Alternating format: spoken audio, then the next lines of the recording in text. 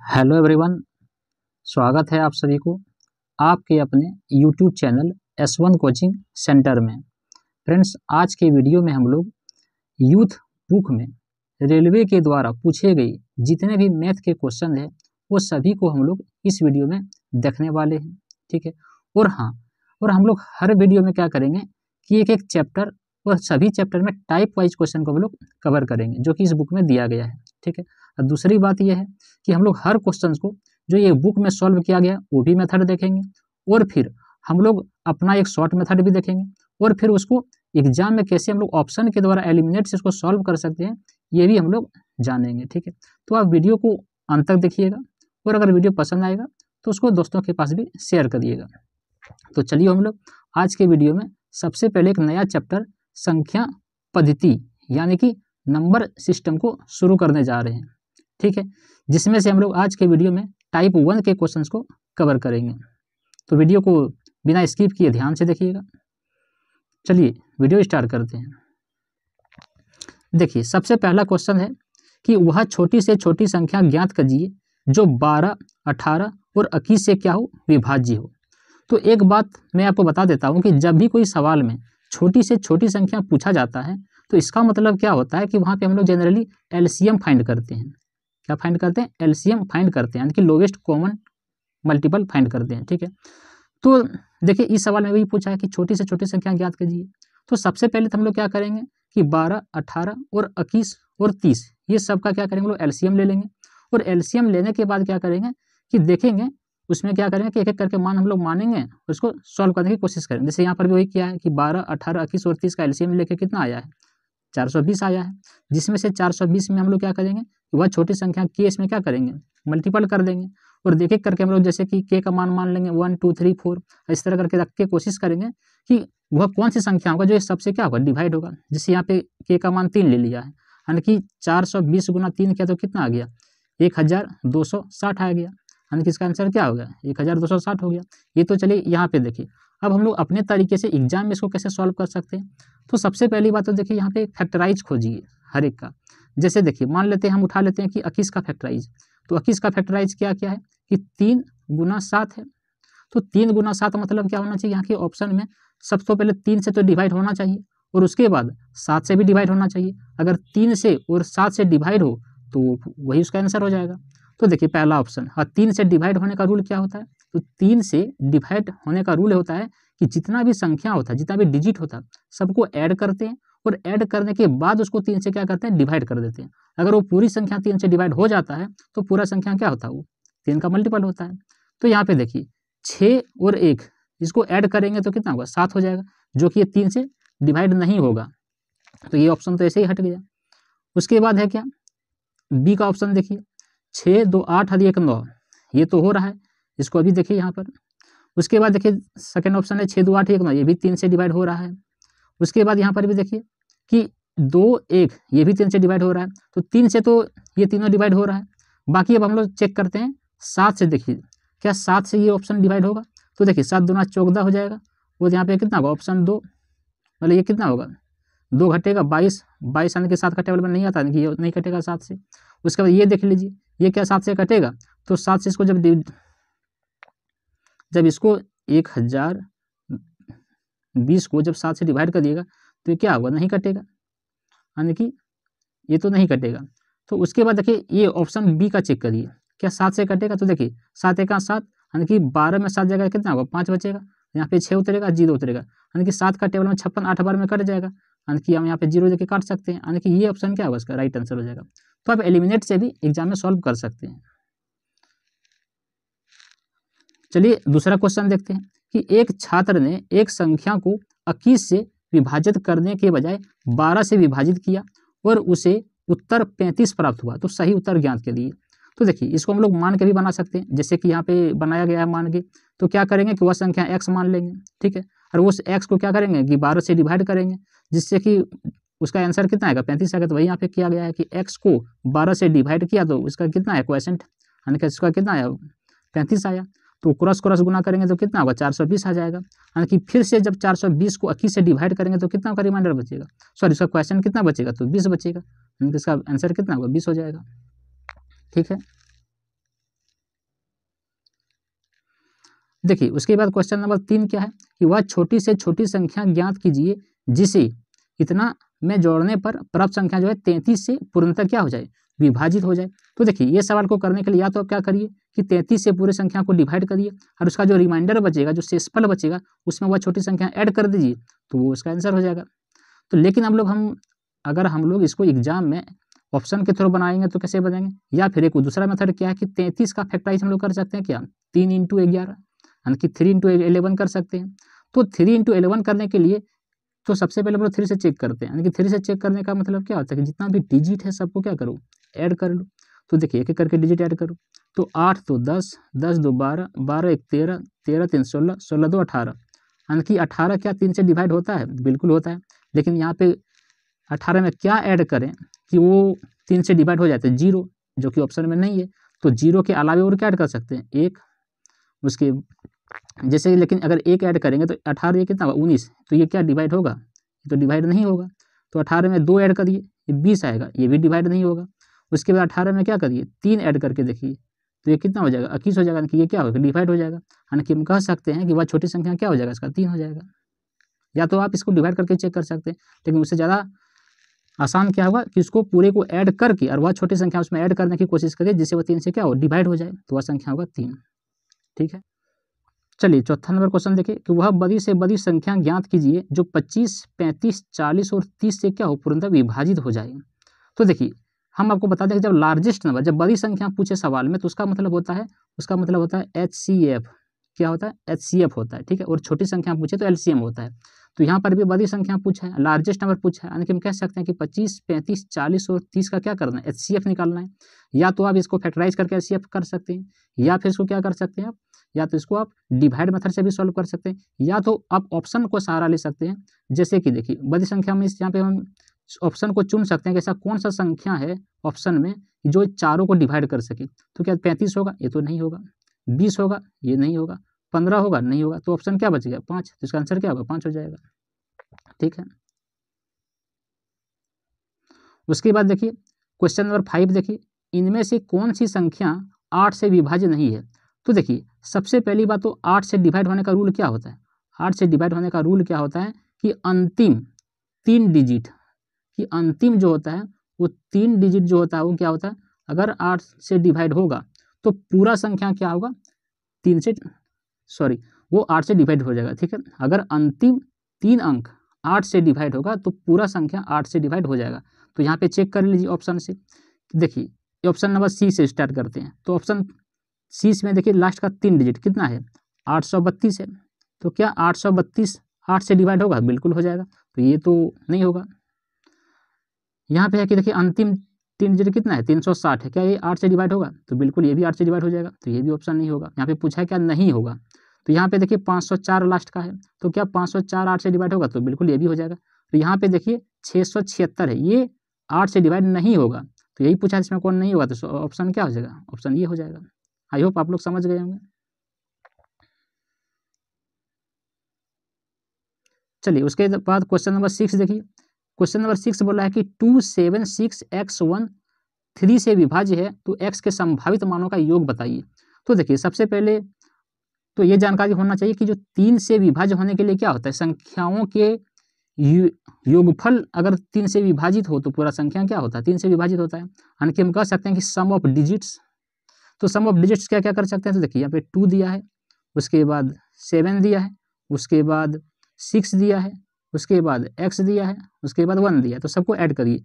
Two plus seven कितना होगा? Nine nine plus six कितना होगा? फिफ्टीन फिफ्टीन प्लस वन कितना हो गया? ये हो गया सिक्सटीन और प्लस एक्स है। तो अब इसमें क्या क्या ऐड करते चलें ताकि वो तीन से डिवाइड होते चले? तो देखिए, सबसे पहले सिक्सटीन में क्या ऐड करेंगे? टू ऐड करेंगे। उसके बाद सिक्सटीन में क्या ऐड करेंगे? क्योंकि देखिए, सोलह प्लस दो कितना होगा? अठारह, जो कि तीन से डिवाइड होगा। उसके बाद क्या होगा? उसके बाद फाइव हो जाएगा, क्योंकि सोलह प्लस पाँच कितना हो गया? इक्कीस हो गया। यानी कि इक्कीस भी तीन से डिवाइड होता है। उसके बाद सोलह प्लस कितना हो जाएगा? सोलह प्लस आठ कर दीजिए, क्योंकि सोलह प्लस कितना होगा? चौबीस होगा, ये भी तीन से डिवाइड होगा। सोलह प्लस नौ करिएगा तो पच्चीस होगा, जो कि डिवाइड नहीं होगा। और सोलह प्लस दस तो नहीं कर सकते, क्योंकि हम लोग दाही का डिजिट नहीं ले सकते हैं। तो हम लोग यहाँ पे क्या क्या देखें कि एक बार दो, एक बार पाँच और एक बार आठ। ये तीनों डिजिट को हम लोग रखने से क्या किए? ये तीन से डिवाइड हो जाता है। यानी कि ये तीनों का पूछा कि योग बताइए तो पाँच प्लस दो कितना हो गया? सात। सात प्लस आठ कितना हो गया? पंद्रह। यानी कि इसका आंसर कितना होगा? इसका आंसर हो गया पंद्रह। ठीक है? देखिए, क्वेश्चन नंबर सात देखिए कि एक संख्या प्रणाली में एक, चार, पाँच, दो, आठ को एक संख्या से विभाजित करने पर सुरेश को भागफल, तेरासी और शेषफल तीन प्राप्त होता है तो भाजक ज्ञात करिए। तो देखिए, इसके लिए तो सबसे पहले आपको सूत्र पता होना चाहिए। सूत्र क्या होता है कि भाज्य बराबर क्या होता है? भाजक गुना भागफल प्लस कितना होता है? प्लस शेष होता है। तो ये फॉर्मूला आपको क्या होना चाहिए? पता होना चाहिए इस तरह के सवालों को सॉल्व करने के लिए कि भाज्य बराबर भाजक गुना भागफल प्लस शेष, ठीक है? तो यहाँ पर देखिए यहाँ पर वही किया गया है कि भाज्य बराबर भाजक गुना भागफल प्लस शेष किया गया है, जिसमें से भाज्य का मान दिया हुआ था। भाजक हम लोग एक्स मान लिए, भागफल भी दिया हुआ था और शेषफल भी दिया हुआ था। यानी कि शेषफल को क्या किए? इधर ले जा करके इसमें माइनस कर दिए और माइनस करने के बाद क्या किए? जितना बचा, उसको एट्टी थ्री से क्या किए? डिवाइड कर दिए तो वो एक सौ पचहत्तर बार में कट गया। ठीक है तो इसका आंसर क्या हो जाएगा? वन सेवेंटी फाइव चलिए, उसके बाद क्वेश्चन नंबर एट देखिए कि वह छोटी से छोटी संख्या ज्ञात कीजिए, जिसे दो लाख जिससे क्या? बीस हज़ार में जोड़ने पर उनका योग बारह, पंद्रह और पच्चीस से क्या हो जाए? विभाजित हो जाए। ठीक है? तो देखिए, सबसे पहली बात वही करेंगे कि इसमें से बोला कि वह कौन सी छोटी संख्या ऐड कर दें ताकि वो क्या हो? बारह, पंद्रह पच्चीस से डिवाइड हो जाए। तो उसके लिए हम लोग क्या करेंगे? तो सबसे पहले बारह, पंद्रह पच्चीस का क्या करेंगे? एलसीएम कर लेंगे। और एलसीएम करने के बाद जितना आएगा, उस पूरी संख्या से क्या करेंगे? ये दो, ज़ीरो ज़ीरो ज़ीरो को क्या करेंगे हम लोग? उसमें डिवाइड करेंगे और जो उसका रिमाइंडर बचेगा, फिर उसमें से क्या करेंगे? घटा देंगे। तो वही इसका क्या होगा? आंसर हो जाएगा। तो इसका आंसर कितना होगा? सौ होगा। देखिए, यहाँ पर वही काम किया है।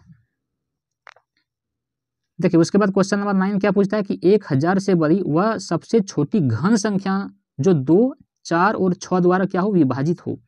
तो देखिए तो जब भी इस तरह का कोई भी सवाल पूछे तो उसके पहले, उसके लिए पहले क्या करते हैं कि दो, चार और छः द्वारा इसमें विभाजित तो उसके लिए क्या करेंगे? दो, चार छः का पहले हम लोग क्या करेंगे? एलसीएम निकाल लेंगे। और एलसीएम निकालने के बाद क्या करेंगे? उसका हम लोग घन कर देंगे, ठीक है? घन करके चेक करेंगे कि क्या वो उससे बड़ी संख्या है। जैसे कि देखिए, दो, चार और छः का एलसीएम कितना होगा? तो बारह हो जाएगा। तो बारह का घन कितना होता है? बारह का घन होता है वन सेवन टू एट होता है, यानी कि एक हज़ार सात सौ अट्ठाईस होता है। तो एक हज़ार सात सौ अट्ठाईस जो है, वो एक हज़ार से बड़ी संख्या तो है ही। और वो देखिए क्या, दो से चार से और छः से डिवाइड होता है तो बिल्कुल होता है। जिसका आंसर क्या होगा? एक सात दो आठ हो जाएगा ऑप्शन नंबर सी ठीक है? चलिए, उसके बाद क्वेश्चन नंबर दस क्या है? कि अगर संख्या एक्स चार चार छः एक, ग्यारह से विभाजित है तो एक्स का मान बताइए। तो देखिए, ऐसे संख्याओं के लिए हम लोग क्या करते हैं? सबसे पहली बात आपको ग्यारह से विभाजित होने का नियम पता होना चाहिए। उसका नियम क्या होता है कि अल्टरनेटिव सम ऑफ़ डिजिट करते हैं, ठीक है? तो अल्टरनेटिव सम ऑफ़ डिजिट क्या होता है? तो देखिए, यहाँ पे सवाल क्या है कि एक्स है फोर है फोर है सिक्स है और एक है। तो देखिए अल्टरनेटिव पहले एक्स और फोर और वन को ऐड करेंगे और बाकी फिर ये इधर क्या है? छः प्लस चार, ये दोनों को ऐड करेंगे। और उसके बाद दोनों को क्या करेंगे? माइनस कर देंगे, यानी कि एक्स प्लस चार प्लस ये कितना हो गया? तो एक्स प्लस पाँच हो गया, ठीक है? अब बाकी ये दोनों का देखिए छः प्लस चार कितना हो गया? तो दस हो गया। और ये दोनों का माइनस किसके बराबर होना चाहिए? या तो ज़ीरो या फिर ग्यारह का कोई भी मल्टीपल होना चाहिए। तो देखिए, यहाँ पे कितना हो गया? यहाँ पे हो गया एक्स प्लस पाँच, यहाँ पे माइनस कितना हो गया? दस हो गया। यानी कि एक्स माइनस इसको करेंगे तो कितना होगा? माइनस पाँच हो जाएगा। इधर क्या है? इधर है ज़ीरो। तो एक्स बराबर कितना हो जाएगा? एक्स बराबर हो जाएगा पाँच। तो इसका आंसर क्या हो जाएगा? एक्स बराबर पाँच हो गया। ऑप्शन नंबर डी, इसका राइट आंसर हो जाएगा। ठीक है? चलिए, उसके बाद पूछा है, क्वेश्चन नंबर ग्यारह क्या कि निम्न में से कौन सी संख्या है जो नौ के द्वारा विभाज्य है? तो देखिए, सबसे पहली बात तो नौ का विभाज्य होने के लिए क्या करते हैं? तो इसका भी तीन के विभाजित का रूल के जैसा है कि सभी संख्याओं को पहले ऐड करते हैं और ऐड करने के बाद अगर वो संख्या पूरा नौ से डिवाइड हो जाता है तो पूरी संख्या तीन पूरी संख्या नौ से डिवाइड हो जाता है। तो यहाँ पे देखिए एक एक करके ऑप्शन चेक करिए कि दो प्लस एक तीन तीन प्लस एक चार चार प्लस छः दस दस प्लस पाँच, पंद्रह, क्या ये नौ से विभाजित होगा? तो नहीं तो ऑप्शन नहीं होगा। ऑप्शन नंबर बी देखिए, पाँच प्लस चार नौ नौ प्लस चार कितना होगा? तेरह तेरह प्लस नौ कितना होगा? बाईस बाईस प्लस चार कितना होगा? तीस, क्या तीस नौ संख्या में डिवाइड होता है? नहीं तो ये भी ऑप्शन नहीं होगा। ऑप्शन नंबर डी देखिए, छः प्लस पाँच ग्यारह ग्यारह प्लस पाँच कितना, सोलह सोलह प्लस आठ कितना, चौबीस चौबीस प्लस पाँच कितना, उनतीस। क्या उनतीस नौ से डिवाइड होता है? नहीं तो ये संख्या भी नहीं होगा। ऑप्शन नंबर सी देखिए तो पाँच प्लस तीन आठ आठ प्लस छः चौदह चौदह प्लस नौ कितना होगा तेईस तेईस प्लस चार कितना होगा सत्ताईस। तो सत्ताईस तो नौ से डिवाइड होता है। तो ये क्या होगा इसका?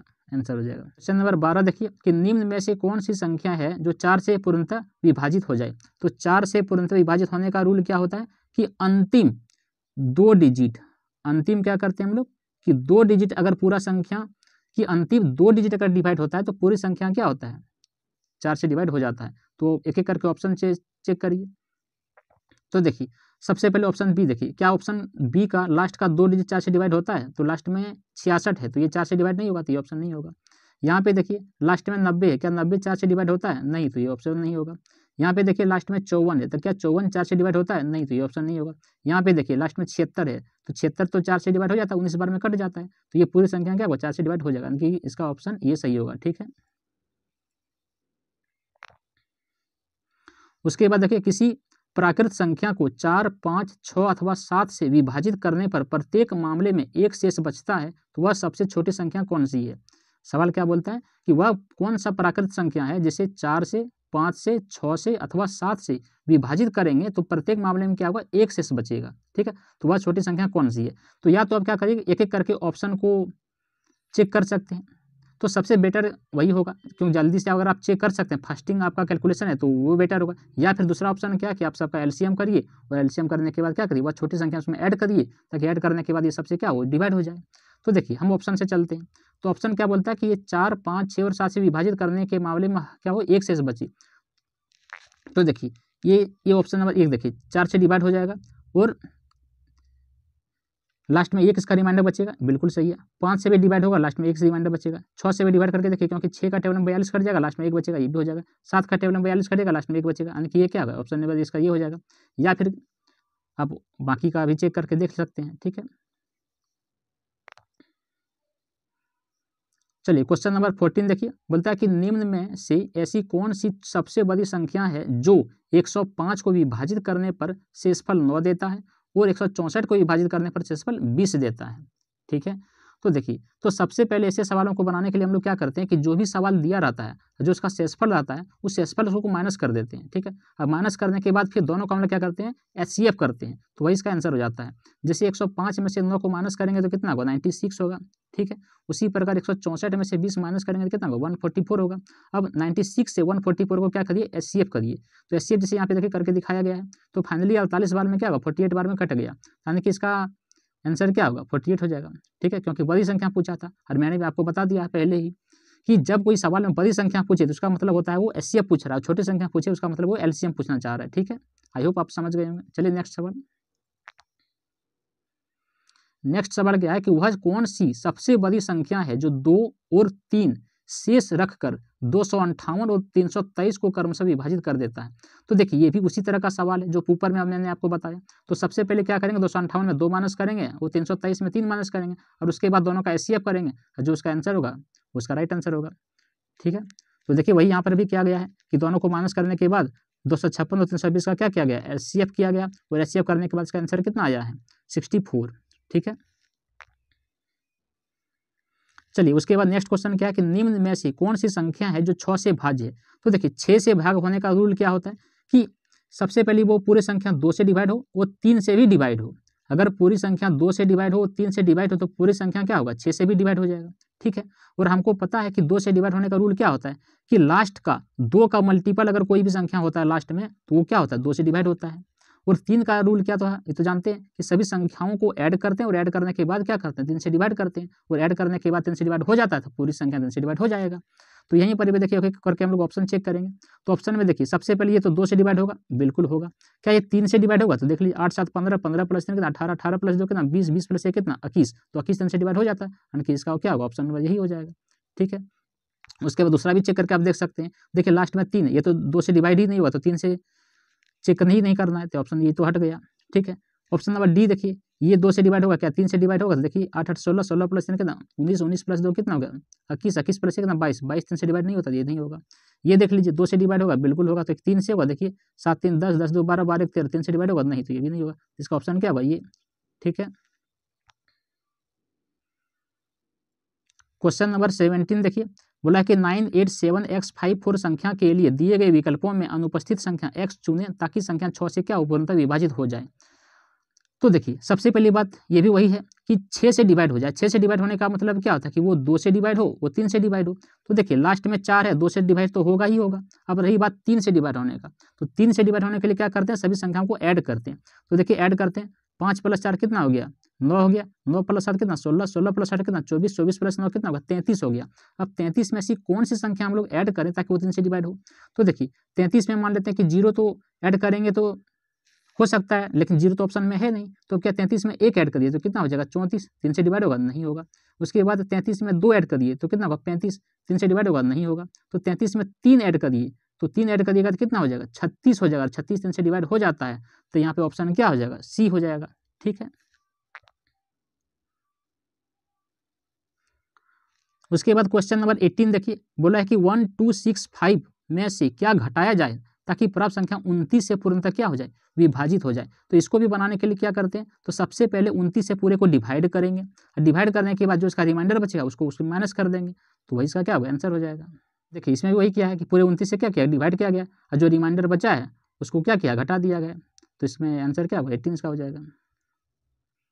उसके बाद अगला क्वेश्चन देखिए कि निम्न में से कौन सी संख्या है जो वन वन एट फोर में से घटाई जाए ताकि संख्या क्या हो किस से डिवाइड हो जाए? तो सेम वही तरह का सवाल है। तो आप क्या करिएगा? सबसे पहले किस से पूरे को डिवाइड कर दिएगा जो रिमाइंडर बचेगा, उसको घटा दीजिए तो पूरा डिवाइड हो जाएगा। यानी कि क्या होगा? इसका रिमाइंडर आंसर हो जाएगा। जिसका आंसर क्या होगा? सी एट यहाँ पे देखिए, बोला कि वन सेवन थ्री नाइन में कम से कम क्या ऐड कर देना चाहिए ताकि वह ग्यारह से क्या हो पूर्णतः विभाजित हो जाए। तो देखिए, या तो आप क्या करिए, पूरे ग्यारह से इसको डिवाइड करके चेक करिए। और चेक करने के बाद देखिए, जो इसका रिमाइंडर होगा, वो इसका आंसर हो जाएगा।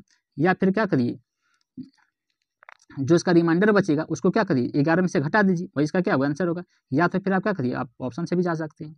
तो यहाँ पर देखिए वही क्या कि ग्यारह से पूरे को डिवाइड कर दिया है। डिवाइड करने के बाद जो रिमाइंडर बचा है, उसको पूरे ग्यारह में से घटा दिया है तो दस बचा है। यानी कि दस संख्या को अगर इसमें ऐड कर देते हैं तो क्या होता है वो? पूरी संख्या वो ग्यारह से डिवाइड हो जाता है। ठीक है? तो ऑप्शन क्या होगा डी हो जाएगा। अगला क्वेश्चन है कि वह छोटी से छोटी संख्या ज्ञात कीजिए, जिसको वन फोर फाइव सिक्स में ऐड करने पर फाइव सिक्स और फोर से पूर्णतः क्या हो जाए? विभाजित हो जाए। तो देखिए, ये भी वही है। तो सबसे पहले क्या करेंगे हम लोग? सिक्स, फाइव और फोर का क्या करेंगे? एलसीएम लेंगे। और एलसीएम लेने के बाद क्या करेंगे? पूरे को डिवाइड करेंगे। और डिवाइड करने के बाद जो इसका रिमाइंडर बचेगा, उसको क्या करेंगे? उसमें से माइनस कर देंगे। तो जिसे डिवाइड किया तो कितना बचा? रिमाइंडर सिक्सटीन बचा। अब सिक्सटी में से सिक्सटीन को क्या किया? माइनस कर दिया गया। तो यह आंसर कितना हो गया फोर्टी फोर हो गया। तो बस वही सवाल है, ये भी है। देखिए क्वेश्चन नंबर ट्वेंटी टू देखिए कि बोला कि जब थ्री पे पावर टेन को सेवन से विभाजित किया जाता है तो शेषफल ज्ञात करिए। तो देखिए, या तो इसको क्या करिए कि तीन को दस बार गुना करिए, ठीक है? और जितना आएगा उस पूरे को क्या करिए, सात से डिवाइड करिए। और जो रिमाइंडर बचेगा वही क्या होगा? आंसर हो जाएगा। तो यहाँ पर भी देखिए, वही किया गया है, ठीक है? उसके बाद देखिए क्वेश्चन नंबर ट्वेंटी थ्री क्या बोलता है? कि निम्न संख्याओं में से वह कौन सी संख्या है जो बारह से विभाजित है? तो देखिए, बारह से विभाजित होने का रूल क्या होता है? या तो पूरा संख्या क्या हो? या तो वो चार से डिवाइड हो, या तो क्या हो? तीन से डिवाइड हो, ठीक है? तीन से डिवाइड होने का मतलब क्या होता है कि सभी संख्याओं का जो ऐड है, जो सम है, वो अगर पूरा तीन से डिवाइड होता है तो वो पूरी संख्या तीन से डिवाइड हो जाएगा। तो एक तो पहले आप तीन से चेक करिए, उसके बाद चार का रूल क्या होता है? कि चार का रूल होता है कि लास्ट का दो डिजिट अगर वो डिवाइड होता है तो पूरी संख्या चार से डिवाइड हो जाएगा। तो यहाँ पे ऑप्शन में देखिए कि लास्ट का दो डिजिट सब जगह क्या है? बारह है ट्वेल्व है। यानी कि वो चार से तो डिवाइड हो ही रहा है तो चार से चेक करने का तो कोई मतलब ही नहीं बनता है। तो हम तीन से चेक कर सकते हैं। तो देखिए क्या करके तीन से चेक करते हैं। पहले देखिए ऑप्शन नंबर ये तो दो प्लस एक तीन तीन प्लस चार सात सात प्लस तीन दस दस प्लस नौ कितना हो गया? उन्नीस हो गया, जो कि तीन से डिवाइड नहीं होता है तो ये ऑप्शन तो ऐसे ही कट गया। उसके बाद देखिए ऑप्शन नंबर बी कि दो, एक, तीन, चार, तीन, सात सात, तीन, दस दस प्लस छः कितना सोलह। सोलह तीन से डिवाइड होता नहीं तो ये भी ऑप्शन हट गया। उसके बाद देखिए क्वेश्चन नंबर सी देखिए, दो, एक, तीन तीन और चार, सात सात, तीन, दस दस प्लस सात, सत्रह सत्रह तीन से डिवाइड होता नहीं तो ये भी ऑप्शन हट गया। उसके बाद देखिए क्वेश्चन नंबर डी तो तब आंसर तो होना ही होगा, क्योंकि तीन तो ऑप्शन हट चुका है। फिर भी एक बार चेक कर लीजिए। दो एक तीन हो गया, चार तीन सात सात तीन दस दस आठ अठारह। अठारह तो तीन से डिवाइड होता है तो ये क्या होगा इसका आंसर हो जाएगा। आई होप आप लोग समझ गए चलिए नेक्स्ट सवाल। नेक्स्ट सवाल क्या है कि निम्न में से कौन सी संख्या है जो नौ से विभाजित है? तो देखिए, ये भी उसी टाइप का सवाल है कि नौ से डिवाइड होने का मतलब क्या होता है? कि पूरा संख्याओं का सम नौ से डिवाइड होता है तो पूरी संख्या क्या होता है? नौ से डिवाइड होता है। तो आप चेक कर सकते हैं इसमें भी। तो देखिए यहाँ पे ऑप्शन बी बताया गया है कि एक बार चेक करके देख लीजिए। छः प्लस दो आठ आठ प्लस आठ सोलह सोलह प्लस आठ कितना होगा तेईस तेईस प्लस आठ कितना होगा सत्ताईस। सत्ताईस नौ से डिवाइड होता है तो पूरी संख्या नौ से डिवाइड हो जाएगा। यानी कि इसका ऑप्शन बी सही हो जाएगा, ठीक है? देखिए, उसके बाद क्वेश्चन नंबर ट्वेंटी फाइव देखिए। क्या है कि three X square plus A X plus four जो है वो एक्स माइनस फाइव से वो डिवाइड हो। तो एक ए का मान बताइए। तो देखिए, इसके लिए क्या करेंगे कुल? सबसे पहले एक्स माइनस पाँच इक्वल टू क्या करेंगे? ज़ीरो कर देंगे। तो ये एक्स बराबर क्या हो जाएगा? प्लस पाँच हो जाएगा। अब जहाँ जहाँ पे एक्स है, वहाँ वहाँ पे क्या करिए? पाँच का मान बैठा दीजिए। तो हम कह सकते हैं कि तीन है एक्स का मान कितना? है पाँच। इसका पावर स्क्वायर हो जाएगा। फिर यहाँ पे क्या होगा? प्लस ये इंटू कितना? फाइव हो जाएगा। प्लस फोर और इक्वल टू इधर क्या होगा? ज़ीरो हो जाएगा। तो यहाँ पे देखिए, पाँच का पावर तो कितना हो जाएगा? पच्चीस। पच्चीस दिया कितना हो जाएगा? पचहत्तर। ये पचहत्तर हो गया। और यहाँ पे कितना हो गया? पाँच ये हो गया। और यहाँ पे कितना हो गया? चार हो गया। यानी कि पचहत्तर प्लस चार कितना हो गया? सेवेंटी नाइन हो गया। और ये सेवेंटी नाइन उस साइड में जाके कितना होगा? माइनस सेवेंटी नाइन हो जाएगा। अब माइनस सेवेंटी नाइन को क्या करेंगे? फाइव से डिवाइड कर देंगे। तो देखिए, फाइव से सेवेंटी नाइन को डिवाइड करेंगे तो कितना होगा? पंद्रह पच्चीस पचहत्तर। यहाँ पे कितना होगा? चार बचेगा। पॉइंट लगेगा ज़ीरो अठी पंची चालीस। मतलब हम कह सकते हैं कि माइनस पंद्रह पॉइंट आठ। इसका ऑप्शन सी सही हो जाएगा। ठीक है? आई होप आपको समझ में आ गया होगा। फ्रेंड्स, अगर वीडियो पसंद आ रहा हो तो उसको लाइक करें और शेयर करें। चलिए चलते हैं अगला सवाल। देखिए, अब हम लोग नंबर सिस्टम का टाइप टू के सवालों को देखेंगे। देखिए, इसमें क्या है? ट्वेंटी सिक्स नंबर सवाल में कि तीन क्रमागत विषम संख्याओं का योग, इनमें से पहली संख्या से बीस अधिक है। तो इनमें से सबसे बड़ी संख्या ज्ञात कीजिए। तो देखिए, सबसे पहले क्या बोला कि तीन क्रमागत विषम संख्या। तो क्रमागत विषम संख्या हम मान सकते हैं कोई भी। जैसे क्या क्या मान सकते हैं? जैसे देखिए, ये एक्स मान सकते हैं, फिर एक्स प्लस टू मान सकते हैं, और फिर एक्स प्लस फोर मान सकते हैं। ये तीन क्रमागत क्या है? विषम संख्या है। जिसमें से क्या बोला है कि तीनों का जो योग है ना, वो पहली संख्या से भी ज़्यादा है। पहली संख्या कौन है? एक्स है। हम हम कह सकते हैं कि एक्स प्लस क्या है? ट्वेंटी है। तो यहाँ पे देखिए ये X plus X two X plus X कितना हो गया? थ्री एक्स हो गया। यहाँ पे फोर प्लस टू कितना हो गया? सिक्स हो गया। तो यहाँ पे हम कह सकते हैं कि three X plus six equal to क्या हो जाएगा? एक्स प्लस ट्वेंटी हो जाएगा। अब ये एक्स इधर आ जाएगा तो थ्री एक्स में एक्स घटेगा कितना होगा? ये बचेगा टू एक्स। और ये ट्वेंटी में से ये सिक्स उधर जाके माइनस हो जाएगा तो कितना बचेगा? फोर्टीन होगा। और दो से फोर्टीन कटेगा कितनी बार में? सात बार में। यानी कि एक्स का मान कितना हो जाएगा? सात। इसमें से क्या पूछा? इनमें से सबसे बड़ी संख्या ज्ञात करिए।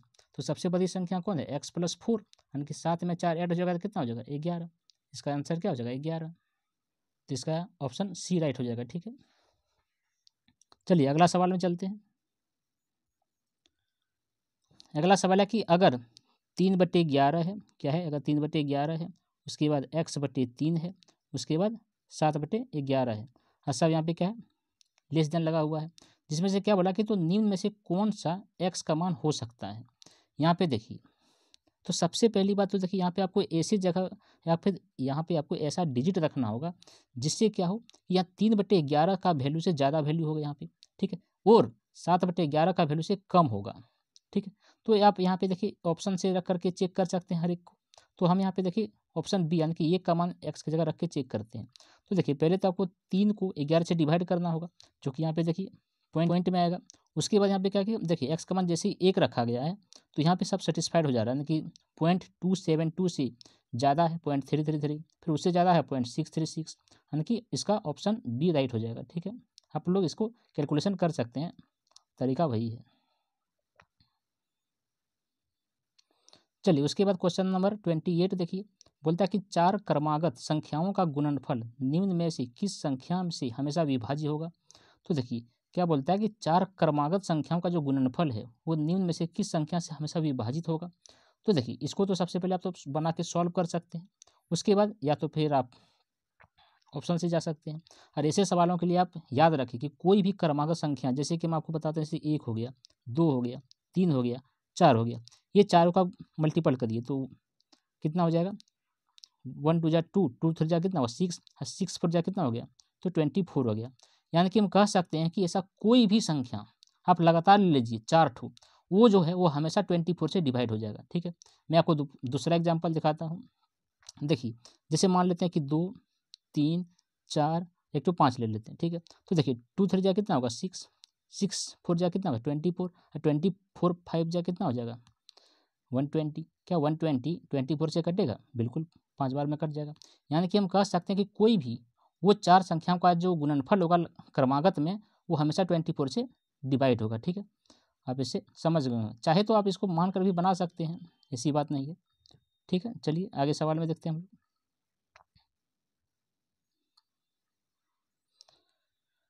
देखिए, अगला सवाल क्या है कि अगर पहली संख्या और दूसरी संख्या तीसरी संख्या की तुलना में पच्चीस प्रतिशत और पचास प्रतिशत अधिक है तो पहली और दूसरी संख्याओं के बीच अनुपात ज्ञात करिए। तो देखिए ऐसे सवालों के लिए क्या करते हैं कि मान लीजिए क्या बोलता है कि पहली संख्या और दूसरी संख्या जो है तीसरी से इतना ज़्यादा तो मान लेते हैं तीसरी जो संख्या है वो कितना है? एक सौ मान लेते हैं। जो पहली है बोलता है कि पहली कितना? है पच्चीस प्रतिशत ज़्यादा यानी कि एक सौ में पच्चीस प्रतिशत ज़्यादा मैंने कितना हो जाएगा? एक सौ पच्चीस हो जाएगा। और दूसरी संख्या बोलता है पचास ज़्यादा यानी कि वही तीसरी एक सौ है तो, तो दूसरी कितना हो जाएगा? एक सौ पचास हो जाएगा। आप इसको फ्रैक्शन में या आप इसको काट करके छोटा कर सकते हैं। देखिए पच्चीस का ही टेबल कर लीजिए पच्चीस सौ के सौ। पच्चीस पच्चीस कितना? एक सौ पच्चीस। अब पच्चीस छः माह कितना होता है? डेढ़ सौ होता है। यहाँ पे पूछा था कि पहली और दूसरी, यानी कि पहली और दूसरी का रेशियो कितना हो जाएगा? फाइव रेशियो सिक्स हो जाएगा। ठीक है ऑप्शन ये इसका देखिए। चलिए, उसके बाद देखिए क्वेश्चन नंबर थर्टी बोलता कि तीन क्रमागत विषम पूर्णांकों में से पहले का तीन गुना, तीसरे के दो गुने से तीन अधिक है। तो देखिए, ऐसे सवालों के लिए तो सबसे ज़रूरी चीज़ होता है कि आप सवालों को पहले ध्यान से रीड करें। उसके बाद जैसे जैसे सवाल बोलता है वैसे वैसे आप उसका इक्वेशन तैयार करते चलें, ठीक है? सवाल आसानी से बन जाएगा। क्या बोला कि तीन क्रमागत विषम संख्या बोला है, ठीक है? जिसमें से देखिए वही किया है कि X X plus two X plus four मान लिया गया है, ठीक है? फिर बोला है क्या कि पहले का तीन गुना, पहले कौन था? पहले एक्स था, यानी कि एक्स का तीन गुना कितना हो जाएगा? तीन एक्स हो जाएगा, वही यहाँ पे हुआ है।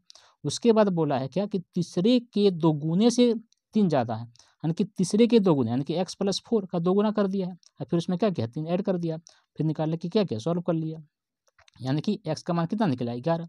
और पूछा था, तीसरा पूर्णा ज्ञात करिए तो तीसरा पूर्णा कैसे होगा, यानी कि एक्स का मान ग्यारह आया, और ग्यारह में चार ऐड कर दीजिए तो कितना हो गया, पंद्रह हो जाएगा। आई होप आप लोग समझ गए होंगे।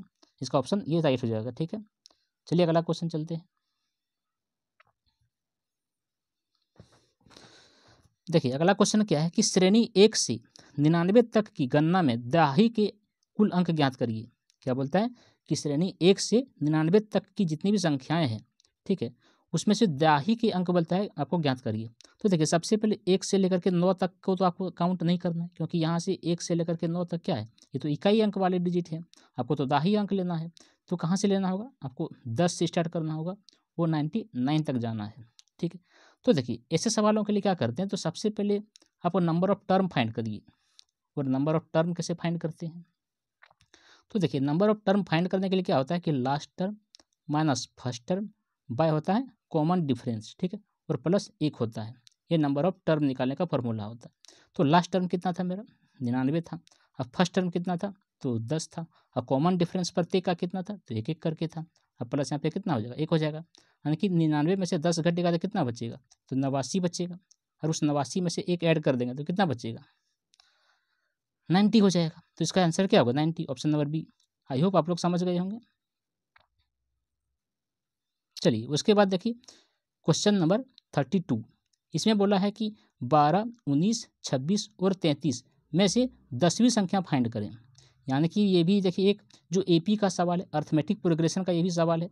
अर्थमेटिक प्रोग्रेशन का सवालों के लिए तरीका क्या था निकालने का कि देखिए, सबसे पहले तो पहला टर्म होता है उसके बाद जो कॉमन डिफरेंस होता है कॉमन डिफरेंस कैसे निकालते हैं? तो निकालते हैं नेक्स्ट टू फ़र्स्ट मतलब अगले डिजिट में से पहले डिजिट को माइनस करने के बाद हम लोग डिफाइन कर लेते हैं, ठीक है? और उसके बाद जो नंबर ऑफ़ टर्म होता है, उसके लिए हम लोग एन का यूज़ करते हैं। जो टोटल नंबर होता है, उसको हम लोग टी एन से डिनोट करते हैं। ये होता है, उसके बाद होता है ए पी का फॉर्मूला क्या होता है? टी एन इक्वल टू होता है ये plus n minus one into d होता है। इस फॉर्मूले में सेट करके आप किसी भी टाइप का सवाल बना सकते हैं, ठीक है? तो देखिए, सबसे पहला क्या कि यहाँ पे बारह, उन्नीस, छब्बीस, तैंतीस। तो सबसे पहले तो चेक करें क्या ये कॉमन डिफरेंस का सेम है? अगर कॉमन डिफरेंस सेम है तो ही वो ए पी कहलाएगा। ठीक है? क्योंकि ये इसका काम ही होता है अर्थमेटिक प्रोग्रेशन कि हर जगह का जो प्रोग्रेस होगा वो सेम डिफरेंस से होगा। ठीक है? तो यहाँ पे देखिए, बारह से उन्नीस, कितना का डिफरेंस है? सात। उन्नीस का छब, उन्नीस से छब्बीस, कितना का डिफरेंस है? सात। छब्बीस से तैंतीस, कितना का डिफरेंस है? सात। तो सब जगह क्या है? सात सात का डिफरेंस है। यानी कि हम कह सकते हैं कि ये ए पी की टर्म में है। तो इसका पहला टर्म क्या हो जाएगा? पहला टर्म हो जाएगा बारह, इसका कॉमन डिफरेंस कितना हो जाएगा? तो कॉमन डिफरेंस सात हो जाएगा। और बोला है दसवीं संख्या, यानी कि एन का मान दे दिया आपको टेन तो आप फॉर्मूला में सेट कर लीजिए। फॉर्मूला क्या होता है? वो होता है ये plus n minus one into d तो ये का मान कितना है? तो बारह है। एन कितना है? दस। दस में से एक घटेगा कितना? नौ। और नौ डी का मान कितना है? सात। तो नौ सत्य कितना हो गया? तिरसठ हो गया। यानी कि तिरसठ प्लस बारह कितना हो गया? तो तिरसठ प्लस बारह हो गया पचहत्तर। तो कह सकते हैं इस संख्या का तो कह सकते हैं कि सवाल का जो आंसर है वो कितना है? पचहत्तर, यानी कि ऑप्शन बीस का राइट आंसर हो जाएगा, ठीक है? देखिए, उसके बाद क्वेश्चन नंबर थर्टी फोर देखिए। सवाल क्या है कि श्रेणी सात, चौदह, इक्कीस, अट्ठाईस में कितने पदों का योग जो है वो नौ सौ बावन है? देखिए, ये सवाल कोई दूसरा है। ये जो है सम ऑफ़ टोटल टर्म जो है उसका सवाल है ये। इसके लिए फार्मूला क्या होता है? देखिए फार्मूला मैं लिख देता हूँ कि S n equal to formula होता है। एन बाई टू होता है। यहाँ पे ब्रैकेट टू ये होता है। उसके बाद फिर यहाँ पे क्या होता है? एन माइनस वन होता है और यहाँ पे डी होता है। तो ये होता है एस एन का फॉर्मूला ठीक है? जब सभी डिजिट का सम पूछे ना तो उसके लिए इस फॉर्मूला का यूज़ करके हम लोग निकाल सकते हैं। तो एक बार फिर से फॉर्मूला देख लीजिए। एस एन इक्वल टू क्या होता है? एन बाई टू होता है।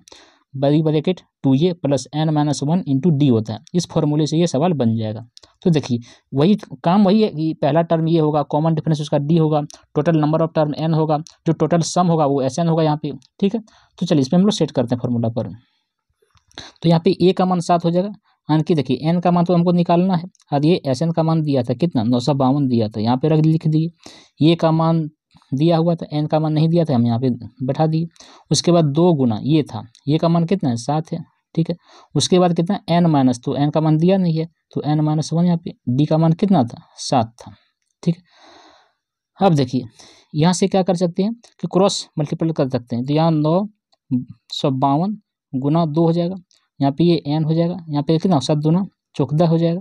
उसके बाद प्लस कितना? यहाँ पे सात एन हो जाएगा, यहाँ पे माइनस सात हो जाएगा, ठीक। फिर यहाँ पे देखिए कि चौदह में से सात घटेगा तो कितना बचेगा? सात बचेगा। यानी कि यहाँ पे कितना ये एन इन टू तो हो जाएगा सात प्लस सात एन हो जाएगा, ठीक है? और यहाँ पे इसका, जिसको हम कह सकते हैं कि जब यहाँ पे इंटू होगा तो कितना होगा? सात एन होगा। यहाँ पे क्या होगा? सात एन स्क्वायर हो जाएगा। यानी कि यहाँ पे सात से कॉमन लेकर के आप इसको काट सकते हैं। ठीक है? तो सात से कॉमन लेकर के नौ सौ बावन को अगर काटिएगा तो कितना होगा एक सौ छत्तीस बार में कट जाएगा, ठीक है? अब हम यहाँ पे लिख सकते हैं कि यहाँ पे n plus n square equal to कितना होगा? एक सौ छत्तीस का दो गुना कितना हो जाएगा? तो दो सौ बहत्तर हो जाएगा। यानी कि इसका इक्वेशन निकलेगा क्या कि एन स्क्वायर प्लस एन बराबर में कितना आया था? दो सौ बहत्तर आया था। अब इसका क्या होगा? ये दो सौ बहत्तर इधर आ जाएगा तो कितना हो जाएगा? माइनस दो सौ बहत्तर। इधर क्या होगा? ज़ीरो हो जाएगा। अभी देखिए क्वाड्रेटिक इक्वेशन बन गया। क्वाड्रेटिक इक्वेशन बनने का मतलब क्या होता है कि इसको मिडिल टर्म फैक्टर में फैक्टराइज करते हैं। इसका रूल क्या होता है कि ये लास्ट टर्म और फ़र्स्ट टर्म को इंटू करते हैं।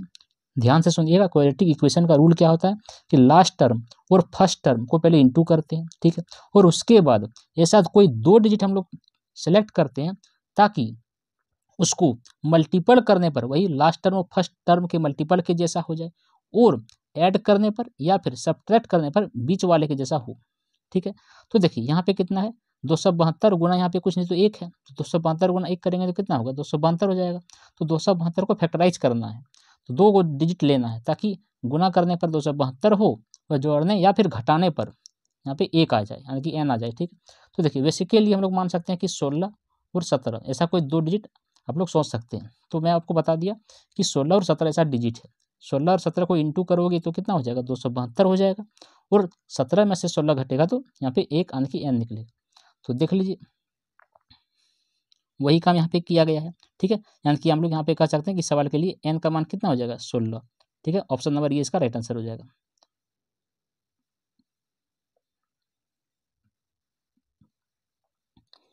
चलिए, अगला सवाल चलते हैं। बोलता है कि दो क्रमानुगत संख्याएँ ज्ञात करिए, जिनमें पहले अंक का तीन गुना, दूसरे अंक के दो गुने से पाँच ज़्यादा है। तो देखिए, ऐसे सवालों के लिए क्या कर सकते हैं आप? या तो आप इसको एक इक्वेशन में तैयार कर सकते हैं, या फिर इसको आप ऑप्शन से बना सकते हैं। लेकिन मैं आपको एडवाइस दूँगा कि ऐसे सवालों को आप ज़्यादातर ऑप्शन से बनाने की कोशिश करें, क्योंकि ये ऑप्शन से जल्दी एलिमिनेट हो जाते हैं। देखिए, सवाल क्या कहता है कि दो कर्मानुगत मीन्स क्या हुआ? कर्मानुगत मीन्स होगा लगातार संख्या। वो बोलता है कि ज्ञात करिए, जिन्हें पहले अंक का तीन गुना, देखिए ऑप्शन से, मान लेते हम सी का ऑप्शन सेलेक्ट करते हैं। बता कि पहले अंक का तीन गुना मतलब सात का तीन गुना कितना हो जाएगा? इक्कीस हो जाएगा। तथा बोलता है कि दूसरे अंक के दो गुने से पाँच ज़्यादा। दूसरा अंक कौन है? आठ आठ का दो गुना करिए, कितना होगा? सोलह। सोलह में पाँच ऐड कर दीजिए। इक्कीस क्या देखिए, दोनों बराबर आया कि नहीं? यानी कि इसका क्या होगा? ऑप्शन नंबर सी हो जाएगा। आप ऐसे चेक कर सकते हैं। बाकी धीरे धीरे आप सबको चेक करके एक बार देख सकते हैं। जल्दी हो सकता है इस तरह। बिना इक्वेशन बनाए आप ऐसे भी बना सकते हैं। ठीक है? चलिए, उसके बाद नेक्स्ट सवाल क्या है? बोलता है कि छः प्लस ग्यारह प्लस सोलह प्लस इक्कीस प्लस इस तरह टोटल करते हुए इकहत्तर। सबका क्या करना है? ऐड करना है सम करना है, ठीक? तो उसके लिए देखिए, तरीका बताया था कि एस एन का फॉर्मूला क्या था? होता है एस एन का एक और फॉर्मूला होता है, वो होता है एन बाय टू एक होता है फ़र्स्ट टर्म ये एक लास्ट टर्म एल ठीक है? इस फॉर्मूले से भी आप इसको क्या कर सकते हैं? बना सकते हैं। लेकिन उसके लिए यहाँ पे देखिए सवाल में आपको एन का नहीं पता है। ठीक है? तो पहले तो आपको एन निकालना होगा। एन निकालने के बाद इस फॉर्मूले आप सेट कर दीजिए तो सवाल बन जाएगा। तो देखिए एन निकालने का क्या होता है? वही कि लास्ट टर्म में फ़र्स्ट टर्म माइनस कर दीजिए। यानी कि इकहत्तर में से छः घटेगा कितना बचेगा? पैंसठ बचेगा। फिर सबका कॉमन डिफरेंस देखिए तो कॉमन डिफरेंस कितना है? पाँच है। यहाँ पे कितना होगा? एक हो जाएगा। पैंसठ को पाँच से काटे तेरह बार में, तेरह प्लस एक कितना होगा? चौदह हो जाएगा। एन का मान तो चौदह आ गया। अब फार्मूला क्या था? एन बाय टू यानी कि हम कह सकते हैं कि चौदह बाय टू हो गया। अब फ़र्स्ट टर्म फ़र्स्ट टर्म कौन है? छः है और लास्ट टर्म कौन है? इकहत्तर है। इसको सॉल्व कर दीजिए तो कटेगा कितना होगा? सात होगा।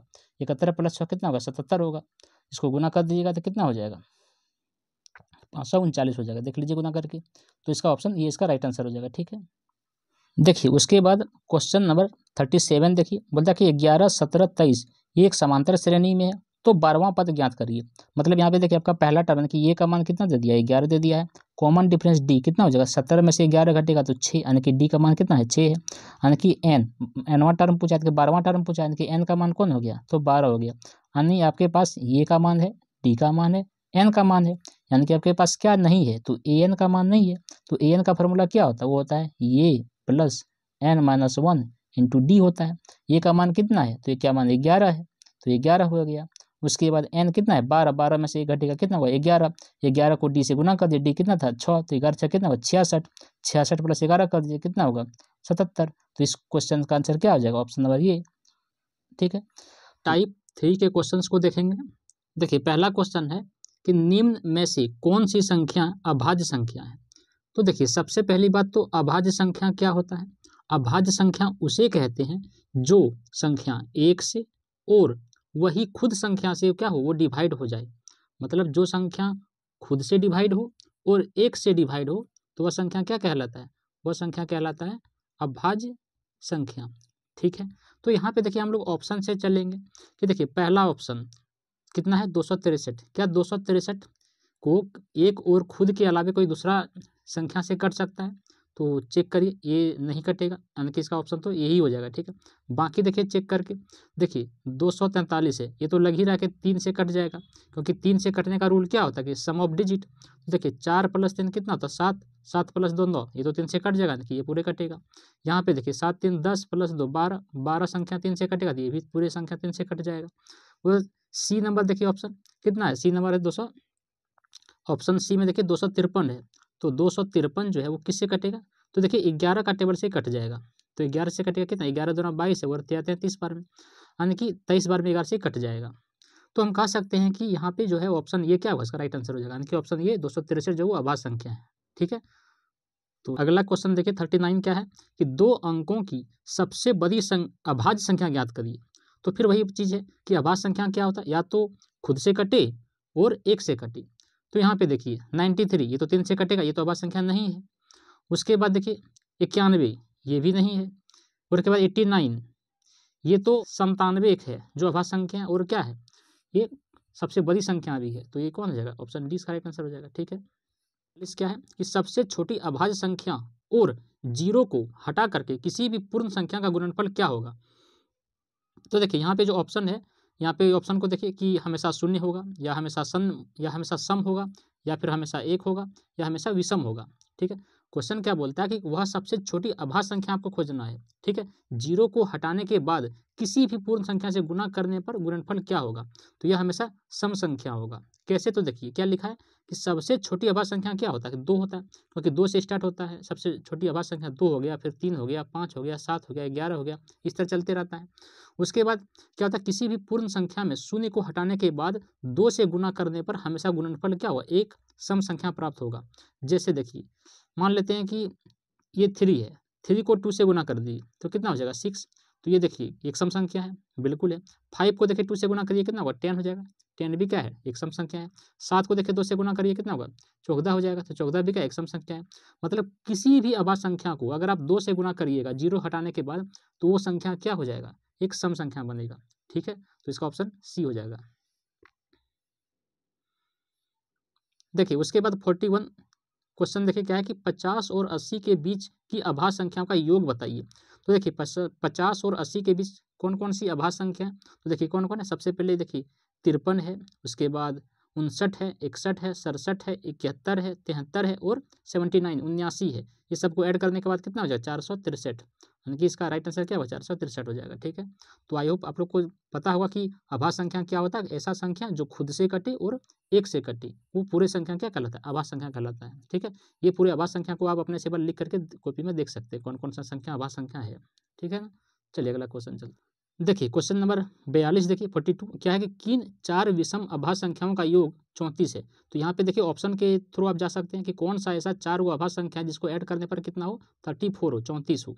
तो देखिए ऑप्शन नंबर डी देखिए, ये तीन, सात, ग्यारह, तेरह सबको ऐड करने के बाद कितना आएगा? चौंतीस आएगा। उसमें भी क्या बोला है कि लगातार तो नहीं बोला इसमें कि लगातार सबको ऐड करना है, इसमें सिर्फ़ बोला कि कोई भी चार विषम संख्याओं का आप योग करिए, जो अभाज्य भी हो और ऐड करने पर चौंतीस भी हो तो यहाँ पे ऑप्शन डी इसका राइट आंसर हो जाएगा, ठीक है? देखिए, उसके बाद क्वेश्चन देखिए फोर्टी थ्री क्या है कि एक से लेकर के एक सौ तक की गिनती में अंक दो जो है, वो दहाई के स्थान पर कितनी बार आता है? क्या बोलता है कि एक से लेकर के एक सौ तक में, बोलता है कि दहाई के स्थान पर जो है दाही का स्थान कौन होता है? जैसे कि ये चौबीस है तो चौबीस में चार क्या इकाई का स्थान पर है और दो क्या है? दाही का स्थान पर है, ठीक है? तो ये वाला स्थान आपको देखना है कि इसमें बोला कि एक से लेकर के सौ तक गिनती करिए, उसमें दाही के स्थान पर दो कितनी बार आता है, ये आपको कैलकुलेट करना है, ठीक है? तो देखिए अच्छा सवाल है, ये एनटीपीसी का सवाल है, पूछा गया था इसमें। तो देखिए, सबसे पहले आप तो एक से लेकर के देखिए, दस तक में कभी भी दाही के स्थान पर दो आएगा? नहीं आएगा, क्यों? क्योंकि दस के पहले तो एक वन डिजिट वाला संख्या है, इसके पहले तो आ ही नहीं सकता, ठीक है? हाँ उसके बाद यहाँ पे देखिए, दाही का स्थान बोला था, अगर मान लेते आप बोलेगा कि एक के बाद दो तो आता है, लेकिन दो इकाई का स्थान पर है, दाही का स्थान पर नहीं है, ठीक है? तो इसलिए हम लोग कहाँ से देखेंगे? ग्यारह से लेकर के बीस तक पहले देख लेते हैं। तो देखिए, ग्यारह से बीस तक में दाही का स्थान पर एकमात्र बीस में ही है, जो क्या है? यहाँ पे दाही का स्थान पर है, यानी कि ग्यारह से बीस के बीच में एकमात्र एक संख्या है, जो दाही का स्थान पर दो है, ठीक है? उसके बाद अगला देखिए, उसके बाद इक्कीस से लेकर के तीस तक निकाला गया है। तो इक्कीस से तीस में कौन कौन है? देखिए, यहीं पर भी एक तो है। ये इक्कीस है, फिर बाईस है, फिर तेईस है, फिर चौबीस है, इस तरह करके कहाँ तक जाएगा? ये उनतीस तक जाएगा, ठीक है? क्योंकि देखिए, सबके दाही में दो दो है तो इस तरह नौ बार आएगा। एक बार गिन के देख लीजिएगा, ठीक है? उसके बाद देखिए, इकतीस से लेकर के एक सौ तक में दाही के स्थान पर ज़ीरो आएगा, क्योंकि देखिए, अब तो इकतीस के आ गया। जो कि क्या तीस, इकतीस, उनतीस के बाद, क्योंकि लास्ट कब है? उनतीस तक ही है। लास्ट उनतीस तक ही है जो दाही का स्थान पर दो है। उसके बाद तो तीस आ जाएगा, तीन बड़ा डिजिट आएगा तो कहाँ से मिलेगा उधर? इसीलिए अब यहाँ पे ज़ीरो आ जाएगा। इकतीस से लेकर के सौ के बीच में ज़ीरो है। ज़ीरो है, ठीक है? क्योंकि एक भी यहाँ पे दाही का स्थान पर दो नहीं मिलेगा आपको। तो हम कह सकते हैं कि कितना मिला टोटल टोटल यहाँ पे एक हो गया और यहाँ पे नौ हो गया। टोटल दस गो संख्या है जो दाही का स्थान पर दो है। ऑप्शन सी इसका राइट आंसर हो जाएगा, ठीक है? उसके बाद नेक्स्ट सवाल देखिए कि एक अभाज्य संख्या में क्या होता है? तो अभाज्य संख्या में आपको बताए थे कि वो संख्या खुद से डिवाइड होता है और एक से डिवाइड होता है तो वही अभाज्य संख्या कहलाता है। इसका ऑप्शन बी राइट आंसर हो जाएगा, ठीक है? उसके बाद देखिए क्वेश्चन नंबर फोर्टी फाइव क्या है? कि एक से लेकर सौ तक की गिनती में अंक पाँच कितनी बार आता है? तो देखिए, एक से लेकर के सौ तक पहले आप गिनती करिए और उसके बाद कैलकुलेशन करिए कि उसमें पाँच कितनी बार आता है। तो देखिए, सबसे पहली बात तो क्या करिए? एक एक करके कैलकुलेशन करिए। सबसे पहले एक से लेकर के आप उनचास तक काउंट करिए ठीक है? और उसके बाद देखिए कि पाँच कितनी बार आता है। तो देखिए, सबसे पहले एक से लेकर के, मान लेते हैं कि एक से लेकर के हम दस तक गिनते हैं। तो एक से लेकर के दस तक में पाँच के क्या बार आएगा? एक बार, पाँच, एक आएगा। उसके बाद दस से बीस के बीच में देखिए, कितना आएगा? पंद्रह एगो बीच में कि यहाँ पे एगो दो आएगा, ठीक है? इसी तरह करके आप कैलकुलेशन करिए और फिर सबका निकाल लीजिए। तो यहाँ पे देखिए लिखा गया भाई कि एक से उनचास तक कितना? पाँच, वो संख्या आएगा। उसके पचास से साठ तक में क्या वो? ग्यारह का आएगा, इकसठ से सौ तक में चार आएगा आप लोग इसको एक बार कैलकुलेशन करके कॉपी में देख लीजिएगा, ठीक है? तो टोटल कितना हो जाएगा? पाँच प्लस ग्यारह सोलह सोलह प्लस चार, बीस हुआ यानी कि टोटल बीस को संख्या ऐसा होगा जो पाँच आएगा। बीस बार पाँच आएगा, एक से सौ तक लिखने में, ठीक है? उसके बाद देखिए अगला संख्या क्या है कि पहली दो सौ विषम प्राकृत संख्याओं में कितनी आभास संख्या है? तो देखिए, सबसे पहली बात वही है कि आभास संख्या क्या होता है? जो खुद से डिवाइड हो और एक से डिवाइड हो तो वो संख्या क्या कहलाता है आभास संख्या, ठीक है? तो यहाँ पे बोला है कि पहली दो सौ विषम प्राकृत संख्या मतलब विषम प्राकृत संख्या हो तो विषम तो हो ही, और वो प्राकृत संख्या तो होगा ही, क्योंकि प्राकृत संख्या क्या होता है कि गिनती की जितने भी संख्या होता है, गिनती की सभी संख्या को क्या कहते हैं? प्राकृत संख्या कहते हैं हम लोग। तो सभी आभास संख्या भी क्या होगा? एक प्राकृत संख्या ही होगा, और सभी आभास संख्या का एक विषम संख्या भी है। तो यहाँ से आप देख सकते हैं गिन के जैसे देखिए, यहाँ पे लिखा हुआ कि तीन, पाँच, सात, ग्यारह, तेरह, सत्रह, उन्नीस, तेईस, उनतीस, इकतीस, सैंतीस, ये पूरा लिख दिया गया है दो शतक। ठीक है? तो एक सौ निन्यानवे। टोटल कर। टोटल अगर काउंट करिएगा कितना निकलेगा? पैंतालीस टो यानी कि पैंतालीस टो इस तरह संख्या है, जो विषम संख्या है, और क्या है? वो दो सौ तक लिखा गया है। ठीक है? तो ऑप्शन इसका ये राइट आंसर हो जाएगा। उसके बाद देखिए क्वेश्चन नंबर फोर्टी सेवन क्या है कि निम्न में से कौन से जोड़े सह आभास संख्या है? तो देखिए, सह आभास संख्या क्या होता है? तो देखिए, ऐसी दो संख्या या दो से अधिक संख्या जिनका उभयनिष्ठ अपवर्तक एक हो, उभयनिष्ठ मैंने क्या होता है कि दोनों का, जब हम लोग एचसीएफ निकालेंगे ना तो वो एक आएगा, ठीक है? उसके बाद उन संख्याओं का महत्तम समावर्तक भी एक होगा और दोनों एक से कटेगा ही, ठीक? उसके बाद क्या होता है, वो सहभाष संख्या कहलाता है। जैसे यहाँ पे ऑप्शन में क्या है, उनसठ और संतानवे ये इसका सहभाष संख्या है, ठीक है?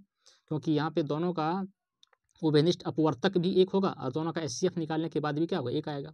तो मेनली अब किसी का भी लगातार संख्या होना चाहिए और उसका एस एक होना चाहिए, ठीक है? ये कैलकुलेशन कर लीजिएगा तो क्या होगा? वो एक सहभाष संख्या निकल जाएगा। तो यहाँ पे ऑप्शन सी इसका करेक्ट आंसर हो जाएगा।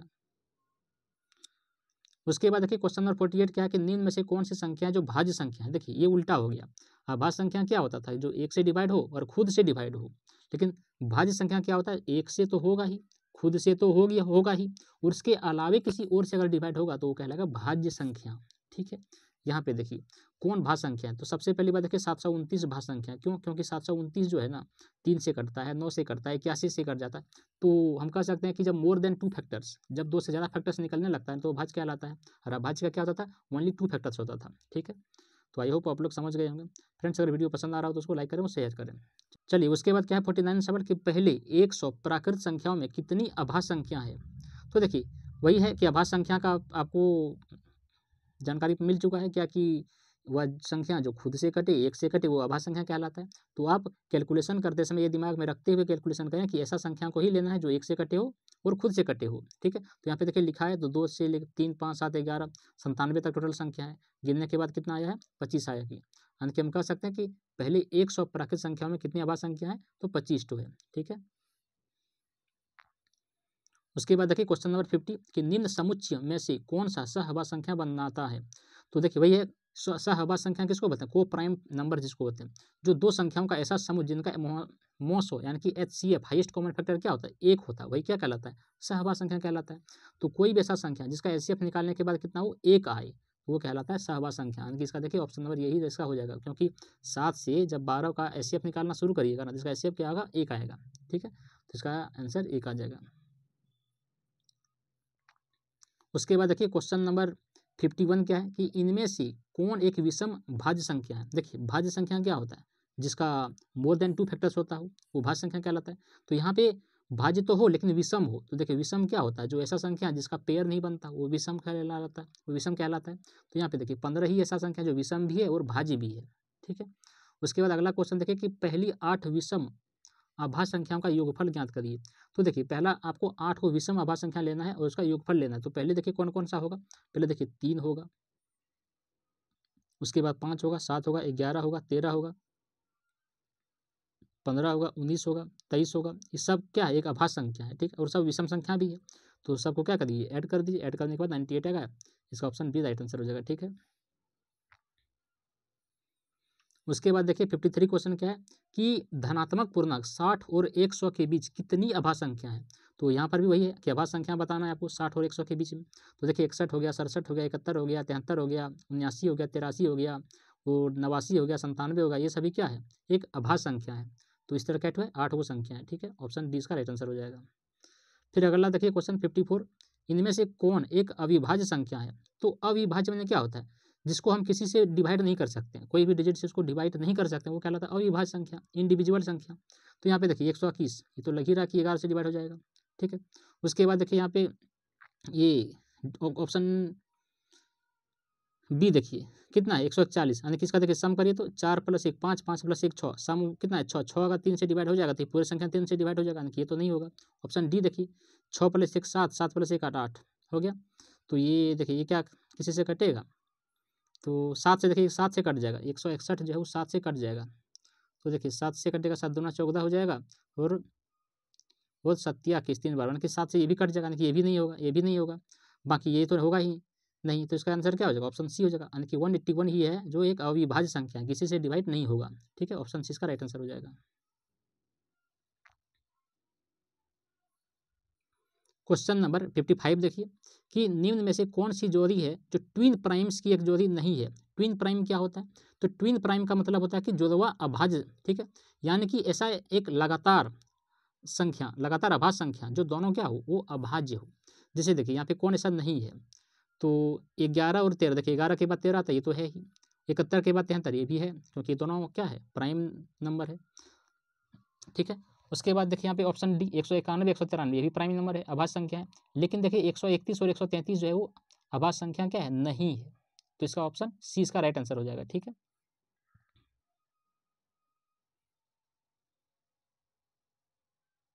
उसके बाद देखिए क्वेश्चन नंबर फिफ्टी सिक्स क्या है कि निम्न में से कौन सी एक से बीस तक अंकों में अभाज्य अंक श्रृंखला है? क्या बोलता है कि इनमें से कौन सा संख्या है जो एक से लेकर के बीस तक अंकों में अभाज्य श्रृंखला है। तो देखिए, एक से लेकर के बीस तक लिखा गया कौन है जो इसमें अभाज्य संख्या है? तो देखिए, एक एक करके से देखिए, दो, यहाँ से तो ये तो होगा, क्योंकि यहाँ से स्टार्टिंग ही तीन से हुआ है, ये नहीं होगा। ऑप्शन डी देखिए, एक से स्टार्टिंग हुआ, ये भी नहीं होगा। यानी कि ऑप्शन बी और सी में देखिए तो ऑप्शन बी में क्या है कि दो के बाद डायरेक्ट पाँच आ गया है, जो कि गलत है। दो के बाद तीन आना चाहिए था, यानी कि ऑप्शन सी देखिए, दो के बाद तीन, पाँच, सात, ग्यारह, तेरह, सत्रह, उन्नीस, यानी कि ऑप्शन सी का राइट आंसर हो जाएगा, ठीक है? देखिए क्वेश्चन नंबर फिफ्टी सेवन देखिए कि निम्न संख्याओं में से संयुक्त संख्या कौन सी है? तो देखिए भैया कि संयुक्त संख्या क्या होता है? कि वह संख्या जो पूर्ण संख्याओं का गुना करके बनाई जाती है, जो पूर्ण संख्या हो और उसको गुना करने पर क्या हो? उसको प्राप्त किया जाए तो वो कहलाता है संयुक्त संख्या, ठीक है? तो यहाँ पे ऑप्शन आपका ऑप्शन इसमें सवाल बोला था कौन नहीं है? तो देखिए ऑप्शन ये तो है ही ऑप्शन बी भी है ऑप्शन सी भी है, लेकिन ऑप्शन डी नहीं है।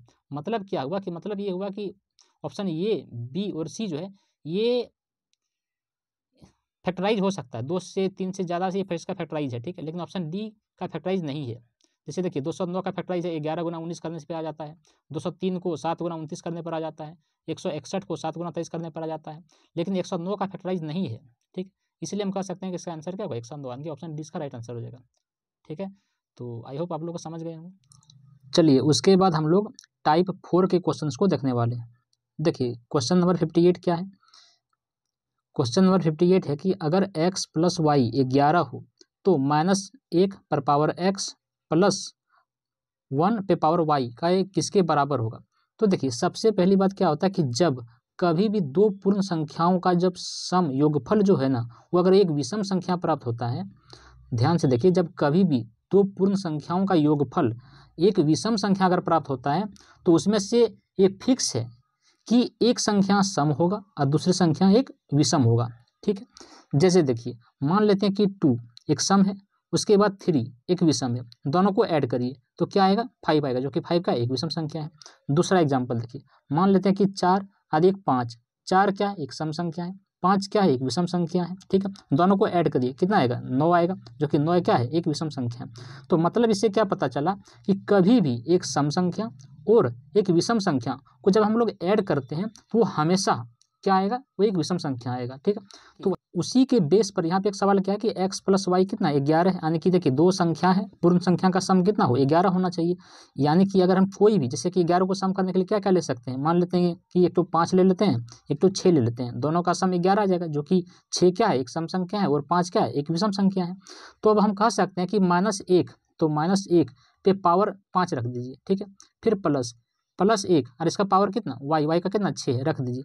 तो माइनस पाँच को सॉरी माइनस एक को अगर पाँच बार गुना करिएगा तो कितना होगा? माइनस एक आएगा, ठीक है? प्लस एक को छः बार गुना करिएगा कितना आएगा? तो एक ही आएगा। तो देखिए माइनस और प्लस कितना हो जाएगा? माइनस खत्म, यानी कि ज़ीरो हो जाएगा। तो यानी कि इसका आंसर कितना हो जाएगा? डी ऑप्शन ज़ीरो इसका राइट आंसर ऑप्शन डी इसका राइट आंसर हो जाएगा, ठीक है? इसका आंसर ज़ीरो आएगा। उसके बाद अगला सवाल देखिए क्या है? कि बोलता है कि तीस मीटर लंबे कपड़े से प्रत्येक 225 सेंटीमीटर माप वाले 12 टुकड़े काट कर बेचे जाते हैं।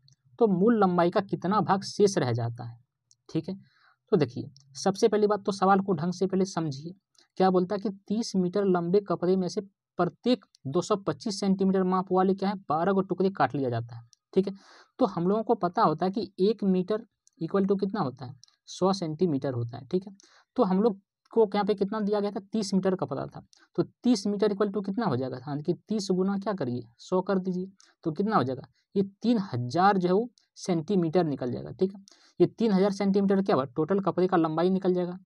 उसके बाद क्या बोलता है कि 225 सेंटीमीटर माप वाले बारह का टुकड़े काट दिया जाता है। यानी कि हम लोग 225 को बारह से गुना करेंगे तो कितना हो जाएगा? सत्ताईस हो जाएगा, ठीक है? यानी कि तीन हज़ार सेंटीमीटर टोटल क्लॉथ था। उसमें से दो हज़ार सात सौ सेंटीमीटर क्लॉथ क्या होगा काट के बेच के हटा दिए हम लोग। तो टोटल क्या शेष कितना बचेगा?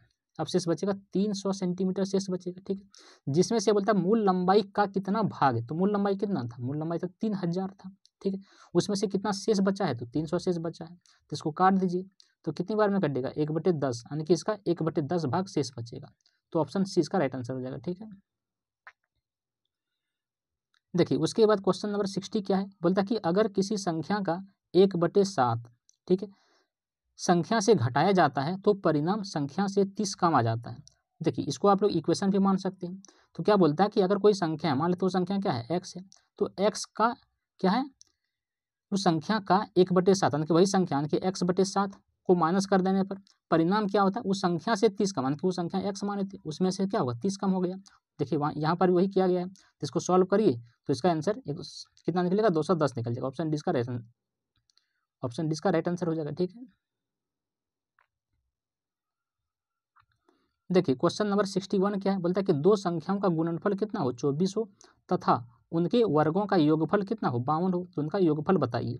तो या तो आप इसके, ऐसा कोई दो डिजिट को आप एज्यूम करके मान सकते हैं, जिसका गुणनफल कितना हो?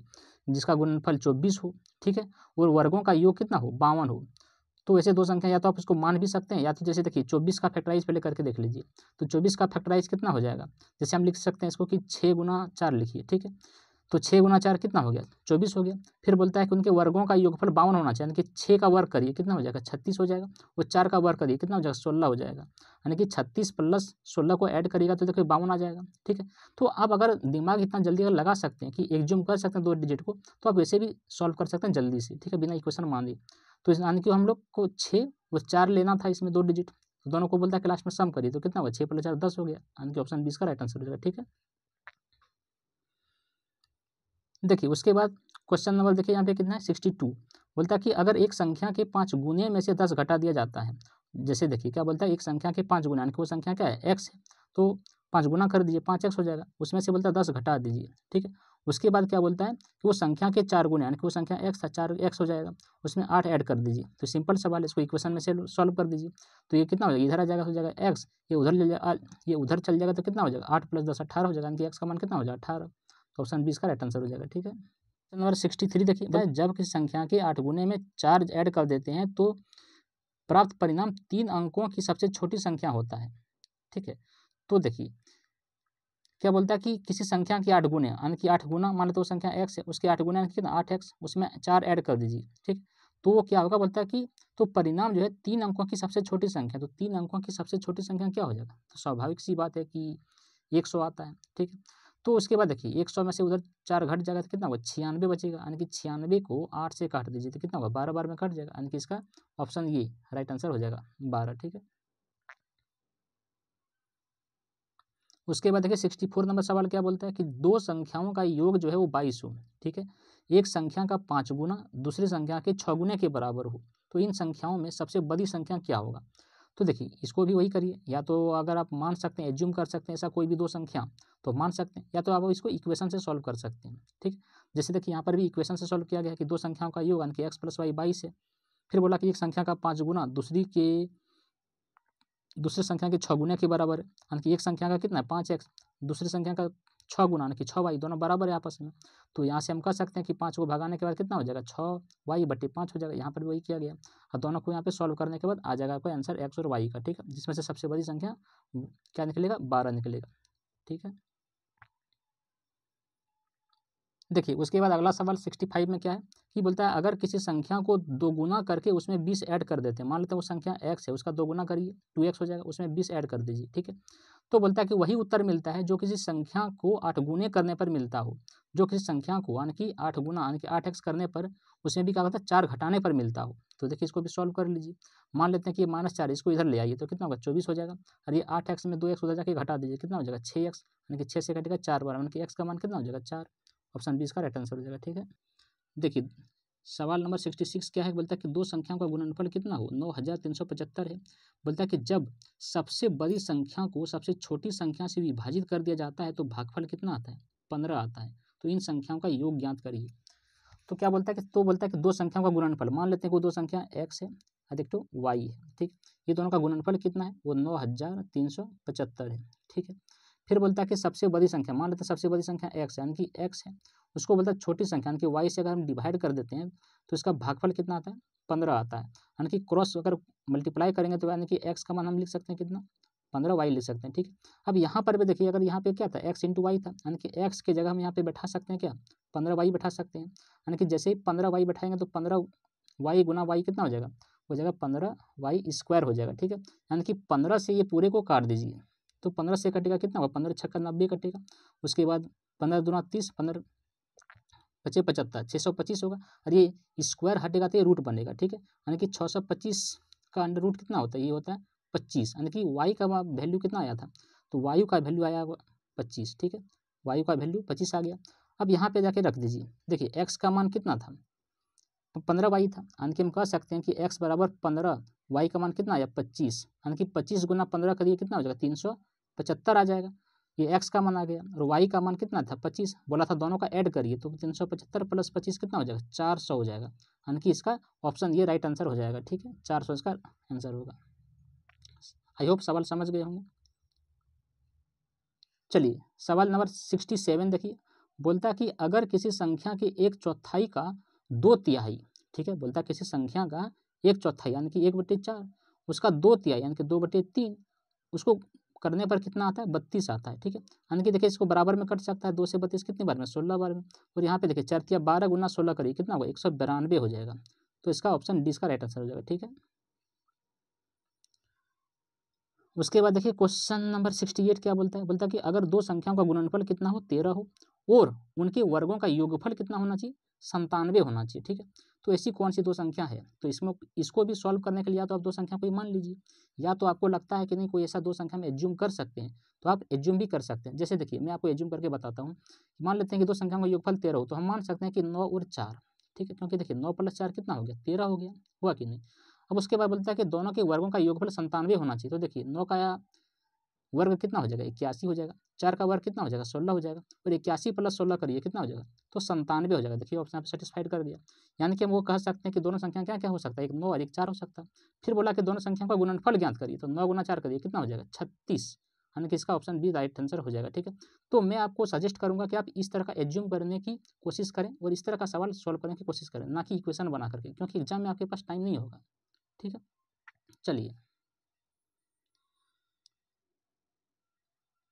चलिए क्वेश्चन नंबर सिक्सटी नाइन देखिए क्या बोलता है? बोलता है कि निम्न में से कौन से ऐसा भिन्न संख्याओं को तेरह बट्टे पाँच में ऐड करने पर परिणाम एक आता है, ठीक है? तो देखिए, यहाँ पर भी आप ऑप्शन से जा सकते हैं, ठीक है? तो उसके लिए थोड़ा सा आपको माइंड यूज़ करना होगा कि बोलता है कि कौन सी भिन्न है? क्या बोलता है कि कौन सा भिन्न संख्या को तेरह बट्टे पाँच में ऐड कर देंगे ना तो उसका परिणाम कितना आएगा? एक आएगा। तो आप हर ऑप्शन में क्या करिए, एक बार तेरह बटे पाँच ऐड करके चेक करिए, ठीक है? वो सॉल्व करके देखिए कि किसका परिणाम एक आता है। तो देखिए, मान लेते हैं कि हम ऑप्शन नंबर ए को सॉल्व करते हैं। तो कितना है? माइनस फोर्टी एट बाई कितना है? थर्टी है। इसको तेरह बटे पाँच ऐड कर देते हैं, ठीक? तो देखिए, तीस और पाँच का एलसीएम कितना हो जाएगा? तीस हो जाएगा। यानी कि तीस एक तीस कट जाएगा यहाँ पे कितना माइनस अड़तालीस बचेगा। पाँच से तीस कटेगा, कितना छः बार में छः गुना तीस कर छः गुना तेरह करिए, कितना हो जाएगा? अठहत्तर हो जाएगा। यानी कि अठहत्तर मीन्स अठहत्तर में से अड़तालीस घटेगा तो कितना बचेगा? ये बचेगा आपका तीस बचेगा, लेकिन माइनस में बचेगा। सॉरी, प्लस में ही बचेगा। तो तीस और यहाँ पे तीस, ठीक है? ये कट जाएगा, यानी कि इसका आंसर कितना होगा? एक हो गया। यानी कि देखिए पहला ही ऑप्शन सेटिस्फाइड कर गया। यानी कि इसका ऑप्शन ये राइट आंसर हो जाएगा, ठीक है? बाकी का चेक ही नहीं करना है। चलिए क्वेश्चन नंबर सेवेंटी देखिए। देखिए, यहाँ पे क्या है कि one by six plus one by twelve plus one by twenty plus one by thirty plus one by forty two plus one by fifty six का उत्तर क्या होगा? तो देखिए, ऐसे सवालों को सॉल्व करने का तरीका क्या होता है? या तो आप जितना भी जो डिनोमिनेटर होता है, उसको फैक्टराइज कर लीजिए। जैसे सिक्स का फैक्टराइज क्या होगा? तो टू होगा और थ्री होगा। उसी प्रकार ट्वेल्व का क्या होगा? थ्री होगा और फोर होगा। उसी प्रकार ट्वेंटी का क्या होगा? फोर होगा। और फिर फाइव होगा। इसी तरह करके सबका क्या करिए, पहले फैक्टराइज करिए। जैसे देखिए, उसमें एक चीज़ क्या होगा कॉमन होगा, जैसे कि टू थ्री उसके बाद फिर स्टार्ट होगा थ्री से, और फोर होगा, फिर उसके बाद फिर फोर से स्टार्ट होगा। जो लास्ट में होगा, वहीं से फिर स्टार्ट होगा अगला टर्म में, ठीक है? तो यहाँ पे देखिए फिफ्टी सिक्स का क्या हो जाएगा फैक्टराइज सेवन इंटू एट हो जाएगा, ठीक है? और ऐसे करने के बाद, उसके बाद क्या करते हैं, जो सबसे छोटा होता है और जो सबसे ज़्यादा होता है, वो दोनों का डिफरेंस कर देते हैं, ठीक है? तो देखिए, यहाँ पे सबसे छोटा कौन है? वन बाई टू ठीक है? डिफरेंस कर देंगे। सबसे ज़्यादा कौन है? One by eight. ये दोनों का एलसीएम लेके सॉल्व करके तो वन बाई टू और वन बाई एट। इसका एलसीएम कितना हो जाएगा? एट हो जाएगा। ये टू से कटेगा फोर बार में, फोर वन जा फोर हो जाएगा। यहाँ पे वन और ये वन। माइनस होगा तो थ्री होगा, यहाँ पे एट हो जाएगा। देखिए, थ्री बटे एट इसका आंसर हो जाएगा, ठीक है? ऑप्शन बीस का राइट आंसर हो जाएगा। देखिए, यहाँ पर भी वैसे ही बनाया गया है। उसके बाद देखिए, क्वेश्चन नंबर है सेवेंटी वन। सेवेंटी वन में क्या बोलता है कि शालिनी, तनवीर और रसीद तीन नाम है। कौन कौन एक शालिनी है एक तनवीर है और एक तो रसीद है, ठीक है? ने एक केक को साझा किया, एक तो केक है, उसको तीनों ने क्या किया है? साझा कर लिया आपस में, ठीक है? उसके बाद क्या बोलता है कि जिसमें से शालिनी के पास इसका एक बटे छः भाग मिला, पूरे जो केक है उसका एक बटे छः भाग किसको मिला? शालिनी को मिला, शालिनी को वन बटे छः भाग मिला है। तनवीर को कितना मिला है? एक बटे चार भाग मिला है, और बाकी जो शेष बच गया, जो रिमेनिंग बचा, वो मिला है रसीद को यहाँ पर, ठीक तो बोलता है रसीद को कितना मिला? ऐसे सवालों को सॉल्व करने का देखिए तरीका क्या होता है कि सबसे पहले आप जो ये दोनों दिया है ना, इसका एलसीएम निकाल लीजिए। यानी कि सिक्स और फोर का एलसीएम कितना हो जाएगा? ट्वेल्व हो जाएगा। तो उसके बाद टोटल ट्वेल्व, इसको टोटल मान लीजिए कि टोटल केक ट्वेल्व था। अब ट्वेल्व में से वन बाय सिक्स किसका है? शालिनी का है। तो कितना हो जाएगा? टू हो जाएगा। यानी कि शालिनी का कितना हो गया? टू हो गया। फिर उसके बाद टोटल ट्वेल्व था। ट्वेल्व में से वन बाय फोर किसका है? तो वन बाय फोर आपका है ये किसका? तनवीर का है। वन बाय फोर तनवीर का है यानी कितना होगा? तीन हो जाएगा। यानी कि तनवीर का कितना हो गया? थ्री हो गया। तो देखिए, दो और तीन, पाँच भाग तो खत्म हो चुका है। शालिनी और तनवीर के बीच में टोटल भाग कितना था? बारह था। यानी कि बारह में से पाँच चल जाएगा तो कितना बचेगा? सात भाग। यानी कि सात भाग बचा किसके लिए? रसीद के लिए। उसमें से उसका अंश पूछा तो टोटल कितना है? सात है। और टोटल देखिए रसीद को सात मिला, कितने में से मिला? बारह में से। यानी कि इसको कह सकते हैं कि सात बटे बारह मिला किसको? रसीद को मिला। ठीक है? आई होप आप लोग समझ गए। तो ऐसे सवालों को ज़्यादा अच्छा रहेगा कि आप इसको एल सी मेथड से यूज़ करें। चलिए अगला सवाल देखते हैं। अगला सवाल देखिए, यहाँ पे सेवेंटी टू में क्या है कि दो संख्याओं का योग नौ है और उनके व्यतक्रम का योग एक बटे दो है। तो इन संख्याओं में से एक कौन है? तो देखिए, ऐसे सवालों का बनाने का तरीका क्या है? दो संख्या मान लीजिए। जैसे यहाँ पर भी वही किया है कि एक्स प्लस नौ कितना है? एक्स प्लस वाई कितना है? नौ है। अरे वही दोनों संख्या के व्यस्तक्रम यानी कि one by x plus one by y, ये दोनों का वैल्यू कितना दिया है? वन बाय टू दिया है, ठीक? उसके बाद देखिए, यहाँ पे एलसीएम लेके सॉल्व करिएगा, कितना हो जाएगा? एक्स वाई हो जाएगा। और यहाँ पे कितना हो जाएगा? वाई प्लस एक्स हो जाएगा। और इधर एक बटे दो हो जाएगा। जिसमें से देखिए, एक्स प्लस वाई का मान दिया था, कितना दिया था? नाइन दिया था। तो यहाँ पे पुट कर दीजिए कितना? ऊपर में नाइन हो जाएगा। नीचे एक्स वाई हो जाएगा। बराबर में एक बटे दो हो जाएगा। क्रॉस क्रॉस इंटू करेगा तो कितना हो जाएगा? ये एक्स वाई इंटू कितना हो जाएगा? एट्टीन। यानी कि यहाँ से हम कह सकते हैं कि एट्टीन का फैक्टराइज भी कर सकते हैं, या तो फिर इसको सॉल्व कर सकते हैं क्वेरेटिक बन जाएगा वहाँ से, या फिर क्या करेंगे एट्टीन को फैक्टराइज करेंगे। तो एट्टीन का फैक्टराइज क्या क्या हो सकता है? एक सिक्स हो सकता है और एक थ्री हो सकता है, ठीक है? तो देखिए, यहाँ पर थ्री तो ऑप्शन है नहीं ऑप्शन आपका सिक्स है, यानी कि इसका यही आंसर क्या होगा? राइट हो जाएगा ऑप्शन डी इसका। उसके बाद देखिए क्वेश्चन नंबर सेवेंटी थ्री इसमें क्या है कि एक स्कूल में 200 छात्र हैं, ठीक है? जिसमें से सात बटे दस छात्र जो है वो बॉयज़ हैं, लड़के हैं। तो बोलता है कि स्कूल में छात्राओं की संख्या, यानी कि गर्ल्स की संख्या फाइंड करें। तो देखिए, सबसे पहली बात तो कि टोटल संख्या कितना है स्टूडेंट्स का? टू हंड्रेड है। तो टू हंड्रेड में से सेवन बाई टेन किसका है? ये बॉयज़ का है। तो देखिए तो ये कट गया। तो इंटू करके कितना वन फोर्टी वन फोर्टी कौन है? बॉयज़ है। तो टोटल टोटल टू हंड्रेड में से अगर वन फोर्टी बॉयज़ है तो बाकी जो रिमेनिंग बचेगा कौन होगा? गर्ल्स होगा। कितना होगा गर्ल्स? सिक्सटी हो जाएगा। सिंपल सवाल था। उसके बाद देखिए सेवेंटी फोर में बोला कि अगर दो संख्याओं का योग ट्वेंटी सिक्स है, ठीक है, और उनका अंतर बारह है, देखिए, या तो आप इसको एज्यूम करके भी बना सकते हैं, या फिर क्या कर सकते हैं, इसको इक्वेशन तैयार कर सकते हैं। जैसे कि दो संख्या क्या है? एक्स प्लस वाई कितना हो जाएगा? छब्बीस है, और अंतर, यानी कि एक्स माइनस वाई कितना हो जाएगा? बारह है। दोनों को इक्वेशन मान के सॉल्व कर दिए जैसे ये कट जाएगा माइनस प्लस कट जाएगा एक्स एक्स कितना हो गया? टू एक्स हो गया। यहाँ पे छब्बीस और बारह कितना हो गया? ये अड़तीस हो जाएगा। दो से घटा कितनी बार में? उन्नीस बार में। यानी कि एक्स का मान कितना आया? उन्नीस आया। जब एक्स उन्नीस आया तो वाई कितना आ जाएगा? तो छब्बीस में से उन्नीस घटा दीजिए, सात बचेगा। यानी कि एक्स अगर उन्नीस है तो वाई सात है। देखिए, दोनों को ऐड करने के बाद छब्बीस आता है कि नहीं? फिर दोनों को माइनस करने के बाद ट्वेल्व आता है कि नहीं? सेटिस्फाइड हो गया। फिर पूछा है कि दोनों के वर्गों का अंतर बताना है लेकिन। तो पहला संख्या कितना था? उन्नीस था। तो उन्नीस का वर्ग कितना हो जाएगा? तीन सौ इकसठ हो जाएगा। और दूसरा सात है। सात का वर्ग कितना हो जाएगा? उनतीस, उनचास हो जाएगा। दोनों का अंतर कितना हो जाएगा? ग्यारह में से नौ घटेगा, दो बचेगा। पाँच में से चार एक घटेगा। यहाँ पे कितना हो गया? तीन हो गया। यानी कि तीन सौ बारह क्या होगा? इसका आंसर हो जाएगा। ऑप्शन बीस का राइट आंसर होगा। ठीक है? उसके बाद देखिए क्वेश्चन नंबर सेवेंटी फाइव क्या है? कि बोलता है कि अगर दो संख्याओं का गुणनफल जो है, उनके योग का तीन गुना है। क्या बोलता है? दो संख्याओं का गुणनफल। मान लेते हैं कि वो एक्स वाई है, ठीक है? उसका गुणनफल क्या है? इनके योग का तीन गुना मतलब वही एक्स प्लस वाई इनके योग का क्या है वो? तीन गुना है, ठीक है? फिर बोलता है तथा एक संख्या बारह है तो दूसरी बताइए। जिसमें से मान लेते हैं कि एक संख्या बारह है, कोई भी एक संख्या, जैसे कि ये सपोज़ एक्स की जगह रख देते हैं कि मान लेते हैं ये बारह था दूसरी संख्या वाई था, ठीक है? तो यहाँ पर भी एक्स का मान कितना रखे थे? बारह रखे थे। और दूसरी संख्या वाई को रहने दिए। उसके बाद यहाँ पे कितना था? तीन था। तो तीन से ये बारह कट जाएगा कितनी बार में? चार बार में। यानी कि यहाँ पे कितना चार वाई होगा और ये वाई इधर आ जाएगा। तो कितना हो जाएगा? तीन वाई हो जाएगा। तीन वाई और इधर कितना है? बारह। तीन से कटेगा कि तीन से बारह कटेगा चार बार में। यानी कि वाई का मान कितना हो जाएगा? चार। ये तो पूछा था, दूसरी संख्या कितना हो जाएगा? चार। ऑप्शन सी राइट आंसर होगा, ठीक है? उसके बाद देखिए सेवेंटी सिक्स क्वेश्चन क्या है कि बोलता है कि अगर दो अंकों का योग पंद्रह हो और उनका अंतर कितना हो, तीन हो तो वह संख्या क्या होगा? तो देखिए ऐसे सवालों को ज़्यादा बेटर होगा कि आप ऑप्शन से चलें। तो दो अंकों का योग कितना होना चाहिए? पंद्रह। तो देखिए आठ सात पंद्रह हो तो रहा है, लेकिन क्या अंतर तीन है? देखिए आठ में से सात घंटे का एक आता है, ये तो नहीं होगा, ठीक है? उसके बाद देखिए यहाँ पे नाइन्थ प्लस सिक्स कितना होगा? फिफ्टीन तो होगा, लेकिन दोनों का अंतर नाइन तीन है तो बिल्कुल है, यही इसका आंसर हो जाएगा। ऑप्शन बी क्या होगा? राइट आंसर होगा। बाकी आप इसको इक्वेशन से भी बना सकते हैं। देखिए, उसके बाद सेवेंटी सेवन नंबर क्वेश्चन क्या बोलता है कि तीन क्रमागत सम संख्याओं का योगफल कितना हो? फोर्टी टू हो। तो मध्य वाला संख्या बोलता है फाइंड करें। तो इसको क्या करिए? मान के भी बना सकते हैं। तो क्या क्या हो सकता है? X x plus two, x plus four देखिए, यहाँ पर वही किया है। सॉल्व करने के बाद एक्स का मान कितना निकला? ट्वेल्व निकला। जो बीच वाला संख्या कितना था? बीच वाला था एक्स प्लस टू। तो ट्वेल्व में ट्वेल्व कर दिए, कितना होगा फोर्टीन। ऑप्शन डी का राइट आंसर हो जाएगा, ठीक है? चलिए, उसके बाद देखिए सेवेंटी एट नंबर क्वेश्चन। क्या बोलता है कि दो सहभागियों दो ठो सहभागी है, एक एम है और दूसरा एन है, ठीक है? ने एक कार खरीदी, ये दोनों ने क्या किया? एक कार खरीद लिया, जिसमें से एम ने बतौर अपने हिस्से कार की लागत के तीन बटे सात का भुगतान कर दिया। क्या बोलता है कि एम और एन ने दोनों मिलकर तो पहले कार खरीद लिया, ठीक है? उसमें से क्या बोलता है कि एम ने बतौर अपने हिस्से कार की लागत का तीन बटे सात भुगतान कर दिया। मतलब मान लेते हैं कि अगर पूरा भुगतान जितना था, उसमें से तीन भाग क्या क्या वो?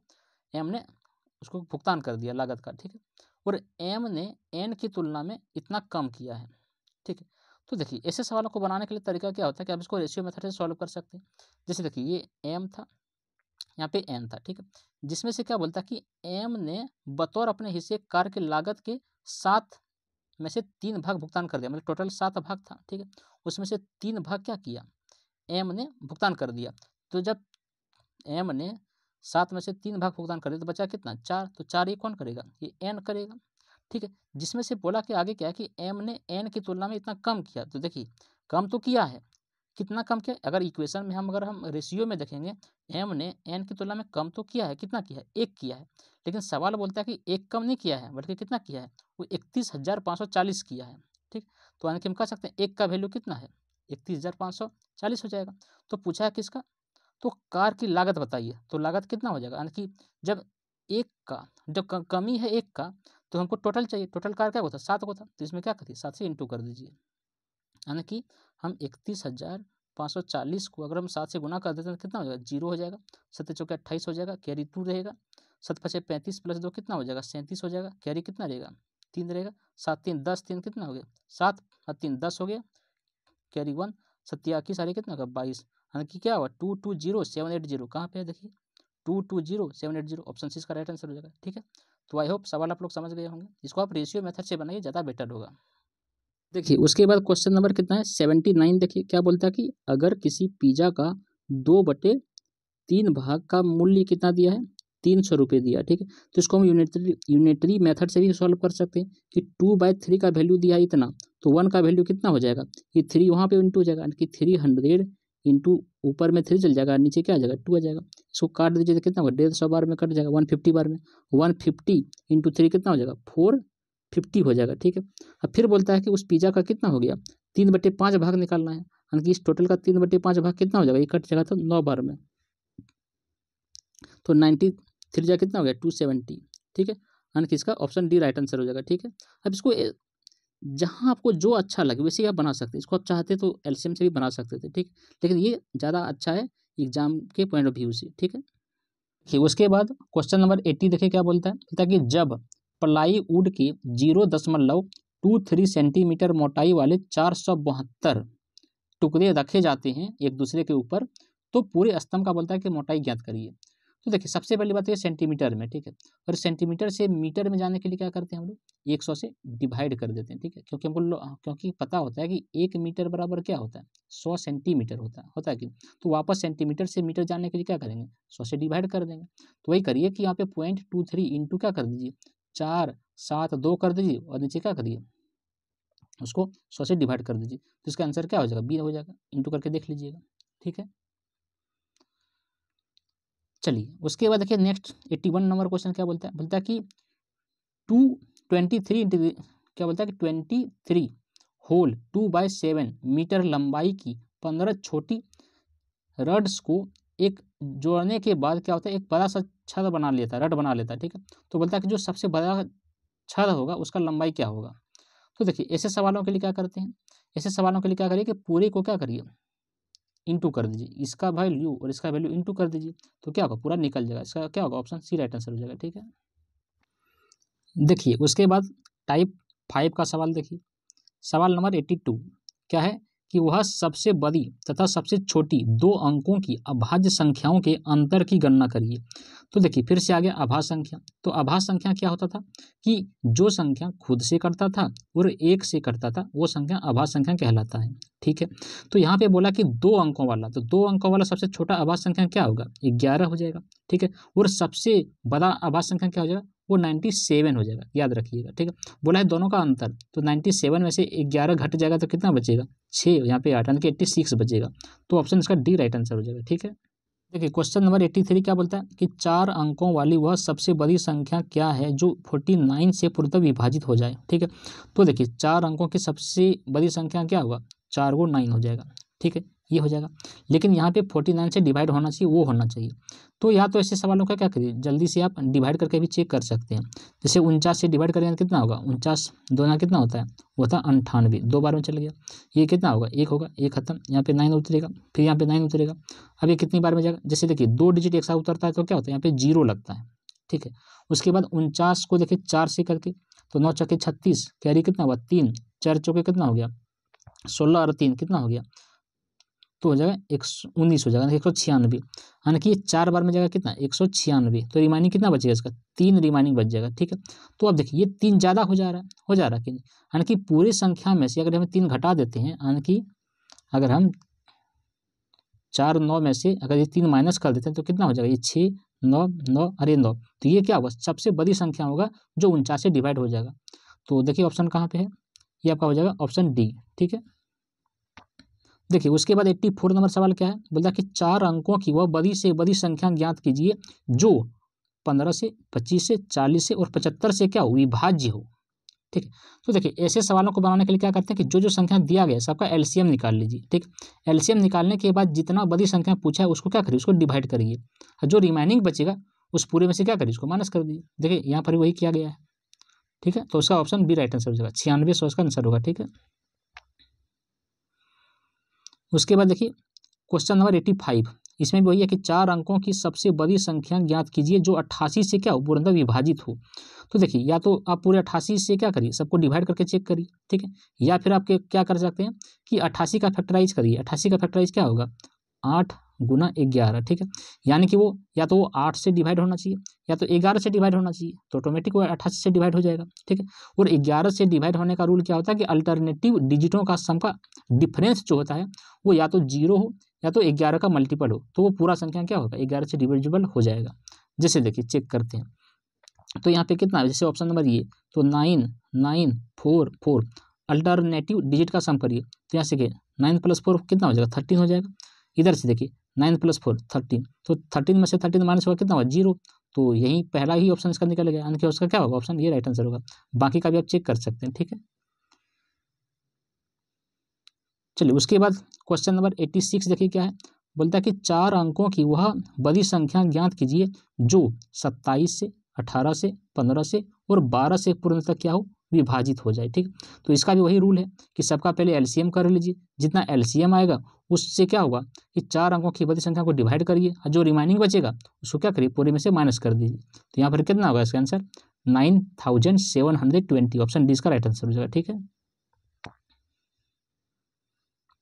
देखिए, उसके बाद क्वेश्चन नंबर एटी सेवन देखिए। बोलता है कि छः अंकों की बड़ी संख्या प्राप्त करने के लिए ये जो डिजिट दिया गया है, इसमें क्या ऐड कर देना चाहिए? तो देखिए, मान लेते हैं कि छः अंकों की संख्या बनाने के लिए क्या होता है कि छः बार नाइन लिखना होगा, ठीक है? तो इसमें से क्या ऐड कर दें? मान लेते हैं एक्स ऐड कर देंगे तो इसको क्या करिए? उधर ले आके माइनस कर दीजिए तो जो बचेगा वो क्या होगा? इसका आंसर हो जाएगा। तो ऑप्शन सी इसका राइट आंसर होगा, ठीक है?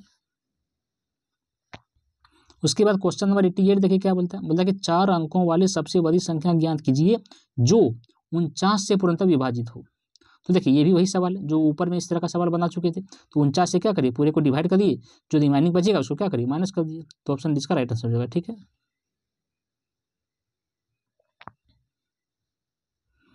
देखिए, उसके बाद क्वेश्चन नंबर एट्टी नाइन क्या बोलता है? बोलता है कि फोर्टी सेवन से विभाजित होने वाले चार अंकों की सबसे छोटी संख्या ज्ञात करिए। तो देखिए, छोटी संख्या और बड़ी संख्या। ये दोनों में डिफरेंट होता है। जब छोटी संख्या पूछ देना तो छोटी संख्या को पहले क्या करिए? चार अंकों का जिससे क्या होगा? एक देखिए तीन बार ज़ीरो। ये होगा। इसको पहले क्या करिए? सैंतालीस से डिवाइड करिए, ठीक है? और जो रिमाइनिंग बचेगा उस रिमाइनिंग को क्या करिए जिसे डिवाइड कर रहे थे, जैसे सैंतालीस से डिवाइड कर रहे थे, जैसे यहाँ पे देखिए रिमाइनिंग कितना बचा था? तेरह। तो सैंतालीस में से तेरह माइनस कर दीजिए, कितना बचेगा? चार और ये तीन, यानी कि चौंतीस थर्टी फोर बचेगा, ठीक है? और जो ये बचा, उसके बाद क्या करिए जो छोटी संख्या था चार अंकों का, उसमें से ऐड कर दीजिए, यानी कि एक हज़ार चौंतीस इसका राइट आंसर होगा, ठीक है? तो ये प्रोसेस होता है, ये प्रोसेस को सिर्फ़ याद रखिएगा, ठीक है? जब छोटी संख्या के बारे में पूछा जाए तो उसका ऑप्शन सी राइट आंसर हो जाएगा। उसके बाद क्वेश्चन नंबर नाइन्टी देखिए, बोलता कि तीन अंकों की सबसे बड़ी संख्या कौन सी है जो दस से आठ से और बारह से पूर्णतः क्या हो, वो विभाजित हो जाए, ठीक? तो ये भी वही संख्या है कि दस, आठ और बारह का पहले क्या करेंगे? एलसीएम लेंगे। एलसीएम लेने के बाद जितना आएगा, उसे क्या करेंगे?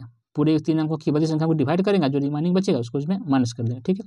तो इसका ऑप्शन बी राइट आंसर हो जाएगा, करके देख लीजिएगा, ठीक है?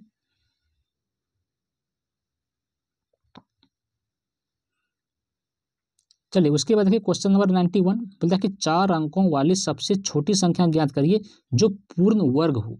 तो देखिए तो सबसे पहले तो वर्ग होना चाहिए। ऐसा चार अंकों की संख्या निकालना है, छोटी संख्या जो क्या हो, वर्ग होना चाहिए। तो यहाँ तो देखिए, सबसे पहले बात तो वर्ग से क्या बोलते हैं इसका ऑप्शन से भी जा सकते हैं।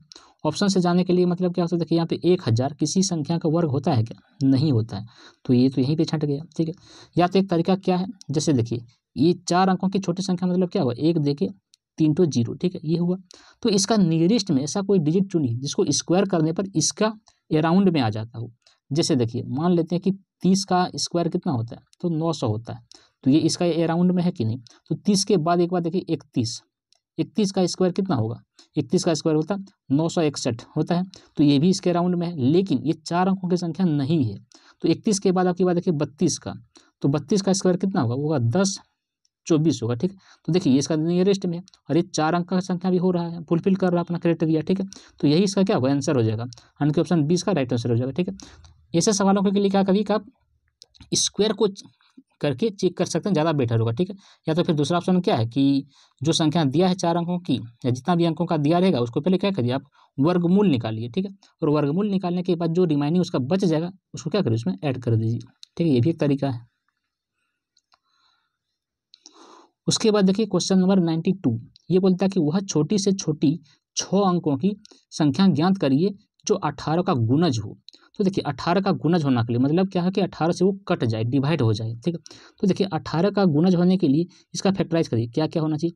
या तो वो संख्या दो से भी डिवाइड होना चाहिए, संख्या तीन से भी डिवाइड होना चाहिए, और क्या बोलते हैं? नौ से भी डिवाइड होना चाहिए। तो दो, तीन, उसके बाद छः भी से हो सकता है। तो छः नौ, ये सबसे क्या होना चाहिए? डिवाइड होना चाहिए। तो ही कह सकते हैं कि वो संख्या क्या होगा? अठारह का गुनज होगा। तो देखिए ऑप्शन नंबर एक। ऑप्शन नंबर एक कितना है? ये तो यहीं पे छटा गया क्योंकि ये तीन से डिवाइड नहीं होगा। ये हटा दीजिए। उसके बाद ये देखिए, क्या ठो नौ है? चार गो नौ है। तो चारों नौ को ऐड करिए। कितना का नौ, अठारह, सत्ताईस, छत्तीस। ये तीन से डिवाइड हो सकता है, ठीक है? उसके बाद लेकिन बोला था क्या? छोटी संख्या बताइए। तो ये छोटी संख्या नहीं, ये तो ज़्यादा संख्या हो जाए ये तो नहीं होगा यहाँ पे।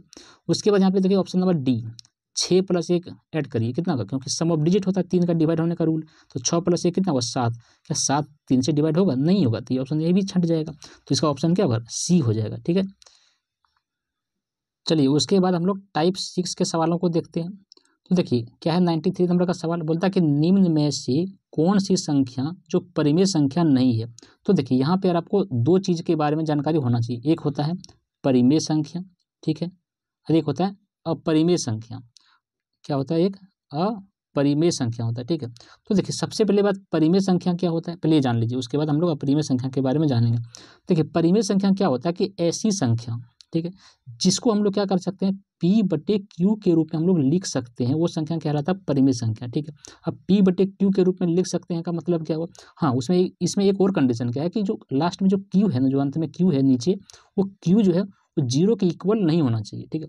मतलब ये मतलब ये कि नीचे ज़ीरो का वैल्यू आप नहीं रख सकते हैं, ठीक है? बाकी आप नीचे कुछ भी रख दीजिए। ऊपर में ज़ीरो रख सकते हैं, लेकिन नीचे क्यू जो है वो ज़ीरो के इक्वल कभी भी नहीं होगा। अगर ये टर्म ये कंडीशन अगर फुलफिल कर रहा हो तो वो हर संख्या क्या होगा? वो एक रेशनल नंबर यानी कि परिमेय संख्या कहलाएगा। ठीक है? जैसे एग्ज़ाम्पल देखिए, मान लेते हैं कि एक, दो भी एक परिमेय संख्या है, तीन भी परिमेय संख्या है, चार भी परिमेय संख्या है, पाँच बटे छः भी परिमेय संख्या है, सात बटे आठ भी संख्या है। अब यहाँ पे आप बोलेगा कि दो के नीचे तो क्यों नहीं है। देखिए, किसी भी डिजिट के नीचे कुछ नहीं तो वन तो होता ही है ना। तो किसी भी डिजिट के नीचे कुछ नहीं तो वन तो होता ही होता है। इसलिए ये भी एक पी बटे क्यू के फॉर्म में क्राइटेरिया फुलफिल कर रहा है। तो इसलिए हम कह सकते हैं कि कोई भी डिजिट जो आप लिखते हो, वो सब एक परिमेय संख्या है, ठीक है? उसके बाद फ्रैक्शन में जो लिखा जाता है, वो भी एक परिमेय संख्या कहलाएगा। तो ये हुआ था परिमेय संख्या, समझ गए आप लोग? और उसके बाद अपरिमेय संख्या क्या होता है? अपरिमेय संख्या क्या होता है? तो देखिए, अपरिमेय संख्या वही हुआ, इसका रिवर्स कर दीजिए परिमेय का, कि ऐसा संख्या जिसको पी बटे क्यू के रूप में क्या हो, नहीं लिखा जा सके, वो क्या कहलाएगा? अपरिमेय संख्या हो जाएगा। जैसे देखिए, मान लेते हैं कि एक रूट टू ले लीजिए। क्या रूट टू अपरिमेय संख्या है? बिल्कुल है। क्यों? क्योंकि इसका कोई एग्जैक्ट आंसर नहीं आता। ये पॉइंट में आएगा। जैसे one point one four two इसका कुछ पॉइंट में आएगा। ये एग्जैक्ट आंसर नहीं आता है, ठीक? लेकिन परिमेय संख्या का मतलब क्या? था वो एग्जैक्ट में आंसर आता है। जैसे देखिए रूट फोर रूट फोर का क्या होता है? अंडर रूट टू होता है। तो ये तो एग्जैक्ट में आ गया। यानी कि ये परिमेय है, बल्कि रूट टू परिमेय नहीं है, ये अपरिमेय संख्या, ठीक है? तो यहाँ पे पूछा था कि निम्न से कौन सी संख्या परिमेय संख्या नहीं है? तो कौन नहीं है? देखिए, ये सब तो परिमेय संख्या है, क्योंकि देखिए सत्रह अट्ठाईस है। ये किसका फैक्टराइज है? ये बारह को बारह को तीन बार गुना करिएगा ना तो सत्रह अट्ठाईस आ जाता है। यानी कि ये तो है ही परिमेय संख्या। तो यहाँ पे ये भी है। तो यहाँ पे कौन नहीं है परिमेय संख्या? ये देखिए, पाई पाई परिमेय संख्या नहीं है। क्यों नहीं है? क्योंकि पाई का वैल्यू कितना होता है? बाईस बटे सात होता है। जब इसको डिवाइड करिएगा ना तो थ्री पॉइंट एक फोर इस तरह समथिंग आता है, जो कि ये एग्जैक्ट नहीं आ पाता। ये चलते रहता है, इसका टर्मिनेट होते रहता है सवालों का मतलब डिजिट का। इसलिए परिमेय संख्या नहीं है अपरिमेय संख्या है भाई, ठीक है?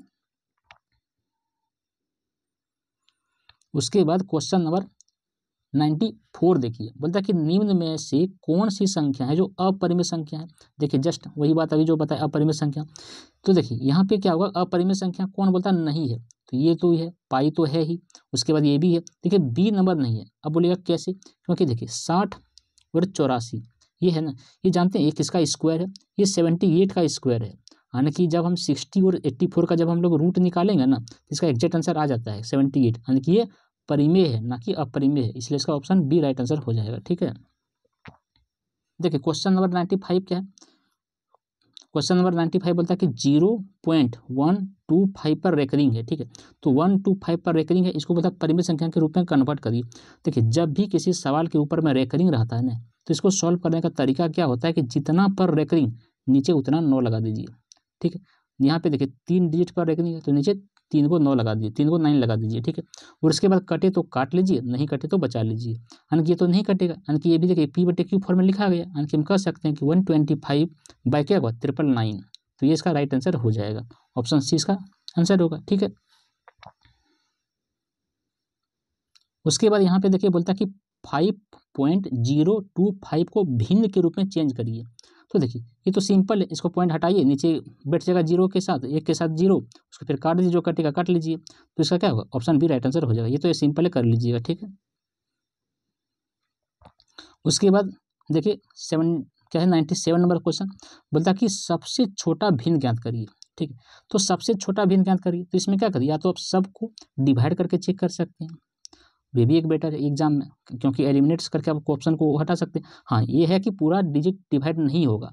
तो आप एटलीस्ट टू और थ्री डिजिट का जाके चेक कर सकते हैं। उसमें से आप कंपेयर करके जो छोटा होगा, जो बड़ा होगा, उसको आप सेलेक्ट कर सकते हैं, ठीक है? तो यहाँ पे ऑप्शन सी राइट आंसर हो जाएगा।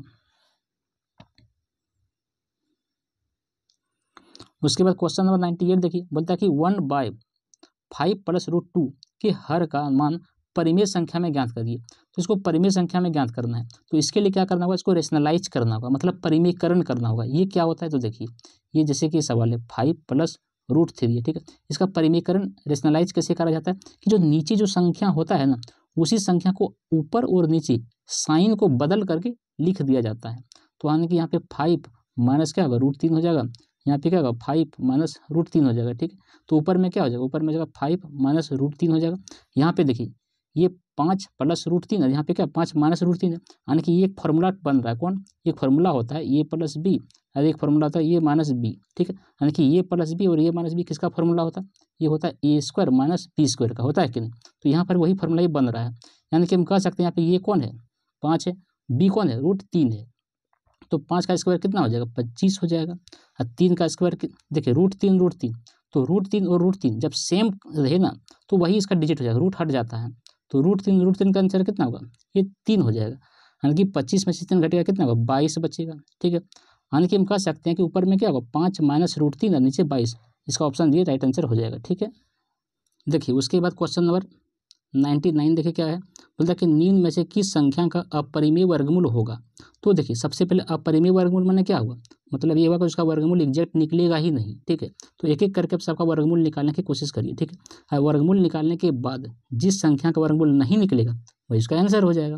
हालाँकि यहाँ पे देखिए ऑप्शन बीस का राइट आंसर हो जाएगा क्योंकि इसका वर्गमूल एग्जैक्ट नहीं निकलेगा, बाकी सबका निकल जाएगा। जैसे देखिए, इक्कीस, ज़ीरो, पच्चीस, ये किसका है? एक सौ पैंतालीस का है। उसी प्रकार आगे का देखिए उसी प्रकार आगे देखिए, एक, तीन, दो दो, पाँच, ये किसका है? एक सौ पंद्रह का, ये जो कि परिमेय संख्या है। उसी प्रकार एक सौ छप्पन, पच्चीस, ये किसका है? एक सौ पच्चीस का, ये भी एक परिमेय संख्या है। हालाँकि यहाँ पे अठारह, ज़ीरो, पच्चीस, ये किसी का नहीं है क्योंकि ये पॉइंट में आ जाएगा। तो ऑप्शन बीस का राइट आंसर होगा, ठीक है? चलिए, अब हम लोग क्वेश्चन नंबर हंड्रेड देखिए, अब तक हम लोग एक सौ क्वेश्चन सॉल्व कर चुके हैं, ठीक है? और भी आप लास्ट तक बने रहे वीडियो का। तो देखिए क्वेश्चन नंबर एक सौ में क्या है? बोलता कि एक बटे टू प्लस रूट थ्री ठीक? इसके बोलता है कि हर का परिमेयकरण करिए। तो देखिए, इसके लिए भी वही सेम टू सेम करेगा करें कि जो भी डिजिट नीचे है, उसको ऊपर नीचे साइन चेंज करके क्या करेंगे? लिख देंगे। यानी कि हम क्या कर सकते हैं? टू माइनस रूट तीन यहाँ पे। यहाँ पर भी क्या होगा? टू माइनस रूट तीन हो जाएगा। तो ऊपर में इंटू करके कितना हो जाएगा? टू माइनस रूट तीन हो जाएगा। यहाँ पर भी सेम वही टू टू टू कितना हो जाएगा? फोर रूट तीन रूट तीन कितना हो जाएगा? तीन हो जाएगा। यानी कि चार में से तीन घटेगा तो एक ही रहेगा। यानी कि एक का तो वैसे भी कोई जल्दी वैल्यू नहीं देते हैं नीचे। तो क्या हुआ इसका answer two minus root three. Option B right answer हो जाएगा, ठीक है?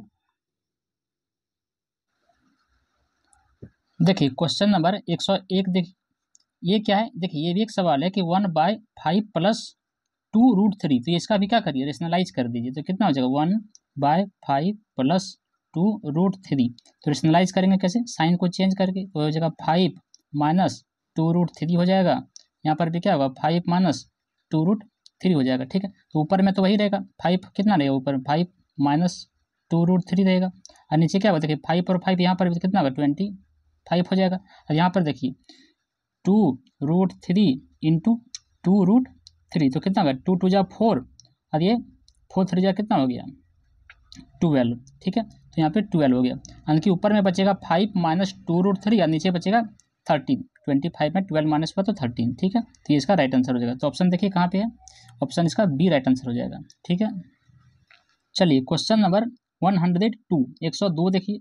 इसमें क्या बोला गया कि चार पे पावर कितना है? वो है माइनस थ्री बाई टू है, ठीक? तो इसको देखिए, सबसे पहले क्या करिए कि फैक्टराइज कर दीजिए। हम कह सकते हैं कि जो चार को हम लिख सकते हैं टू पे पावर टू लिख सकते हैं कि नहीं?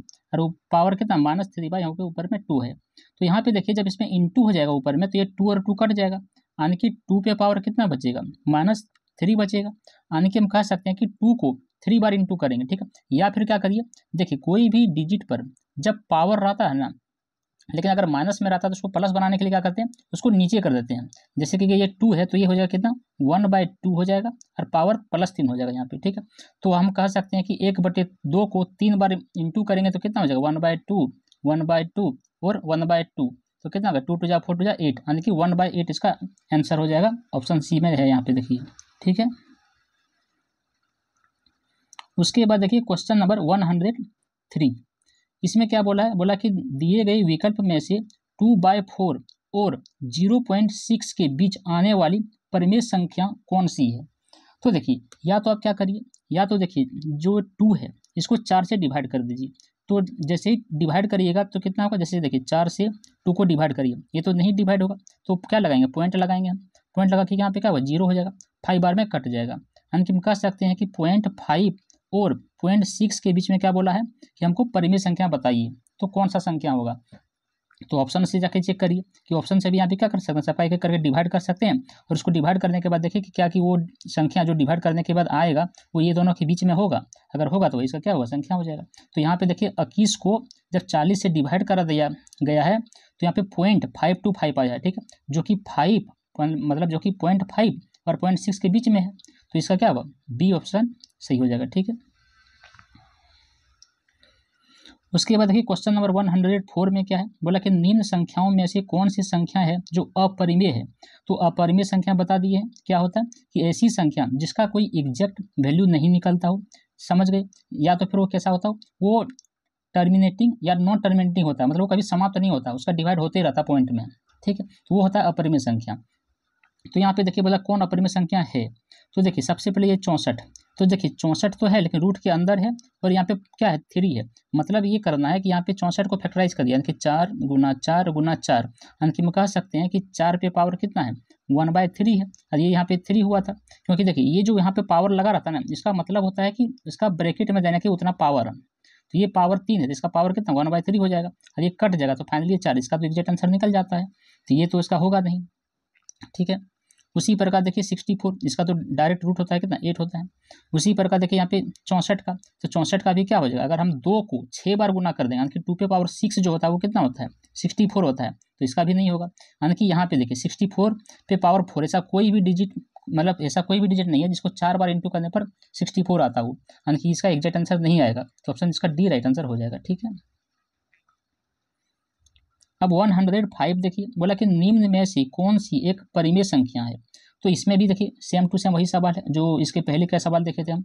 ये बोलता है कि कौन सा परिमेय संख्या है? तो परिमेय संख्या क्या होती है? जिसका एग्जैक्ट आंसर नहीं निकलता है। सॉरी परिमेय संख्या क्या होता है? जिसका एग्जैक्ट आंसर निकल जाता है। बाकी यहाँ देखिए टू पे पावर कितना है? वन बाय थ्री इसका तो एग्जैक्ट आंसर नहीं आएगा तो ये नहीं होगा। चार पे पावर कितना है? वन बाय थ्री तो इसका भी आंसर नहीं आएगा। बारह पे पावर कितना है? वन बाय थ्री इसका भी नहीं आएगा।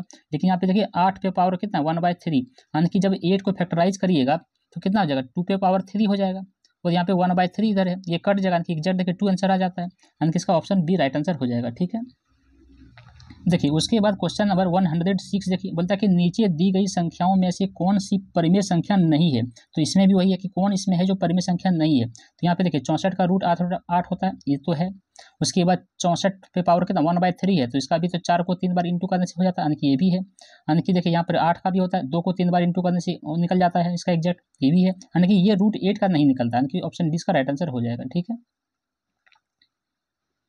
उसके बाद देखिए question number one hundred seven क्या बोलता है? बोलता है कि सभी अपरिमेय संख्याएँ क्या हो सकता है? तो देखिए, जितना भी अपरिमेय संख्या होता है, वो सब वास्तविक संख्या होता है, ठीक है? वही है कि सभी अपरिमेय संख्या वास्तविक संख्या होता है, जैसे रूट टू तो ये वास्तविक संख्या होता है रियल नंबर होता ही है तो ये क्या हो जाएगा इसका? ऑप्शन डी राइट आंसर हो जाएगा। उसके बाद question number one hundred eight देखिए, बोलता है कि निम्न में से कौन सी संख्या अपरिमेय संख्या है? तो इसका भी देखिए वही है कि अपरिमेय संख्या कौन है? मतलब इसमें कौन है जिसका एग्जैक्ट आंसर नहीं निकलता है? तो यहाँ पे देखिए ऑप्शन नंबर ए का, एक देने के बाद कितना ज़ीरो है? छः ज़ीरो है। यानी कि ये निकल जाएगा कितना? एक सौ का रूट सॉरी एक हज़ार का थाउज़ेंड का रूट निकल जाएगा इसका, ठीक है? उसी प्रकार यहाँ पे देखिए कितना है? एक दे करके छः ज़ीरो है। यानी कि इसका भी निकल जाएगा, कितना निकलेगा? जैसे कि देखिए, एक दे करके छः ज़ीरो लगाएँगे ना तो ये कितना वन बाय थ्री हो जाएगा। ये वन बाय थ्री हो जाएगा। यानी कि यहाँ पे अगर हम कर सकते हैं कि एक सौ को, अगर एक सौ को तीन बार गुना करेंगे तो क्या हो जाएगा? इसका भी एग्जैक्ट आंसर आ जाएगा।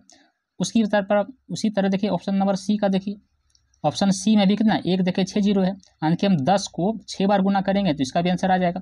लेकिन ऑप्शन नंबर डी देखिए, इसका नहीं आएगा, क्योंकि यहाँ एक देखिए छः ज़ीरो है, वो चार बार पावर कर तो इस बार तो एग्जैक्ट आंसर ही नहीं आएगा। तो इसलिए इसमें आप बड़ी में संख्या कौन हो जाएगा? ऑप्शन डी उसके बाद वन हंड्रेड नाइन का सवाल देखिए, बोलता है कि निम्न में से कौन सी संख्या अपरिमेय संख्या है? तो ये भी देखिए उसी टाइप का सवाल है। तो इसी तरह का सवाल देखिए, ये सब आप आप सीख गए होंगे, आप इसको आराम से निकाल के, आराम से एलिमिनेट करके आप बना सकते हैं जल्दी में। जैसे ठीक है? जैसे देखिए ऑप्शन यही इसका राइट आंसर हो जाएगा, क्योंकि कितना है? चार पे पार वन बाय चार है, जो कि इसका, किसका एग्जैक्ट आंसर नहीं आएगा तो यही तो इसका हो जाएगा। बाकी देखिए एट किसका होता है? टू को तीन बार इंटू करेंगे, और यहाँ पे वन बाई थ्री वो कट जाएगा तो इसका एग्जैक्ट आंसर आ जाएगा। सोलह का तो चार होता ही है, एक का तो एक ही रहेगा तो ऑप्शन इसका ये राइट आंसर हो जाएगा, ठीक है? उसके बाद देखिए वन हंड्रेड टेन ये क्या है? बोलता है कि निम्न में से परिमेय संख्या कौन सी है? तो इसका भी देखिए वही है कि कौन परिमेय संख्या मतलब इसका कौन सा सवाल है? जिसको सॉल्व करने पर वो एग्जैक्ट क्या होता है? आंसर आ जाता है। देखिए, क्या ऑप्शन ए को सॉल्व करने पर एग्जैक्ट आंसर आएगा? नहीं आएगा। ठीक है? उसी प्रकार ऑप्शन तीन को, उसी प्रकार ऑप्शन सी को भी जब सॉल्व करिएगा तो इसका भी एग्जैक्ट आंसर नहीं आएगा। ठीक है? डी का भी नहीं आएगा। लेकिन देखिए बी का आ जाएगा। कैसे? क्योंकि देखिए, ये एट है। एट का फैक्टराइज करिएगा कितना का टू पे पावर तीन हो जाएगा। अब ये रूट का हटेगा कितना? वन बाय थ्री हो जाएगा। ये कट जाएगा, यानी कि two minus two equal to कितना? ज़ीरो ज़ीरो तो परिमेय संख्या होता। है ठीक है? तो हम कह सकते हैं कि ऑप्शन बीस का क्या होगा? राइट आंसर हो जाएगा। वन हंड्रेड एलेवन नंबर का सवाल क्या बोलता है कि निम्न में से कौन सी संख्या है जो अपरिमेय है? तो ये भी देखिए उसी टाइप का सवाल है, ठीक? तो सबसे पहली बात देखिए, यहाँ पे ऑप्शन सी में दस से चौबीस है। ये तो निकलता है, बत्तीस का स्क्वायर करने से निकल जाता है, यानी ये तो नहीं होगा, ठीक है? उसी प्रकार देखिए, यहाँ पे क्या है? दस से चौबीस है है कि नहीं? यानी कि इसका भी फैक्टराइज जब करिएगा तो क्या होगा? निकल जाएगा। मतलब चार को जब पाँच बार गुना करिएगा तो इतना आ जाएगा, ये भी नहीं होगा। उसी प्रकार देखिए, दस से चौबीस है दस से चौबीस का मतलब होता है कि दो को अगर अगर आप दस बार गुना करिएगा मल्टीप्लाई करिएगा तो दस से चौबीस आ जाएगा तो ये भी नहीं होगा। यानी कि ऑप्शन ये इसका क्या होगा? राइट आंसर हो जाएगा, ठीक है? उसके बाद देखिए question number one hundred twelve बोलता है कि निम्न में से कौन सी संख्या है जो परिमेय संख्या नहीं है? तो देखिए, लगभग इसी टाइप का सवाल रेलवे में पूछा गया है, ठीक है ना?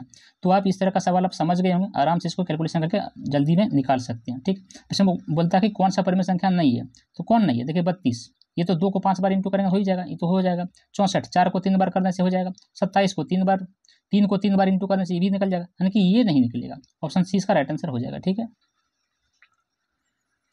उसके बाद देखिए वन हंड्रेड थर्टीन नंबर का सवाल बोलता है कि निम्न में से कौन सी संख्या जो परिमित संख्या जस्ट देखिए, लगभग एक ही टाइप का सवाल है तो इस टाइप का सवाल का आप आराम से आप कर सकते हैं, इसका ऑप्शन बी राइट आंसर हो जाएगा, ठीक है?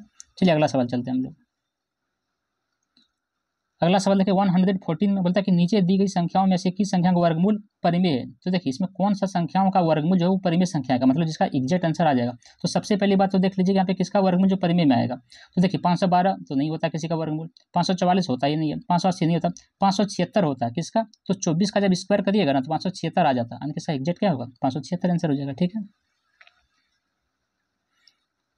चलिए, उसके बाद question number one hundred fifteen देखिए, बोलता है कि निम्न में से किस संख्या का वर्गमूल परिमेय होगा? तो ये भी देखिए जस्ट उसी तरह तो सबका क्या करिए, आप वर्गमूल निकाल के देख लीजिए। जिसका एग्जैक्ट आंसर आ जाएगा, वो क्या होगा? परिमेय संख्या हो जाएगा। तो इसका ऑप्शन डी इसका राइट आंसर हो जाएगा, ठीक है?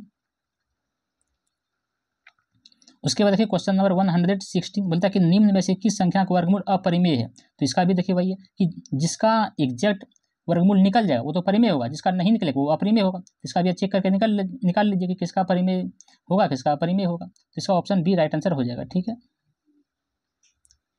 उसके बाद देखिए question number one hundred seventeen बोलता कि इनमें से किसका वर्गमूल एक परिमेय संख्या जस्ट उसी टाइप का सवाल लगभग सब है। तो बोलता कौन परिमेय है? तो कौन होगा तीन सौ चौबीस अठारह का स्क्वायर होता है, ठीक है? उसके बाद देखिए वन हंड्रेड एट्टीन बोलता है कि निम्न से कौन सी संख्या का वर्गमूल अपरिमेय है? इसमें भी वही है कि किसका वर्गमूल निकल जाएगा? वो परिमेय होगा जिसका नहीं निकलेगा, वो अपरिमेय होगा तो इसमें ऑप्शन ये इसका राइट आंसर हो जाएगा, ठीक है? बाकी का भी आप याद रख सकते हैं कि किसका क्या होता है। जैसे कि यहाँ पे छियानवे ज़ीरो चार, ये होता है अंठानवे का स्क्वायर उसके बाद होता है संतावन छिहत्तर, ये होता है किसका छिहत्तर का स्क्वायर उसके बाद उन्यासी इक्कीस ये एट्टी नाइन का स्क्वायर होता है, ठीक है? तो ऑप्शन ये इसका राइट आंसर हो जाएगा। Question number one hundred nineteen देखिए, बोलता है कि नीचे दी गई संख्याओं में से किसका वर्गमूल एक परिमेय संख्या है? तो ये भी वही है तो एक सौ चवालीस का राइट आंसर हो जाएगा, ठीक है? बाकी देखिए यहाँ पे किसी का वर्गमूल नहीं निकलता है। उसके बाद देखिए वन हंड्रेड ट्वेंटी का, इसका बोलते हैं कि परिमेय संख्या के रूप में व्यक्त करिए तो मतलब क्या करिए, इसको पहले आप रेशनलाइज कर दीजिए। तो रेशनलाइज तो पहले ही बता चुके हैं, कैसे होता है? जैसे कि यहाँ पे क्या वन बाय टू रूट क्या है? One by two plus root three है। तो साइन चेंज करके क्या करेंगे? ऊपर नीचे इंटू कर देंगे। तो यहाँ पे क्या होगा? टू माइनस रूट थ्री हो जाएगा। यहाँ पर भी कितना होगा? टू माइनस रूट थ्री हो जाएगा। ऊपर में कितना होगा? टू माइनस रूट थ्री हो जाएगा। यहाँ पे टू टू जाएगा कितना? फोर होगा। यहाँ पे कितना? Root three root three three हो जाएगा। ठीक है? तो ऊपर में क्या बचेगा? टू माइनस रूट थ्री, नीचे वन बचेगा। तो इसका ऑप्शन बी राइट आंसर हो जाएगा। ठीक है? देखिए, अब टाइप सेवन का सवाल को हम लोग देखेंगे। तो वन हंड्रेड ट्वेंटी वन में कौन सा सवाल है? बोलता है कि वह छोटी से छोटी संख्या ज्ञात कीजिए, जिसे सत्रह अस्सी में ऐड करने पर जो योग एक पूर्ण वर्ग हो जाएगा। ठीक है? तो देखिए, ऐसे सवालों को क्या करिए? या तो आप ऑप्शन को पुट करके चेक करिए कि किसका संख्या ऐड करें ताकि वो क्या हो, एक पूर्ण वर्ग बन जाए। या फिर एक तरीका क्या है, उसका फैक्टराइज करके आप निकाल सकते हैं, ठीक है? तो जैसे देखिए, यहाँ पे कितना है? सत्रह अस्सी है, ठीक है? तो इसमें बोलता है कौन सी संख्या ऐड कर दें? मान लेते हैं ऑप्शन सी का देखिए, कितना है? सिक्सटी नाइन अगर इसको ऐड करते हैं, कितना नाइन आठ छः चौदह हो जाएगा, सात एक आठ हो जाएगा, अरे एक हो जाएगा। इनका अठारह उनचास होता है। तो अठारह उनचास किसका स्क्वायर होता है? ये होता है फोर्टी थ्री का, ठीक है? तो इसका क्या होगा? ऑप्शन सी इसका राइट आंसर हो जाएगा, ठीक है? तो ऐसे सवालों में आप ऑप्शन ऐड करके और उसका वर्गमूल निकाल करके चेक कर सकते हैं, जल्दी में। अगर स्पीड आप कैलकुलेशन करके चेक करना चाहे तो ठीक है? उसके बाद देखिए यहाँ पे question number one hundred twenty two में बोलता है कि सबसे छोटा पूर्णांक ज्ञात कीजिए, जिसका घन स्वयं के बराबर हो तो ये क्या हो जाएगा? बोलता है कि सबसे छोटा पूर्णांक ज्ञात कीजिए, जिसका घन क्या हो? स्वयं के बराबर हो जाए। तो देखिए, सबसे पहली बात तो पूर्णांक क्या होता है? पूर्णांक वह संख्या होता है, जिसको हम लोग इंटीजर भी बोलते हैं इंग्लिश में, कि कोई भी संख्या, चाहे वो पॉजिटिव हो, चाहे वो नेगेटिव हो इवन ज़ीरो यहाँ तक कि ज़ीरो भी, वो सब संख्या कहलाता है पूर्णांक संख्या कहलाता है, ठीक है?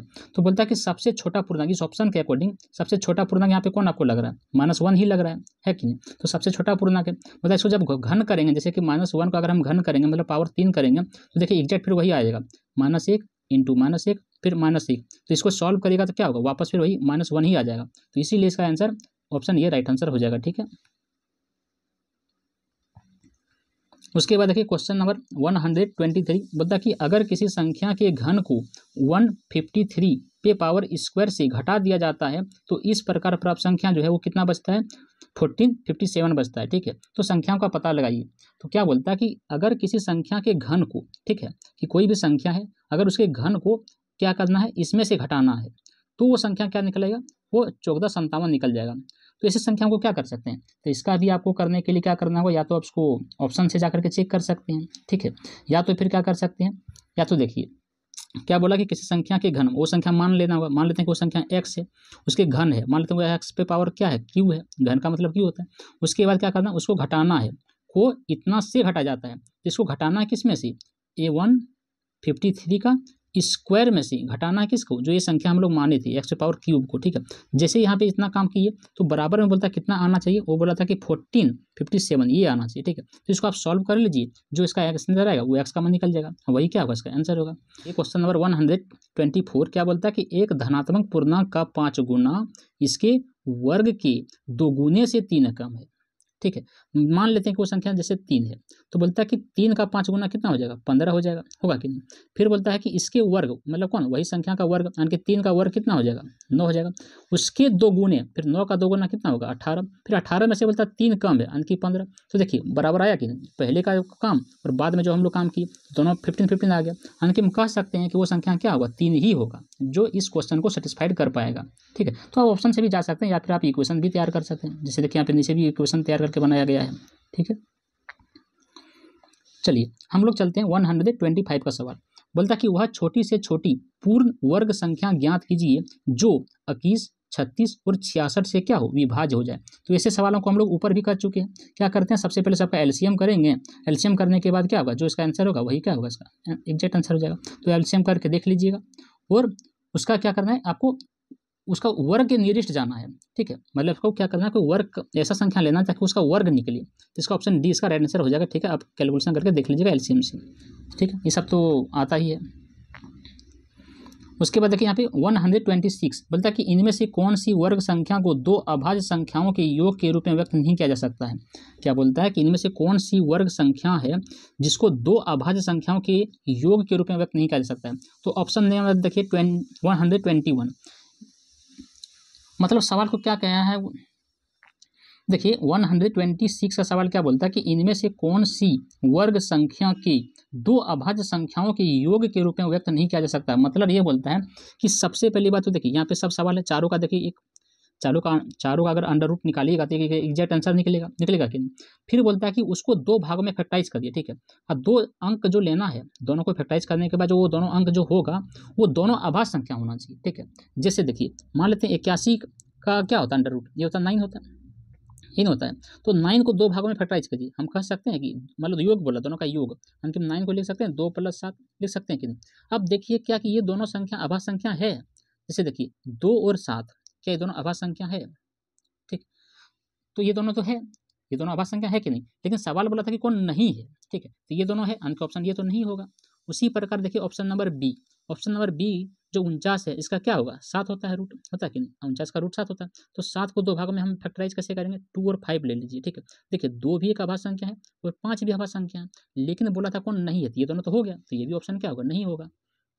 उसके बाद देखिए ऑप्शन नंबर डी तो वन हंड्रेड फोर्टी फोर का क्या होता है रूट वो होता है ट्वेल्व तो ट्वेल्व को हम कैसे लिख सकते हैं? ये फाइव लिख सकते हैं और सेवन लिख सकते हैं, लिख सकते हैं कि तो देखिए फाइव भी आवास संख्या है सेवन भी आवास संख्या है। क्या ये दोनों होगा? नहीं होगा, क्योंकि बोला था नहीं होना चाहिए तो हो गया। तो ये भी ऑप्शन डी नहीं होगा। तो ऑप्शन कौन बचा है? ऑप्शन सी बचा है, ये तो होबे करेगा। जब ऑप्शन तीन को नहीं हुआ तो ऑप्शन चौथा तो होना ही है। तो ऑप्शन इसका सी क्या होगा? राइट आंसर हो जाएगा। समझ गए? जैसे देखिए, इक्कीस का क्या होगा? ग्यारह होगा ग्यारह को दो भागों में फैक्टराइज करिए तो नहीं हो पाएगा जैसे सात प्लस चार करिएगा तो चार तो क्या है? आभा संख्या नहीं है इसलिए ये नहीं होगा समझ गए आप लोग? चलिए। चलिए उसके वन हंड्रेड ट्वेंटी सेवन का सवाल क्या बोलता है कि किसी संख्या के वर्ग के तीन गुने से संख्या के चार गुने को घटाने पर प्राप्त संख्या उस संख्या के पचास अधिक है ठीक है? तो संख्या ज्ञान करिए। तो देखिए ऐसे सवालों के लिए सजेस्ट करता हूँ मैं कि आप ऑप्शन से ज़्यादा बेटर से बना सकते हैं ठीक है? इक्वेशन मान सकते हैं, इक्वेशन से भी बना सकते हैं, लेकिन इक्वेशन में टाइम ज़्यादा लगेगा। उसमें कैलकुलेशन करना होगा ज़्यादा। तो आप क्या, क्यों ना चारों ऑप्शन को फटाफट चेक करके आप देखिए सेटिस्फाइड करवा के क्वेश्चन को और उसके बाद बना सकते हैं। जैसे देखिए, मान लेते हैं कि पाँच को संख्या में उठा लेते हैं। कि मान लेते हैं वो संख्या कितना है? पाँच ही है, ठीक है। अब सवाल के अकॉर्डिंग चलिए। बता किसी संख्या के वर्ग, पाँच माने थे, पाँच का वर्ग कितना हो जाएगा? पच्चीस हो जाएगा, होगा कि वर्ग के तीन गुना, पच्चीस का तीन गुना कर दीजिए। कितना हो गया? पचहत्तर हो गया। उसके बाद तीन गुने से संख्या के चार गुने को घटाने। अब संख्या कौन माने थे? पाँच माने थे ना। तो पाँच का चार गुना कर दीजिए तो बीस। अब इसको बोलता है घटाने पर। यानी कि पचहत्तर में बीस घटा दीजिए तो कितना होगा? पाँच। और सात में तो पाँच। पचपन। हो गया? फिर आगे बोलिए। घटाने पर प्राप्त संख्या, उस संख्या से पचास अधिक। कौन संख्या? जो माने थे। यानी कि पाँच माने थे। तो पाँच से पचास अधिक, यानी पचपन। देखिए सेटिस्फाइड करा कि नहीं? तो सेटिस्फाइड कर गया। यानी कि हम कह सकते हैं कि इसका आंसर क्या होगा? ऑप्शन ये फाइव इसका राइट आंसर हो जाएगा, ठीक है? तो आप ऐसे सवालों को ज़्यादातर ऑप्शन से बनाने की कोशिश करें। आई होप आप लोग समझ गए होंगे। चलिए। चलिए question number one hundred twenty eight ये क्या बोलता है कि निम्न में से कौन सा पूर्ण वर्ग नहीं है? तो देखिए भैया, पूर्ण वर्ग नहीं है, इसके लिए क्या करेगा या तो आप उसको वर्गमूल निकाल कर चेक कर सकते हैं। या फिर अगर आपको याद है इसमें से किसी का वर्गमूल तो आप तुरंत इसको एलिमिनेट करके बना सकते हैं, ठीक है? जैसे कि यहाँ पे पता कौन नहीं है तो बारह पचास किसी का वर्गमूल नहीं है, ठीक है? तो इसका ऑप्शन सी राइट आंसर हो जाएगा। उसके बाद देखिए question number one hundred twenty nine बोलता कि इनमें से कौन सी संख्या दो वर्गों का योग नहीं है? क्या बोलता इनमें से कौन सी संख्या है जो दो ठो वर्ग का योग नहीं है? कौन नहीं है। देखिए, तेईस नहीं है। ऑप्शन सी इसका राइट आंसर हो जाएगा। क्यों? क्योंकि देखिए इकचालीस। ऑप्शन नंबर ए को देखिए, इकचालीस। ये किसका किसका है? जैसे हम बोल सकते हैं कि पच्चीस प्लस सोलह। पच्चीस किसका है?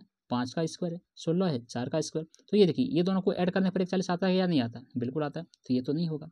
उसी प्रकार तेरह देखिए तेरह देखिए, हम कह सकते हैं नौ प्लस चार। यानी कि नौ किसका है? तीन का स्क्वायर है। चार किसका है? दो का स्क्वायर है। तो ये भी तो निकल गया है। सैंतीस देखिए। तो सैंतीस का क्या होगा? तो देखिए छः का स्क्वायर करिए, छत्तीस, एक का स्क्वायर करिए, एक तो छत्तीस प्लस एक सैंतीस तो ये भी आ गया। यानी कि इसमें कौन नहीं आएगा ऑप्शन सी तेईस नहीं आएगा किसी भी दो वर्गों का योग करने पर, ठीक है? उसके बाद देखिए वन हंड्रेड थर्टी बोलता है कि इनमें से कौन सा पूर्ण वर्ग है? तो इसका भी वही है। अगर आपको याद है, जैसे कि ऑप्शन नंबर ये तो लगता है कि अंठानवे ज़ीरो, ये अंठानवे ज़ीरो ये ये किसका वर्ग है? ये आपका है नाइन्टी नाइन का। अगर आपको याद है तो, तो आप एक सेकंड में सवाल को बना सकते हैं ठीक है? तो इसका कौन है? तो ऑप्शन इसका राइट आंसर हो जाएगा। चलिए उसके बाद वन हंड्रेड थर्टी वन बोलता है कि अगर किसी संख्या के वर्ग का अंतिम अंक एक है ठीक है? या तो उसके घन का अंतिम अंक कितना होगा? क्या बोलता है कि अगर किसी संख्या के वर्ग का अंतिम अंक एक है तो उसके घन का अंतिम अंक कितना होगा? देखिए, मान लेते हैं किसी भी संख्या के वर्ग का कोई भी संख्या है, ठीक है, उसको वर्ग करिए तो उसका वर्ग अगर अंतिम अंक एक होना चाहिए, अंतिम वर्ग, उसको वर्ग करने पर एक होना चाहिए तो वो संख्या क्या क्या हो सकता है? एक भी हो सकता है और नाइन भी हो सकता है, नौ भी हो सकता है, कैसे कि देखिए, एक को स्क्वायर करिएगा तो कितना होगा, एक होगा या नहीं होगा, नौ को स्क्वायर करिएगा तो इक्यासी हुआ तो लास्ट में एक आया कि नहीं आया, वही तो बोला था कि लास्ट में एक होना चाहिए तो ऐसा संख्या एक है और नौ है, जिसको स्क्वायर करने पर हमेशा लास्ट में एक और एक ही आएगा। ठीक है? समझ गए होंगे? चलिए, अगला सवाल।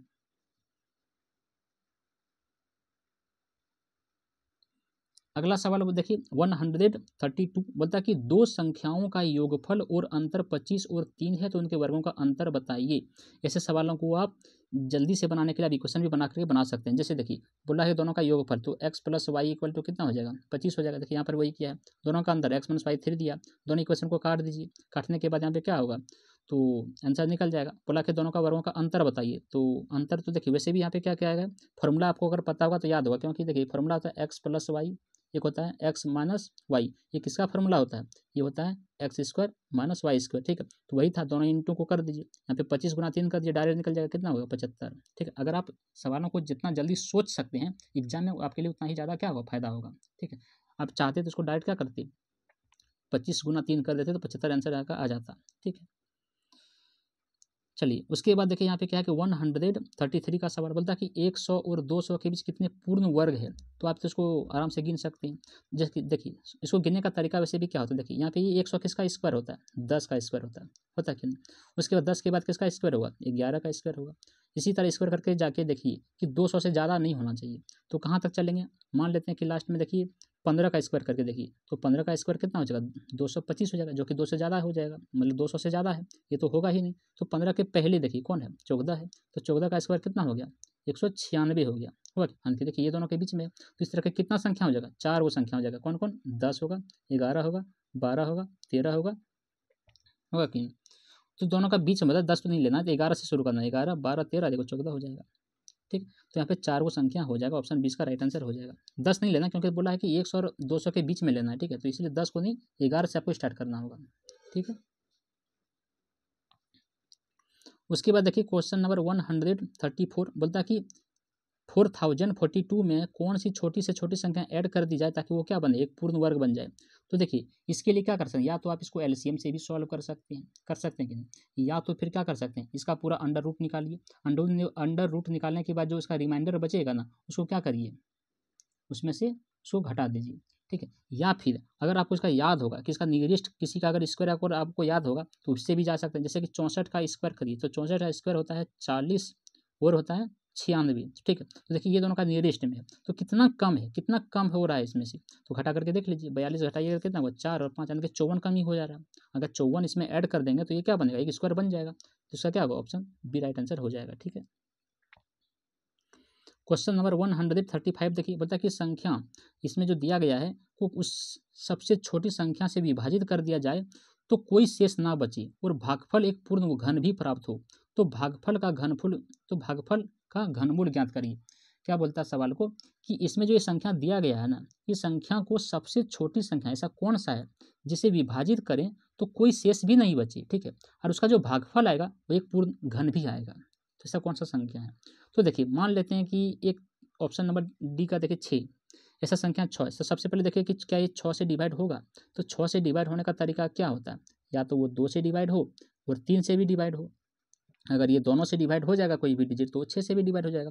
देखिए लास्ट में दो है तो लास्ट में कोई भी सम संख्या, जैसे ज़ीरो, दो, चार छः आठ, इस तरह का रहता तो तो दो से डिवाइड होता ही है। और तीन से डिवाइड होने का रूल क्या होता है कि सम ऑफ़ डिजिट तो देखिए, यहाँ पे नौ, दो, ग्यारह ग्यारह प्लस पाँच कितना हो गया? सोलह सोलह प्लस आठ कितना? तेईस तेईस प्लस आठ कितना हो गया? छब्बीस छब्बीस से कितना? सत्ताईस सत्ताईस तीन से भी डिवाइड हो जाता है, बिल्कुल। यानी कि ये क्या होगा? छः सौ डिवाइड छः से डिवाइड हो जाएगा, होगा कि नहीं? अब देखिए क्या बोला सवाल। तो बोला था क्या कि शेष नहीं बचा, यानी कि छः से पूरा पूरी डिवाइड हो जा रहा, हो रहा है, हो रहा है कि अब बोलता है कि इसका जो भागफल आएगा ना, यानी कि छः से डिवाइड करने के बाद कितना आंसर आएगा? तो आंसर देखिए कितना आएगा? दो सौ सोलह आएगा, ठीक है? इसको डिवाइड करके देख लीजिए। उसके बाद बोलता है कि विभाजित करने पर कोई शेष नहीं बचे और भागफल एक पूर्ण घन हो। और ये जो भागफल आएगा ना इसका तो ये पूर्ण घन हो, वो संख्या क्या होगा? वो छः ही होगा क्योंकि देखो छः को तीन बार गुना करिए, यानी कि कितना होगा दो सौ सोलह होगा। और फिर उसको गुना करिए छः से कितना आएगा? इतना ही आ जाएगा। तो ऑप्शन इसका क्या होगा डी इसका राइट आंसर हो जाएगा, ठीक है? Question number one hundred thirty six क्या बोलता है कि एक धनात्मक संख्या अपने वर्गमूल से तीस ज़्यादा है तो वह संख्या क्या है? तो देखिए, ऐसे सवालों के लिए भी आप क्या करिए? ऑप्शन को चुनिए। ऑप्शन को एलिमिनेट करना ऑप्शन को चुन करके सवाल बनाना सबसे मोस्ट इंपॉर्टेंट होता है किसी भी स्टूडेंट के लिए एग्ज़ाम में, ठीक है? अगर ये आप सीख गए ये अगर दिमाग प्रैक्टिस करके दिमाग लगा ली तब तो आपको बहुत फ़ायदा होने वाला है एग्ज़ाम में, ठीक है? देखिए, बोलता है कि एक धनात्मक संख्या अपने वर्गमूल से तीस ज़्यादा है। तो मान लेते हैं कि ऐसा कोई संख्या, जैसे कि देखिए छत्तीस छत्तीस को एक उठा लेते हैं। तो छत्तीस का वर्गमूल कितना होगा? छः होगा। अब क्या बोलता है कि उससे तीस ज़्यादा हो छः से तीस ज़्यादा कितना होगा? छत्तीस होगा होगा कि देखिए सेटिस्फाइड भी कर गया। तो यही इसका क्या होगा? राइट आंसर हो जाएगा। बाकी किसी का भी देख लीजिए उनचास का वर्गमूल कितना होता है? सात होता है। सात में तीस जो दिए कितना होगा सैंतीस क्या वापस आता वो? नहीं आता इसलिए ये सब नहीं होगा। तो ऑप्शन बीस का राइट आंसर हो जाएगा ठीक है? बाकी आप इसका देखिए इक्वेशन यहाँ पे बनाया गया इतना लंबा कोई एग्ज़ाम में करने का टाइम नहीं है। तो आप इसको वैसे तो मान के कर सकते हैं ठीक है?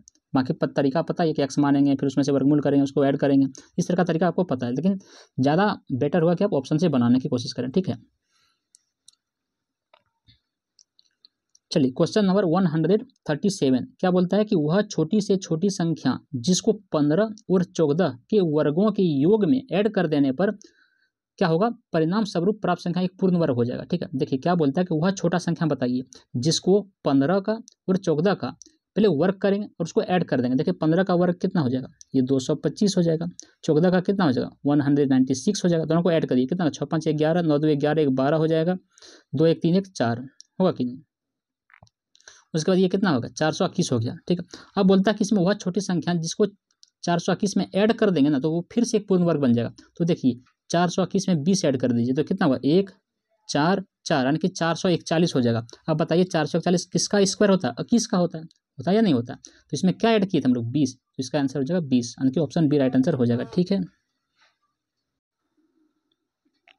देखिए question number one hundred thirty eight क्या है कि एक से नौ तक की संख्याओं के वर्गों का योगफल ज्ञात करिए। तो देखिए, ऐसे सवालों को बनाने के लिए एक फॉर्मूला होता है। फॉर्मूला होता है, देखिए, यहाँ पे लिखा है कि एन एन प्लस वन यहाँ पे two n plus one by कितना? सिक्स। ठीक है? तो ये कब होगा? जैसे देखिए, किसी का भी स्क्वायर वैसे एक का स्क्वायर प्लस दो का स्क्वायर प्लस तीन का स्क्वायर, इस तरह करते हुए एन नंबर तक चल जाए, ठीक है? तो इस तरह कोई भी संख्या, क्या जिसका सम करना है उसका स्क्वायर के साथ तो उसके लिए यही फॉर्मूला होता है कि एन एन इंटू क्या होता है? N whole n plus one फिर bracket two n plus one by six होता है, ठीक है? इस फॉर्मूला में बैठा दीजिए, सवाल आराम से बन जाएगा। जिसमें से एन क्या हो गया? एन हो गया आपका कि जो लेना लेना, कहाँ तक लेना? जैसे एक से लेकर के कहाँ तक जाना है? नाइन तक लेना। यानी एन का मान नाइन हो गया, ठीक है? तो यहाँ पे देखिए, नाइन का फुट कर दीजिए। तो कितना होगा? नाइन इंटू नौ प्लस ये कितना होगा? दस हो गया। फिर कितना नौ दिन अठारह कितना होगा? उन्नीस हो गया। नीचे कितना होगा? छः हो गया। तो तीन का टेबल से काट दिए। तीन तिया नौ हो गया। तीन दिन छः हो गया। दो से काटे कितना? पाँच बार में। पाँच तिया पंद्रह नाम में कितना होता है? पंद्रह गुना उन्नीस। मतलब पंद्रह गुना उन्नीस करिए, कितना हो जाएगा? दो सौ पचासी हो जाएगा। यानी कि ऑप्शन बी इसका राइट आंसर हो जाएगा, ठीक है? तो ये तो सिंपली फॉर्मूला पर बैठाना था। चलिए, उसके बाद देखिए सवाल number one hundred thirty nine बोलता कि एक से दस तक की संख्याओं के वर्गों का योगफल ज्ञात करिए। तो ये भी सेम सवाल है। एन का मान कितना हो गया? एन का मान दस हो गया तो पुट करिए तो कितना होगा दस। दस प्लस एक कितना? ग्यारह होगा। दस दुना बीस आ रही कितना होगा इक्कीस हो गया। नीचे कितना होगा छः हो गया। तीन का टेबल से काटिए सात बार में ये कितना होगा दो बार में, दो से काटिए कितना होगा पाँच बार में। तो यहाँ पे कितना होगा गुना कर दीजिए। ग्यारह गुना सात कितना करें? ग्यारह गुना सात सतहत्तर होगा। अब सतहत्तर गुना पाँच कर दीजिए। कितना हो जाएगा? तीन सौ पचासी। ऑप्शन सी इसका राइट आंसर हो जाएगा, ठीक है? चलिए, उसके बाद question number one hundred forty देखिए। बोलता है कि दो सौ छप्पन के कितने गुणनखंड पूर्ण वर्ग है? मतलब क्या बोलता है कि दो सौ छप्पन के कितना गुणनखंड है जो एक पूर्ण वर्ग होगा? मतलब ऐसा संख्या जो दो सौ छप्पन को डिवाइड भी कर सके और वह एक पूर्ण वर्ग भी हो। तो देखिए, सबसे पहले एक तो होगा ही, उसके बाद चार भी होगा क्योंकि चार से एक कट जाएगा। उसके बाद चार के बाद देखिए सोलह होगा क्योंकि सोलह से भी कट जाएगा, सोलह का एक पूर्ण वर्ग भी है। उसके बाद चौंसठ से भी एक कट जाता है, चौंसठ भी एक पूर्ण वर्ग है और लास्ट में फिर दो सौ छप्पन से कटेगा। क्या होगा? एक, दो, तीन, चार, पाँच हो गया। तो ऑप्शन इसका ये क्या होगा? राइट आंसर हो जाएगा। उसके बाद question number one hundred forty one देखिए, बोलता कि सात हज़ार आठ सौ चौंसठ में कौन सा न्यूनतम संख्या ऐड कर दें ताकि वह क्या हो एक पूर्ण वर्ग बन जाए? तो इसके लिए भी क्या कर सकते हैं? आप ऑप्शन का यूज़ कर सकते हैं। एक एक करके ऑप्शन को सेट करके देखिए और उसका वर्गमूल निकालिए जिसका सेटिस्फाइड कर जाएगा इसका क्या होगा? राइट आंसर हो जाएगा। तो इसका देखिए संतावन को अगर इसमें ऐड कर देंगे तो कितना होगा? सात चार ग्यारह छः पाँच ग्यारह एक बारह का दो आठ एक नौ यहाँ पे कितना होगा? सात यानी कि उनासी और इक्कीस हो जाएगा ऐड करने पर हुआ कि तो ये किसका होता है? एटी नाइन का स्क्वायर होता है। अगर आपको स्क्वायर याद होगा तो, तो इसका ऑप्शन बी क्या होगा? राइट आंसर हो जाएगा। संतावन ऐड करना होगा ठीक है? देखिए, उसके बाद question number one hundred forty two देखिए, बोलता कि एक धनात्मक पूर्णांक को चार हज़ार पचास से गुना करने पर यह संख्या पूर्ण वर्ग बन जाती है तो इस संख्या का वर्गमूल क्या होगा?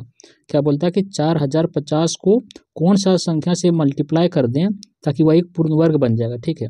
तो देखिए, मान लेते हैं कि चार ज़ीरो पाँच यानी चार हज़ार पचास है, इसको दो से इंटू कर दीजिए तो दो से इंटू करिएगा तो कितना हो जाएगा? इक्यासी सौ हो जाएगा हो जाएगा कि तो इक्यासी सौ का रूट कितना होता है? वो होता है नाइन्टी यही सवाल ने पूछा था कि जो इसको इंटू करने के बाद जो बनेगा, उसका वर्गमूल क्या होगा? तो क्या होगा? नाइन्टी इसका आंसर हो जाएगा। ऑप्शन सी ठीक है?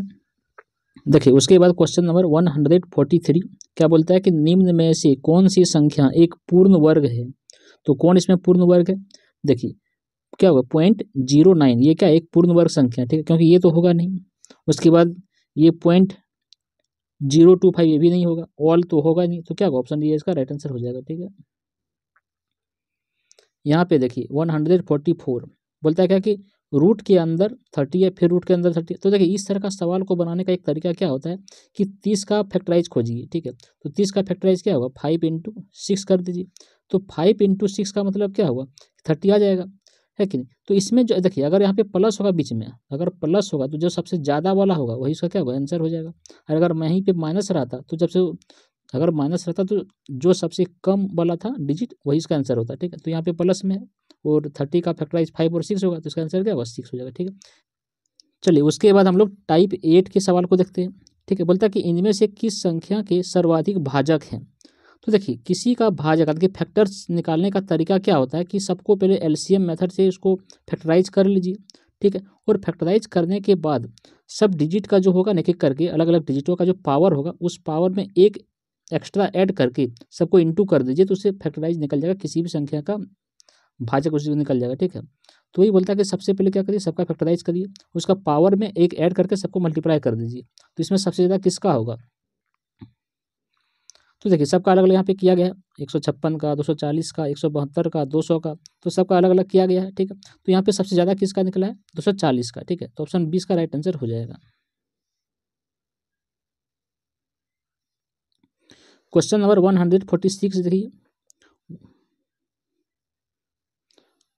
वन हंड्रेड फोर्टी सिक्स में क्या है कि देखिए, इसमें बोला कि इकाई का अंक ज्ञात करिए, ठीक है? तो देखिए, इकाई का अंक ज्ञात करने का तरीका क्या होता है कि या तो एक, जैसे कि इसका देखिए, इकाई का अंक में क्या है? एक है, एक पे पावर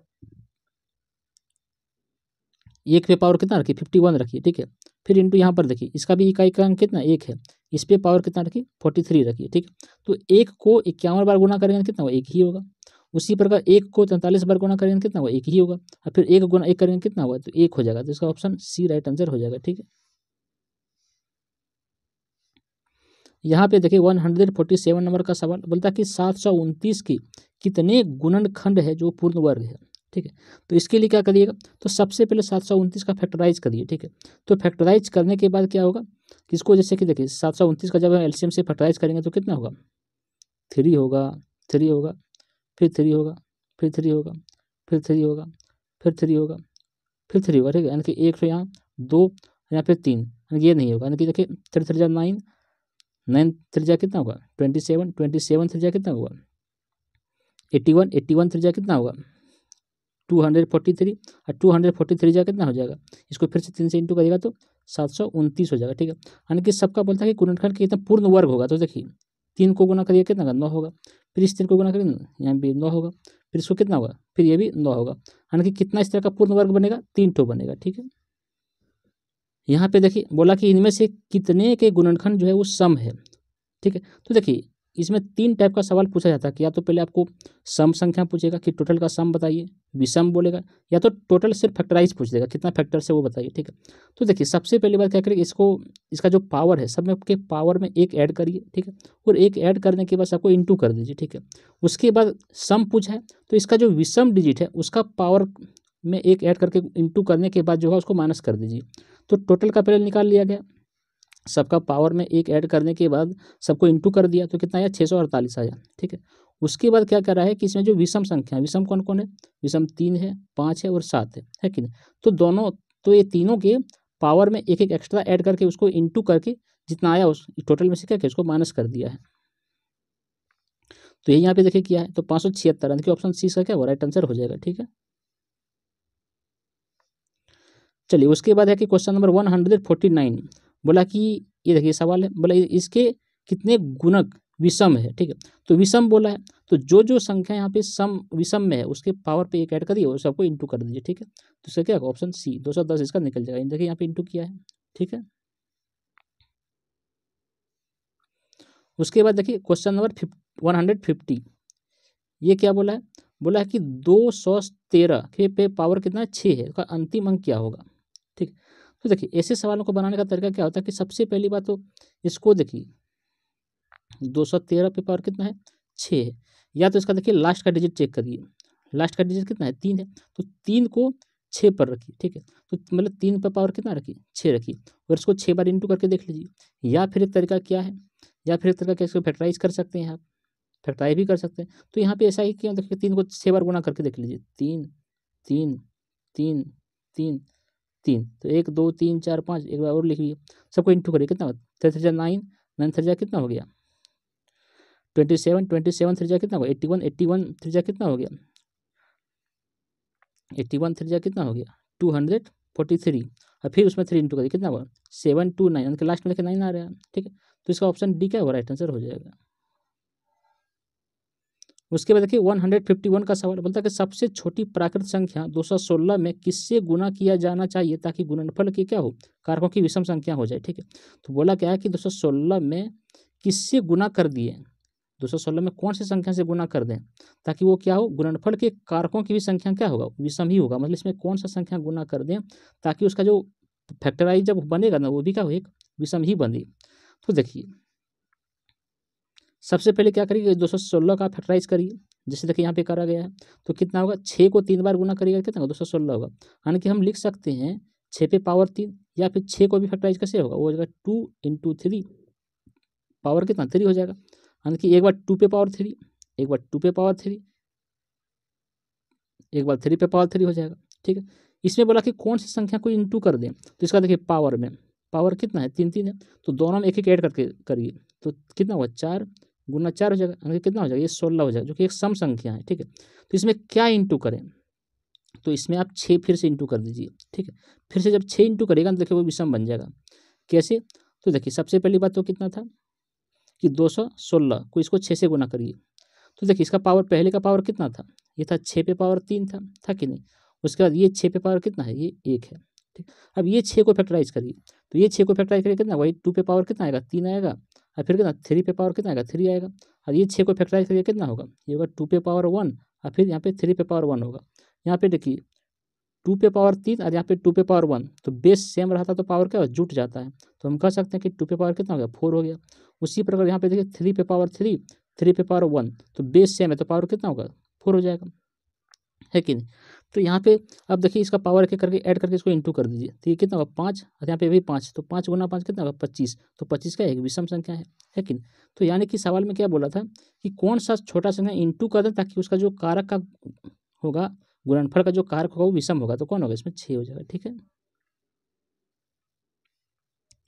उसके बाद देखिए यहाँ पे एक सवाल दिया गया इस सब में। इसमें बोला कि इकाई के स्थान वाली संख्या बताइए, ठीक है? तो देखिए, ऐसे सवालों के लिए नियम क्या होता है कि या तो इसको आप एक एक करके सबका फैक्टराइज करिए, सबका यूनिट डिजिट करके क्या करिए, सबको चेक करिए, जैसे कि इसका लास्ट में क्या है थ्री है। थ्री पे पावर कितना है यहाँ पे? इसको ये पूरे को सॉल्व करिए तो इसका संभव नहीं है। तो यहाँ पे क्या करते हैं हम, देखिए, सबसे पहली बात एक चीज़ यहाँ पे देखिए कि सबका पावर जो है ना, वो क्या है कॉमन है। है कि नहीं? सबका पावर कॉमन है। तो नियम क्या होता है कि देखिए, जब किसी का पावर कॉमन होता है, जैसे यहाँ पे देखिए ए पे पावर एन है, और यहाँ पे बी पे पावर भी एन है। देखिए, जब पावर सेम रहता है तो बेस को इंटू कर देते हैं, ठीक है? तो यहाँ पे पावर सेम था तो हम कह सकते हैं कि ये इंटू बी अब ब्रैकेट के बाहर क्या होगा? एन हो जाएगा, ठीक तो सेम देखिए, वही कंडीशन यहाँ पे यूज़ कर सकते हैं। सबका पावर क्या है? सेम है तो इसको सबको वापस में इंटू कर दीजिए, ठीक है? तो सबको इंटू हम सब नहीं करेंगे, हम सबका यूनिट डिजिट करेंगे, ठीक है? देखिए, इसका थ्री ये फोर ये फाइव सबको इंटू करिए, कितना होगा? फाइव फोर या ट्वेंटी ट्वेंटी थ्री जा कितना होगा? सिक्सटी सिक्सटी हो गया। और इसका पे पावर लगा दीजिए कितना? One sixty one six three two, ठीक है? अब देखिए इसका यूनिट डिजिट कितना है? ज़ीरो है। अब ज़ीरो को किसी पर भी पावर यूज़ करेंगे तो कितना हो जाएगा? ज़ीरो ही रहेगा। तो इसका क्या ऑप्शन बी राइट आंसर हो जाएगा, ठीक है?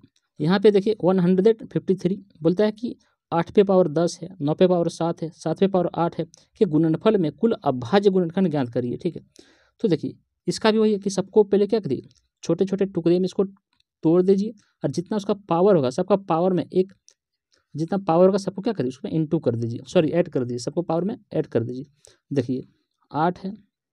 आठ को फैक्टराइज करिए, कितना होगा? दो पे पावर तीन होगा। और यहाँ पे ऊपर में कितना? दस तो कितना होगा? तीस हो जाएगा। उसी प्रकार नौ का फैक्टराइज कितना होगा? तीन पे पावर दो, और ऊपर में सात तो कितना होगा? तीन। यहाँ पे फोर्टीन हो जाएगा। उसी प्रकार सात का कितना हो जाएगा? सात ही रहेगा यहाँ पे आठ रहेगा। जब इस तरह का सवाल पूछा जाए तो कुल अभाज तक क्या करिए? पूरे पावर को ऐड कर दीजिए। तो देखिए, तीस प्लस चौदह कितना हो गया? चौवालीस। चौवालीस प्लस आठ कितना हो गया? ये हो गया बावन तो इसका क्या ऑप्शन सी राइट आंसर हो जाएगा। यहाँ पर देखिए वन हंड्रेड फिफ्टी फोर ये पर इसमें क्या बोला कि गुणनफल का कुल अभाज्य बताइए तो इसका भी सेम उसी टाइप का सवाल है। तो पहले क्या करिए कि सोलह को फैक्टराइज करिए तो सोलह को फैक्टराइज हम कर सकते हैं कि दो को चार बार गुना कर दीजिए तो दो को चार बार गुना करिएगा तो हो जाएगा सोलह, यानी कि यहाँ पे कितना है? चार और बाहर में सात है तो सात चौके कितना होगा? अट्ठाईस, यानी कि हम कह सकते हैं दो पे पावर कितना है? अट्ठाईस है। उसी प्रकार सत्ताईस का फैक्टराइज कितना होगा? तीन को तीन बार गुना करेंगे और ऊपर में छः कितना होगा? तीन पे पावर अट्ठारह हो जाएगा। उसी प्रकार देखिए पाँच का कितना होगा? तो यही यही रहेगा इस इसमें नाइन रहेगा। अब देखिए, अट्ठाईस प्लस अट्ठारह कितना हो गया? छियालीस हो गया। और प्लस नौ कितना हो गया? पचपन। तो इसका ऑप्शन क्या होगा? सी राइट आंसर हो जाएगा, ठीक है? यहाँ पे देखिए, बोला ये सवाल है, इसमें बोला कि इकाई का अंक ज्ञात करिए। तो देखिए, सबसे पहले यही करिए कि एक है लास्ट में इसका, इसके पावर कितना? एक सौ दो है, फिर इंटू इसमें कितना? इसमें भी एक है लास्ट में, और इसके पावर कितना? बावन है। तो एक को एक सौ दो बार गुना करेगा तो एक ही रहेगा। फिर एक को बावन बार गुना करेगा तो भी एक ही रहेगा। तो एक गुना एक कितना होगा एक ही हो जाएगा। यानी कि इसका ऑप्शन बी का राइट आंसर हो जाएगा। तो उसके बाद वन हंड्रेड फिफ्टी सिक्स का सवाल क्या है? इसमें बोला कि निम्न से इकाई का अंक ज्ञात करिए, ठीक है? तो अलग अलग भी कर सकते हैं, या फिर आप क्या करिए, दोनों में से कॉमन भी ले सकते हैं। देखिए, यहाँ पे कॉमन भी हो सकता है। एक ही चीज़, बात दोनों चीज़ है। तो कॉमन लेके भी बना सकते हैं। या फिर एक तरीका और क्या है कि जैसे देखिए, चार पे पावर कितना है? एक सौ दो है, ठीक है? फिर प्लस, फिर यहाँ पे कितना है? लास्ट में चार है। इस पर पावर कितना है? तो एक सौ तीन है। तो देखिए, नियम क्या होता है कि जब भी, याद रखिए कि जब भी किसी डिजिट का अंत में चार होता है तो चार को, जब हम सम संख्या बार गुना करते हैं, सम का मतलब जैसे चार को दो बार गुना किए चार को फिर चार बार गुना की छः बार गुना किए मतलब जब सम संख्या में गुना करते हैं तो हमेशा आता है कितना? लास्ट में लास्ट में आता है छः ठीक है? और जब विषम संख्या में चार को गुना करते हैं तो उसका आता है चार, समझ गए क्या बोले? कि जब चार पे पावर अगर सम संख्या होगा, जब चार पे पावर सम होगा तो इसका कितना होगा? यूनिट डिजिट सिक्स आएगा। लेकिन जब चार पे पावर विषम होगा तो इसका यूनिट डिजिट रहेगा चार। ठीक है? अब यहाँ पे देखिए, यहाँ पे कितना था कि चार है और पावर एक सौ दो है, जो कि सम संख्या है तो इसका कितना आएगा? ये छः आएगा। यहाँ पे देखिए चार है लास्ट में और पावर कितना है? विषम संख्या में है। यानी कि इसका कितना आएगा? चार आएगा। तो छः प्लस चार छः प्लस चार कितना हो जाएगा? दस हो जाएगा। यानी कि यूनिट डिजिट कितना बनेगा? ज़ीरो ठीक है? तो ऑप्शन सी क्या होगा? राइट आंसर हो जाएगा। देखिए, उसके बाद टाइप नंबर नाइन का सवाल देखिए। वन हंड्रेड फिफ्टी सेवन, क्या है? कि वह बड़ी से बड़ी संख्या ज्ञात कीजिए, जिससे एक सौ पंद्रह, एक सौ उनचास, एक सौ तिरासी को विभाजित करने पर तीन, पाँच और सात शेष बचेगा, ठीक है? तो देखिए, सबसे बड़ी संख्या जब भी इस तरह का सवाल पूछे ना, जब भी कोई बड़ी संख्या पूछे, उसमें जो शेष बचा दे तो रूल क्या होता है कि सब में जितना शेष बचा रहा है, उसको माइनस कर दीजिए। और उसके बाद सबको क्या करिए? एचसीएफ निकाल दीजिए तो उसका आंसर हो जाएगा, जो इसका एच आएगा, ठीक है? तो यहाँ पर देखिए वही किया गया है। कि सब में से एक सौ पंद्रह में से क्या होगा? तीन माइनस हो जाएगा। एक सौ उनचास में से पाँच माइनस हो जाएगा। एक सौ तेरासी में से सात माइनस हो जाएगा। और उसके बाद इसका क्या करेंगे? तीनों का हम लोग एच निकाल देंगे, ठीक है? तो इसका क्या होगा? सोलह। यानी कि ऑप्शन बी राइट आंसर हो जाएगा। देखिए, उसके बाद question number one hundred fifty eight क्या बोलता है कि वह छोटी से छोटी संख्या ज्ञात कीजिए, जिसे पाँच, छः, सात और आठ से विभाजित करने पर तीन शेष बचता हो। और वह संख्या नौ का गुणज भी हो, ठीक है? तो देखिए, ऐसे सवालों को तो सबसे पहले आप ऑप्शन को देख लीजिए, ठीक है? कि ऑप्शन अगर वो पूरे संख्या नौ से डिवाइड होगा ना तो वही इसका क्या होगा राइट आंसर हो जाएगा, ठीक है? क्योंकि यहाँ पे नौ का गुणज बोला है तो नौ का गुणज मतलब क्या? नौ से डिवाइड होना चाहिए कि नहीं? तो नौ का डिवाइड होने का रूल क्या होता है कि सब डिजिटों को सम करते हैं, उसके बाद वो चेक करते हैं कि वो नौ से कटेगा या नहीं कटेगा। तो देखिए ऑप्शन नंबर ये देखिए, सबको ऐड करिए कितना होगा? आठ प्लस तीन, ग्यारह ग्यारह प्लस छः कितना होगा? सत्रह सत्रह प्लस एक, अठारह। ये नौ से कट जाएगा तो इसका क्या होगा? ऑप्शन यही राइट आंसर हो जाएगा, ठीक है? बाकी चेक कर लीजिए। चार प्लस तीन, सात सात प्लस आठ, पंद्रह। ये नहीं होगा। आठ प्लस तीन, ग्यारह ग्यारह प्लस एक, बारह बारह प्लस नौ, कितना? ये भी नहीं कटेगा नौ से। सात सात, चौदह प्लस छः बीस बीस प्लस एक, ये भी नहीं कटेगा नौ से। तो यहाँ पे क्या होगा? ऑप्शन ये इसका राइट आंसर हो जाएगा। समझ गए आप लोग? चलिए, बाकी बात देखिए हाँ इसको और भी एक तरीके से बना सकता तरीके से कैसे बनाइएगा? तो सबसे पहले से आपका एलसीएम ले लीजिएगा तो कितना आएगा? आठ सौ चालीस आएगा। अब देखिए देखिए, आठ सौ चालीस आएगा बोला था कि वह छोटी संख्या उसमें गुना करिए। मान लेते हैं कि उसमें के गुना कर दे ठीक है? उसके बाद जितना आएगा, उसमें क्या करें? तीन ऐड कर देंगे। उसको क्या करेंगे? नौ से डिवाइड करके चेक करेंगे। तो के का मान आप रख सकते हैं। एक, दो, तीन, इस तरह रखते हुए चेक करिए। तो देखिए, हम दो रख करके चेक करके दिखा देते हैं। तो आठ सौ चालीस में से दो इंटू करेगा तो कितना होगा? ये हो जाएगा सोलह अस्सी हो जाएगा।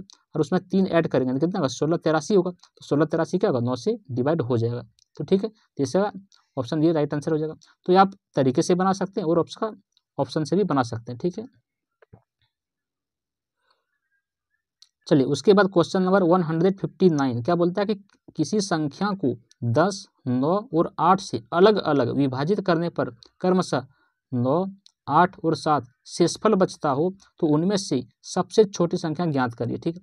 या तो आप क्या करिए, ऑप्शन को चेक कर लीजिए कि किसको डिवाइड करें, ताकि उसका हर एक में, हर एक में क्या हो, इतना रिमाइंडर बचे, ठीक है? या तो एक तरीके से कैसे बनाइएगा पहले देखिए, सबसे पहली बात तो सबका अगर डिफरेंस सेम हो ना तो जैसे डिफरेंस का मतलब क्या? जैसे कि दस और नौ का डिफरेंस एक है, नौ और आठ का डिफरेंस एक है, आठ और सात का डिफरेंस एक है। अगर डिफरेंस हर जगह सेम होता है, ठीक है तो उसका रूल क्या होता है कि जो ऊपर में दिया हुआ है ना, जैसे कि दस, नौ और आठ, सबका एलसीएम कर लीजिए, ठीक है, और एलसीएम करने के बाद जितना सबका डिफरेंस आ रहा था, वही क्या करिए उसमें माइनस कर दीजिए। तो देखिए, दस, नौ और आठ का एलसीएम कितना होगा? तीन सौ साठ होगा। और सबका कॉमन डिफरेंस कितना आ रहा था? एक आ रहा था। यानी कि तीन सौ साठ में से एक माइनस हो जाएगा तो कितना बचेगा? तीन सौ उनसठ। यानी कि तीन सौ उनसठ से क्या होगा राइट आंसर हो जाएगा ऑप्शन डी ठीक है? देखिए question number one hundred sixty क्या बोलता है कि जब किसी संख्या को किसी भाजक के द्वारा विभाजित किया जाता है तो शेषफल चौबीस बचता है। और जब उस संख्या के दोगुने को उसी भाजक के द्वारा विभाजित किया जाता है तो शेषफल पंद्रह बचता है। तो भाजक ज्ञात करिए, ठीक है? तो देखिए सवाल को। बोला कि जब किसी संख्या को किसी भाजक द्वारा, मान लेते हैं कि वो भाजक क्या है? एक्स है, ठीक है? और वो संख्या मान लेते हैं वाई है तो इसको जब विभाजित किया जाता है तो शेषफल कितना बचता है? वो बचता है चौबीस, ठीक तो हम लिख सकते हैं, एक फॉर्मूला होता है कि भाज्य बराबर क्या होता है? भाजक गुना भागफल प्लस शेष होता है होता है कि नहीं? तो यहाँ पे भाज्य कौन है? वाई है। तो हम कह सकते हैं कि वाई बराबर कितना होगा? और दूसरी बात है भागफल भागफल दोनों में कॉमन है है कि नहीं? तो हम कह सकते हैं कि वाई बराबर क्या कह सकते हैं? कि एक्स प्लस चौबीस, ठीक है? क्यों? क्योंकि भाज्य बराबर होता है भाजक गुना भागफल। भागफल तो नहीं है यहाँ पे तो मान लेते हैं कि भागफल कुछ भी एक ही सपोज़ मान लीजिए। तो यहाँ पे क्या होगा? भागफल क्या होता है भाज्य भाजक गुना भागफल ठीक है? प्लस शेष तो हम लिख सकते हैं कि वाई बराबर एक्स प्लस चौबीस, ये एक इक्वेशन तैयार कर सकते हैं यहाँ पे, ठीक है? दूसरा क्या बोला था कि जब उसी संख्या के दो गुने को वही भाजक से तो मतलब वही वही एक्स से डिवाइड करना किसको? टू वाई को अब की बार करना, क्योंकि संख्या के दोगुने को भी करना है डिवाइड उसका रिमाइंडर कितना बचता है? पंद्रह बचता है, ठीक है? तो यहाँ पर हम क्या कर सकते हैं कि ये टू हो जाएगा, और ये टू कितना होगा? ये एक्स प्लस पंद्रह हो जाएगा, ठीक है? ये एक्स प्लस पंद्रह हो जाएगा। तो देखिए, अब हम कह सकते हैं कि ये वाई का मान यहाँ पे कितना है? एक्स प्लस चौबीस है। तो यहाँ पे टू वाई है। क्या वाई के जगह हम बैठा सकते हैं? एक्स प्लस चौबीस। जैसे ही वाई के जगह एक्स प्लस चौबीस बैठेगा ना तो यहाँ पे क्या हो जाएगा? दो से गुना हो जाएगा। यानी कि दो एक्स प्लस अड़तालीस हो जाएगा। इधर बराबर में एक्स प्लस पंद्रह होगा, ठीक है? तो हम कह सकते हैं क्या यहाँ पे? हम कह सकते हैं यहाँ पे होगा दो एक्स प्लस कितना होगा? अड़तालीस होगा। इधर क्या था? एक्स प्लस पंद्रह था, ठीक है? ये एक्स इधर आ जाएगा। यानी कि कितना ये एक्स हो जाएगा। उसके बाद यहाँ पे कितना होगा? ये जाके उधर घट जाएगा। तो कितना होगा ये पंद्रह में से अड़तालीस घट जाएगा। कितना होगा? थर्टी थ्री बचेगा ठीक है? तो यहाँ पे क्या? हंड्रेड सिक्सटी वन क्या बोलता है? कि वह छोटी से छोटी संख्या ज्ञात कीजिए जिसे आठ बारह अठारह से विभाजित करने पर शेषफल कितना बचे? छः दस और सोलह शेषफल बचे ठीक? तो यहाँ पर भी देखिए वही सवाल है जो ऊपर में बनाए थे हम लोग। देखिए सबका कॉमन डिफरेंस सेम हो रहा है। आठ से छः दो का कॉमन डिफरेंस बारह से दस दो का उसके बाद अठारह से सोलह दो का। तो यहाँ पे क्या करेंगे? आठ बारह और अठारह। ये तीनों का पहले एलसीएम कर लेंगे। जितना आएगा, उसमें से दो क्या करेंगे? माइनस कर देंगे। समझ गए? वही काम देखिए यहाँ पर भी किया है। तो क्या ऑप्शन डी का राइट आंसर हो जाएगा। उसके बाद देखिए question number one hundred sixty two क्या बोलता है कि वह सबसे छोटी संख्या ज्ञात कीजिए, जिसमें से अगर छः कम कर दिया जाए तो बारह, पंद्रह, बीस और सत्ताईस से क्या हो जाए? पूर्णतः विभाजित हो जाए, ठीक है? या तो आप क्या करिए, या तो आप ऑप्शन से चलने की कोशिश करिए कि जिसमें यहाँ पे दिया गया जिसका इसका वैल्यू है, सब में पहले क्या करिए छः कम कर दीजिए और उसके बाद यहाँ पे चेक करिए क्या इनमें से किससे वो क्या होगा डिवाइड होगा।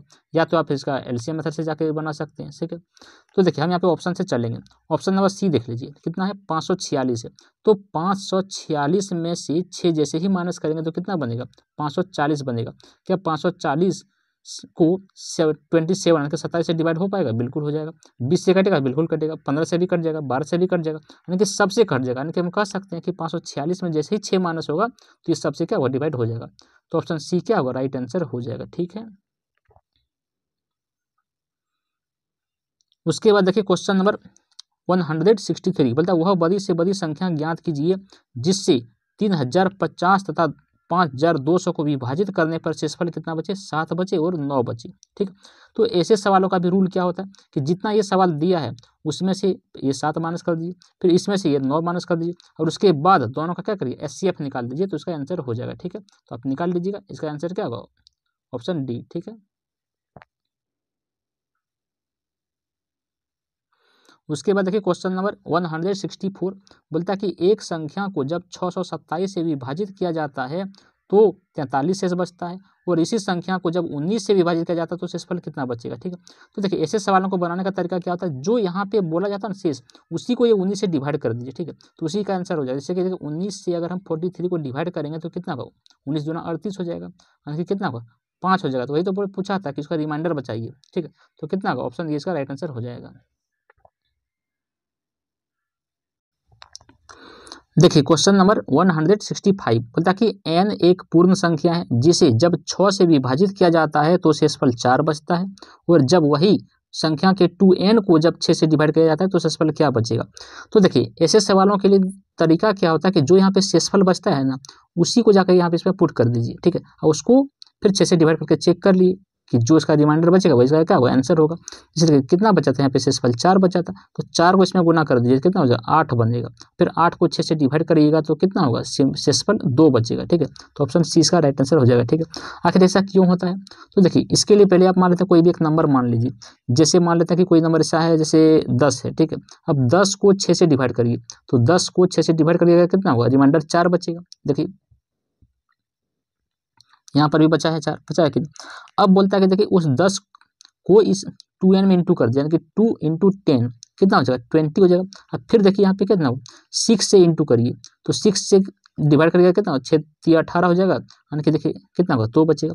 तो उससे भी वही होगा। कोई डिजिट भी मान सकते हैं आप। या तो जो शेषफल बचता है, उसी को क्या करिए? आगे का काम उसमें पुट करके बना सकते हैं। ठीक है? देखिए, उसके बाद टाइप नंबर टेन टाइप दस का सवाल देखिए, एक सौ छियासठ।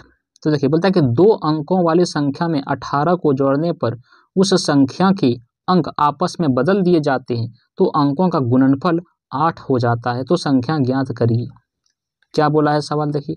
बोलता है कि दो अंकों वाली संख्या में अठारह को ऐड कर देंगे, ठीक है, और उस संख्या के अंकों को आपस में बदल देंगे, और अंकों का गुणनफल क्या होगा? आठ हो जाएगा। तो वो संख्या बताइए, ठीक है? तो सबसे पहली बात तो देखिए, ऐसे सवालों को बनाने के लिए क्या करिए ना कि आप इक्वेशन को बनाने से बेटर आप ऑप्शन से चलने की कोशिश करिए, ठीक है? क्योंकि इक्वेशन बनाइएगा तो आपका लंबा टाइम लगेगा, एग्ज़ाम में उतना टाइम है नहीं। तो इसलिए आप क्या करिए, ऑप्शन को एलिमिनेट करिए, ऐसे सवालों को जल्दी आप बना सकते हैं। जैसे देखिए, हम ऑप्शन डी बताते हैं। सवाल के अकॉर्डिंग उसको सेटिस्फाइड कराने की कोशिश करिए। बोलता है कि दो अंकों वाली संख्या में, मान लेते हैं दो अंक तो यहाँ पे सबका संख्या है। जैसे देखिए, यहाँ पे चौबीस। बोला था कि दो अंक वाली संख्या में अठारह को ऐड कर दीजिए। मान लेते हैं कि चौबीस था, इसमें अठारह ऐड करिए, कितना होगा? ये बनेगा आठ चार बारह, दो एक तीन एक चार, बयालीस बनेगा। फिर बोला है कि उस संख्या के अंक आपस में बदल दीजिए। अब देखिए, यहाँ पे बयालीस हुआ था कि नहीं। अब इस संख्या के आपस में बदल दीजिए, कितना हो जाएगा? चौबीस बन जाएगा। और अंकों का गुणनफल आठ होना चाहिए। अंकों का गुणनफल तो आठ हो ही रहा है, ठीक है। उसके बाद देखिए, क्या ये बदलने के बाद वापस पहले के जैसा मिल रहा है कि नहीं मिल रहा है? पहले भी चौबीस हम था संख्या जो मानी थी, अब जिसको बदल दिए तो वापस भी चौबीस हो रहा संख्या। तो ये क्या हुआ? सेटिस्फाइड कर गया। कि ऑप्शन डी क्या होगा? राइट आंसर हो जाएगा। उसके बाद देखिए question number one hundred sixty seven बोलता है कि दो अंकों वाली एक संख्या के अंकों का योग कितना है? दस है, ठीक है? जब अंक आपस में बदल दिए जाते हैं तो संख्या छत्तीस कम हो जाती है तो बदली हुई संख्या ज्ञात करिए। तो इसको भी क्या करिए आप? ऑप्शन को चुन करके उसको क्वेश्चन से सेटिस्फाइड कराने की कोशिश करिए, ठीक है? देखिए, बोला कि दो अंकों का संख्या होना चाहिए, बिल्कुल। उसके बाद दोनों का अंक कितना, योग कितना होना चाहिए? दोनों का दस होना चाहिए। देखिए, तीन प्लस सात, दस तो हो रहा है। यहाँ पे देखिए, सबका दस हो रहा है। लेकिन उसका और भी जो आगे का टर्म है ना, वो सेटिस्फाइड होना चाहिए। तो बोला था दोनों का योग दस हो, बिल्कुल। जब अंक आपस में बदल देते हैं। मान लेते हैं कि सैंतीस था सैंतीस था, इसको बदल दीजिए, कितना हो जाएगा? हो जाएगा तिहत्तर, ठीक है? जैसे बदल देंगे तो संख्या छत्तीस से कम हो जाएगा। क्या देखिए, तिहत्तर में से सैंतीस घटा के देखिए, क्या सही में वो छत्तीस कम हो रहा है? तो बिल्कुल हो रहा है। यानी कि क्या हो ये सेटिस्फाइड कर गया। यानी कि क्या हो ये संख्या सैंतीस ही है, ठीक है? जो क्वेश्चन के अकॉर्डिंग वो सेटिस्फाइड कर रहा है। तो ऑप्शन सी क्या होगा राइट आंसर हो जाएगा। उसके बाद देखिए question number one sixty eight बोला कि दो अंकों की एक संख्या और उसके दोनों अंकों के स्थान आपस में बदल देने के बाद प्राप्त संख्या का योग 132 है। अगर अंकों का अंतर चार हो तो संख्या ज्ञात करिए। तो इसमें भी क्या करिए? आप ऑप्शन को चुन लीजिए और जल्दी बना दीजिए। देखिए, बोला कि दो अंकों का एक संख्या होगा, ठीक है, और उसके अंक दोनों अंकों के स्थान आपस में बदल देंगे। मान लेते हैं कि चौरासी है इसका आपस में स्थान बदल दीजिए, कितना हो जाएगा? ये अड़तालीस हो जाएगा, ठीक है।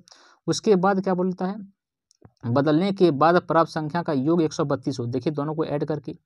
आठ चार बारह आठ चार बारह एक तेरह, एक सौ बत्तीस, बिल्कुल। अगर अंकों का अंतर चार है, देखिए अंतर भी चार है, आठ में से चार घटेगा कितना होगा? तो चार ही बचेगा, अंतर भी चार है तो संख्या क्या होगा? तो संख्या क्या होगा इसका? चौरासी हो जाएगा तो ऑप्शन बी राइट आंसर हो जाएगा, ठीक है? उसके बाद देखिए question number one sixty nine बोलता कि दो अंकों की एक संख्या के अंकों का योग कितना है? बारह है। अगर अंकों के स्थान आपस में परिवर्तित कर दिया जाए मतलब बदल दिया जाए तो प्राप्त संख्या का मूल स्थान से अठारह ज़्यादा हो जाता है तो मूल संख्या क्या है? देखिए, ये भी वही सवाल है, ठीक है? बोलता है, मान लेते हैं ऑप्शन डी उठा लेते हैं और सवाल के सवाल के अकॉर्डिंग चलते हैं। बोलता है कि दो अंकों की एक संख्या ठीक है? अंकों का योग बारह, देखिए, पाँच प्लस सात, बारह, बिल्कुल हो रहा है। फिर बोलता है कि अगर अंकों के स्थान आपस में परिवर्तित कर दें, मान लेते हैं कि संतावन को बदलेंगे तो कितना बनेगा? पचहत्तर बनेगा, ठीक है? तो प्राप्त संख्या, मूल संख्या से अठारह ज़्यादा है तो देखिए संतावन से बोलता है कि अठारह ज़्यादा है, बिल्कुल, यहाँ पे देखिए, अठारह को इसमें क्या करिए? माइनस करके देखिए कितना होगा संतावन आ जाएगा, ठीक है? यानी संतावन से अठारह ज़्यादा है कि नहीं? बिल्कुल है। तो वही बोलता है कि वो संख्या बताइए, कौन होगा? फिफ्टी सेवन तो आप ऐसे सेटिस्फाइड करा के चेक कर सकते हैं जल्दी से, ठीक है? देखिए, उसके बाद वन सेवेंटी का क्वेश्चन देखिए, बोलता है कि दो अंकों की संख्या के अंकों का योग कितना है? नौ है, ठीक है? साथ ही इस संख्या का नौ गुना अंकों के उल्टे क्रम से प्राप्त संख्या के दो गुना है। ठीक है, सवाल को ध्यान से पढ़िए और ऑप्शन को चुनिए और आराम से धीरे धीरे बनाइए। देखिए सेटिस्फाइड कर जाएगा तो वही क्या होगा? राइट आंसर हो जाएगा। बोलता है कि दो अंकों का संख्या है, ठीक है, दोनों का अंकों का योग नौ होना चाहिए। देखिए, मान लेते हैं ऑप्शन बी एक और आठ, दोनों अंक का अगर ऐड कर देंगे तो नौ होगा कि नहीं होगा? बिल्कुल होगा। बोलता साथ ही इस संख्या का नौ गुना, फिर नौ का नौ गुना करिए, कितना हो गया? इक्यासी हो जाएगा, होगा कि नहीं होगा? फिर बोलता कि अंकों के उल्टे क्रम से अंकों के उल्टे क्रम से प्राप्त संख्या से दो गुना हो जाता है। मान लेते हैं इसका उल्टा क्रम कर दीजिए तो कितना हो जाएगा? इसको बदलेंगे, इसके देखिए, इसमें दो से इंटू करिएगा तो कितना का दो एक दो, आठ एक सोलह मतलब एक सौ बरसठ हो जाएगा। उसका नौ गुना हो जाएगा, जैसे अठारह का नौ गुना करिए तो कितना होगा? एक सौ बरसठ हो जाएगा। होगा कितना? यानी कि सेटिस्फाइड कर गया। तो ऑप्शन बी क्या होगा? राइट आंसर हो जाएगा। उसके बाद देखिए question number one seventy one बोलता है कि एक, दो अंकों की संख्या के अंकों का योग कितना है? ग्यारह है। अगर हम उसके अंकों को परस्पर बदल देते हैं तो बनी हुई नई संख्या मूल संख्या से पैंतालीस कम हो जाती है तो मूल संख्या ज्ञात करिए। मान लेते हैं कि दो अंकों का संख्या का योग कितना होना चाहिए? ग्यारह होना चाहिए। जैसे देखिए, ऑप्शन डी उठा लीजिए तो आठ प्लस तीन है। तो आठ प्लस तीन का योग ग्यारह हो रहा है, नहीं हो रहा है? हो रहा है। फिर बोलता है कि अगर हम उसके अंकों को परस्पर बदल देते हैं, मान लेते हैं कि एट्टी थ्री है, इसको हम क्या लिखेंगे? थर्टी एट लिख देंगे, ठीक है? तो बनी हुई नई संख्या मूल से पैंतालीस कम है। यानी कि एट्टी थ्री में अड़तालीस, अड़तीस घटाइए। देखिए, पैंतालीस आ जाएगा। तो सही बात है। तो वो मूल संख्या क्या है? तो क्या हो जाएगा? एट्टी थ्री हो जाएगा।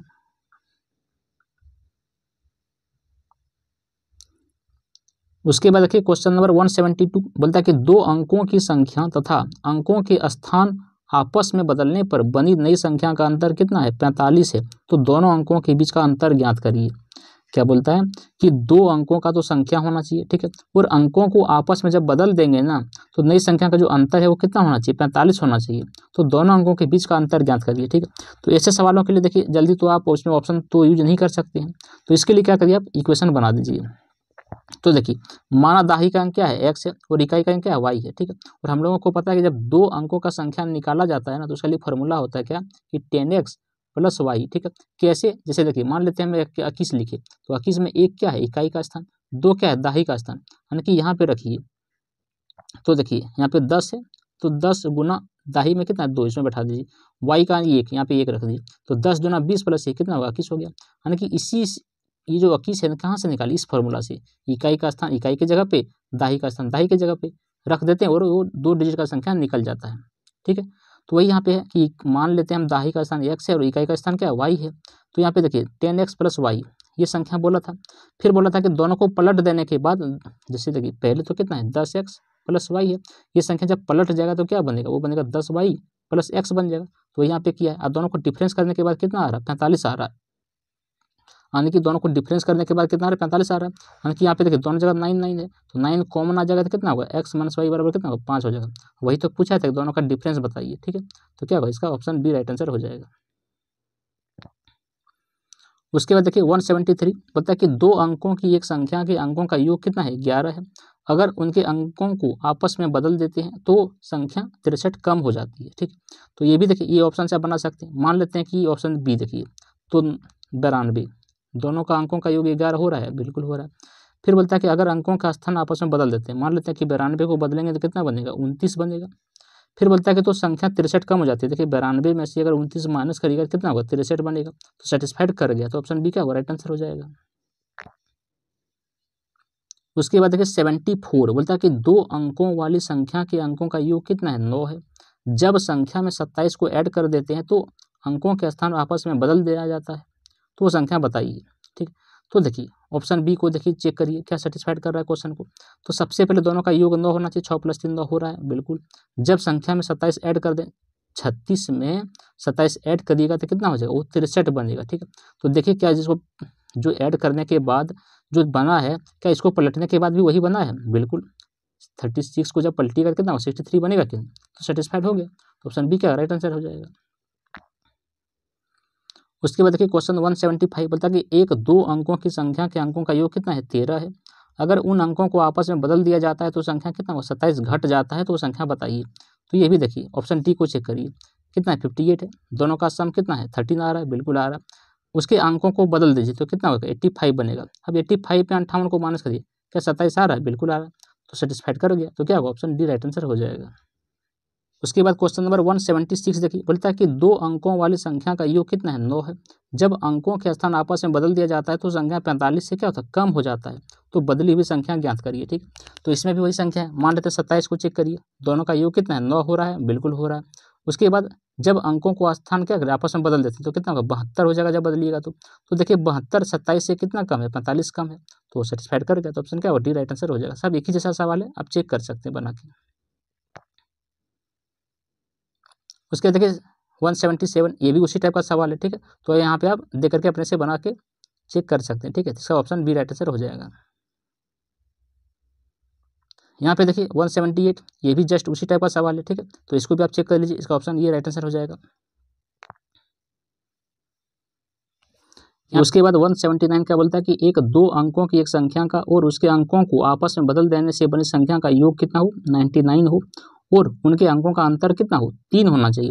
तो यहाँ पर भी देखिए, उसी टाइप का लगभग सवाल है कि आप तो पहले वो दो अंकों की संख्या बताइए, ठीक है? जिसको पलटने के बाद और बिना पलटे दोनों को जब ऐड करेंगे तो नाइन्टी नाइन होना चाहिए, ठीक है? और आपस में जो डिजिटों का जो अंतर है वो कितना होना चाहिए? तीन होना चाहिए। तो ऑप्शन बी देखिए, इसका राइट आंसर हो जाएगा। क्यों? क्योंकि देखिए सिक्सटी थ्री है। इसको पलट दीजिए, कितना होगा? थ्री सिक्सटी मतलब कितना थर्टी सिक्स हो जाएगा। दोनों को ऐड करिएगा कितना होगा? नाइन्टी नाइन होगा। फिर देखिए सिक्स और थ्री का डिफरेंस तीन आ रहा है, बिल्कुल आ रहा है। तो यही सेटिस्फाइड कर गया तो ऑप्शन बी क्या होगा? राइट आंसर हो जाएगा। उसके बाद देखिए वन एट्टी में वन एट्टी में क्या बोलता है कि एक, दो अंकों की संख्या और संख्या के अंकों को परस्पर बदल देने से प्राप्त संख्या के बीच अंतर कितना होना चाहिए? चौवन होना चाहिए। तो उन संख्याओं के बीच का अंतर बताइए, ठीक है? तो देखिए ऐसे सवालों का जो आंसर होगा ना, वो छः होगा। बोलिए क्यों? क्योंकि जब भी सवालों में जब इस तरह अंतर लिखा रहे ना संख्याओं का तो मान लीजिए वो समझ जाइएगा कि वो क्या होगा? वो नौ एक्स माइनस नौ वाई होगा, क्योंकि अंतर करने के बाद यही आता है हमेशा। और बराबर में जो दिया रहेगा, उसको लिख दीजिए। तो बराबर में कितना चौवन है। तो दोनों में कॉमन नाइन आएगा नाइन से कितना होगा? फिफ्टी फोर कर जाएगा सिक्स बार में। तो क्या होगा? इसका आंसर सिक्स राइट आंसर हो जाएगा, ठीक है? और इसी टाइप का सवाल में, अगर वो बोलता कि दोनों का अंतर नहीं, दोनों का योग होता तो कितना होता? तो यहाँ पे नौ नहीं तो हम ग्यारह लिखते। ठीक है तो ग्यारह एक्स प्लस ग्यारह वाई करते। क्यों? क्योंकि प्लस में ऐड हो जाएगा और अंतर में घट जाएगा। तो ग्यारह से काट देते। ठीक है तो ऐसे भी आप जल्दी में बना सकते हैं, दिमाग लगा करके। उसके बाद देखिए क्वेश्चन वन एट्टी वन बोलता है कि दो अंकों की संख्या के अंकों का योगफल कितना है? पाँच है। जब वे अंक पलट दिए जाते हैं तो संख्या क्या? नौ कम हो जाता है। तो वो परिवर्तित संख्या बताइए। तो देखिए इसको भी ऑप्शन से बनाइए। ऑप्शन बी देखिए। बोलता है कि दोनों का योगफल पाँच हो, बिल्कुल। तेईस में से दो और तीन का योगफल पाँच हो रहा हो रहा है। जब अंक पलट दिया जाता है मान लेते तेईस से पलटेंगे तो कितना होगा? बत्तीस हो जाएगा। अब क्या देखिए, तेईस और बत्तीस, तेईस और बत्तीस का अंतर नौ हो रहा है। हो रहा, वही तो पूछा कि नौ कम है तो क्या होगा? इसका ऑप्शन बी राइट आंसर हो जाएगा। चलिए, उसके बाद टाइप ग्यारह का सवाल देखिए। वन एट्टी टू बोलता है कि इसमें से पाँच के स्थानीय मान और अंकित मान के बीच अंतर बताइए। तो देखिए, सबसे पहले स्थानीय मान क्या होता है? तो स्थानीय मान क्या होता है कि जितना भी डिजिट का पूछे ना, उतना डिजिट को लिखिए। और उसके बाद जितना भी डिजिट बच गया, उसको उतना ज़ीरो लगा दीजिए, ठीक है? तो यहाँ पे बोला था कि पाँच का स्थानीय मान कितना होगा? पाँच लिखे, उसके बाद कितना डिजिट है? तीन डिजिट है तीन ज़ीरो लग जाएगा यहाँ पे, ठीक है? और अंक के मान क्या होता है? जिस संख्या के बारे में पूछा जाता है, वही संख्या उसका अंक के मान कहा जाता है, ठीक है? या उसको जातीय मान भी कहते हैं। तो पाँच ही बोला है तो पाँच का भी स्थानीय मान क्या होगा? पाँच ही होगा। तो इसमें पाँच घटा दीजिए। तो कितना बनेगा? चार हज़ार नौ सौ पंचानवे, ठीक है? तो ऑप्शन बी इसका राइट आंसर हो जाएगा। उसके बाद देखिए वन एट्टी थ्री बोलता है कि इस संख्या में से आठ का स्थानीय मान बताइए। तो आठ यहाँ पे है देखिए तो आठ के बाद कितना एक ज़ीरो लगेगा कितना ऑप्शन बी राइट आंसर हो जाएगा। यहाँ पे देखिए वन एट्टी फोर में बोलता है कि इसमें से छः के अंकित मान और स्थानीय मान का योग बताइए। तो इस भी उसी टाइप का सवाल है, ठीक है? तो छः देंगे, तीन डिजिट है, तीन ज़ीरो लगा दीजिए। उसके बाद उसी का अंकीय मान कितना होगा? तो अंकीय मान छः ही हो जाएगा, दोनों को ऐड कर दीजिए, कितना होगा? छः हज़ार छः हो जाएगा ऑप्शन सी राइट आंसर हो जाएगा। यहाँ पे देखिए वन एट्टी फाइव में इस संख्या में बोलता है तीन का स्थानीय मान के बीच अंतर क्या है? दो गो तीन का मान। इसमें देखिए दो ठो तीन है। दोनों तीन का पहले अलग अलग क्या करिए आप स्थानीय मान निकाल लीजिए और दोनों को अंतर कर दीजिए। तो क्या होगा? इसका आंसर आ जाएगा। तो ऑप्शन क्या ये राइट आंसर हो जाएगा। आसान सवाल है, बना लीजिएगा। वन एट्टी सिक्स में देखिए, इस संख्या में बोला सात के अंकित मान और स्थानीय मान का योग ज्ञात करिए, ठीक है? तो ये भी उसी टाइप का सवाल है। ऑप्शन ये क्या होगा? इसका राइट आंसर हो जाएगा। यहाँ पे देखिए, इस सवाल में बोला है कि चार का अंकित मान बताइए, ठीक है? तो देखिए चार का अंकित मान क्या होगा इसमें? चार ही होगा क्यों? क्योंकि अंकित मान क्या होता है? जिस संख्या के बारे में पूछा जाता है वही का क्या होगा? राइट आंसर हो जाता है।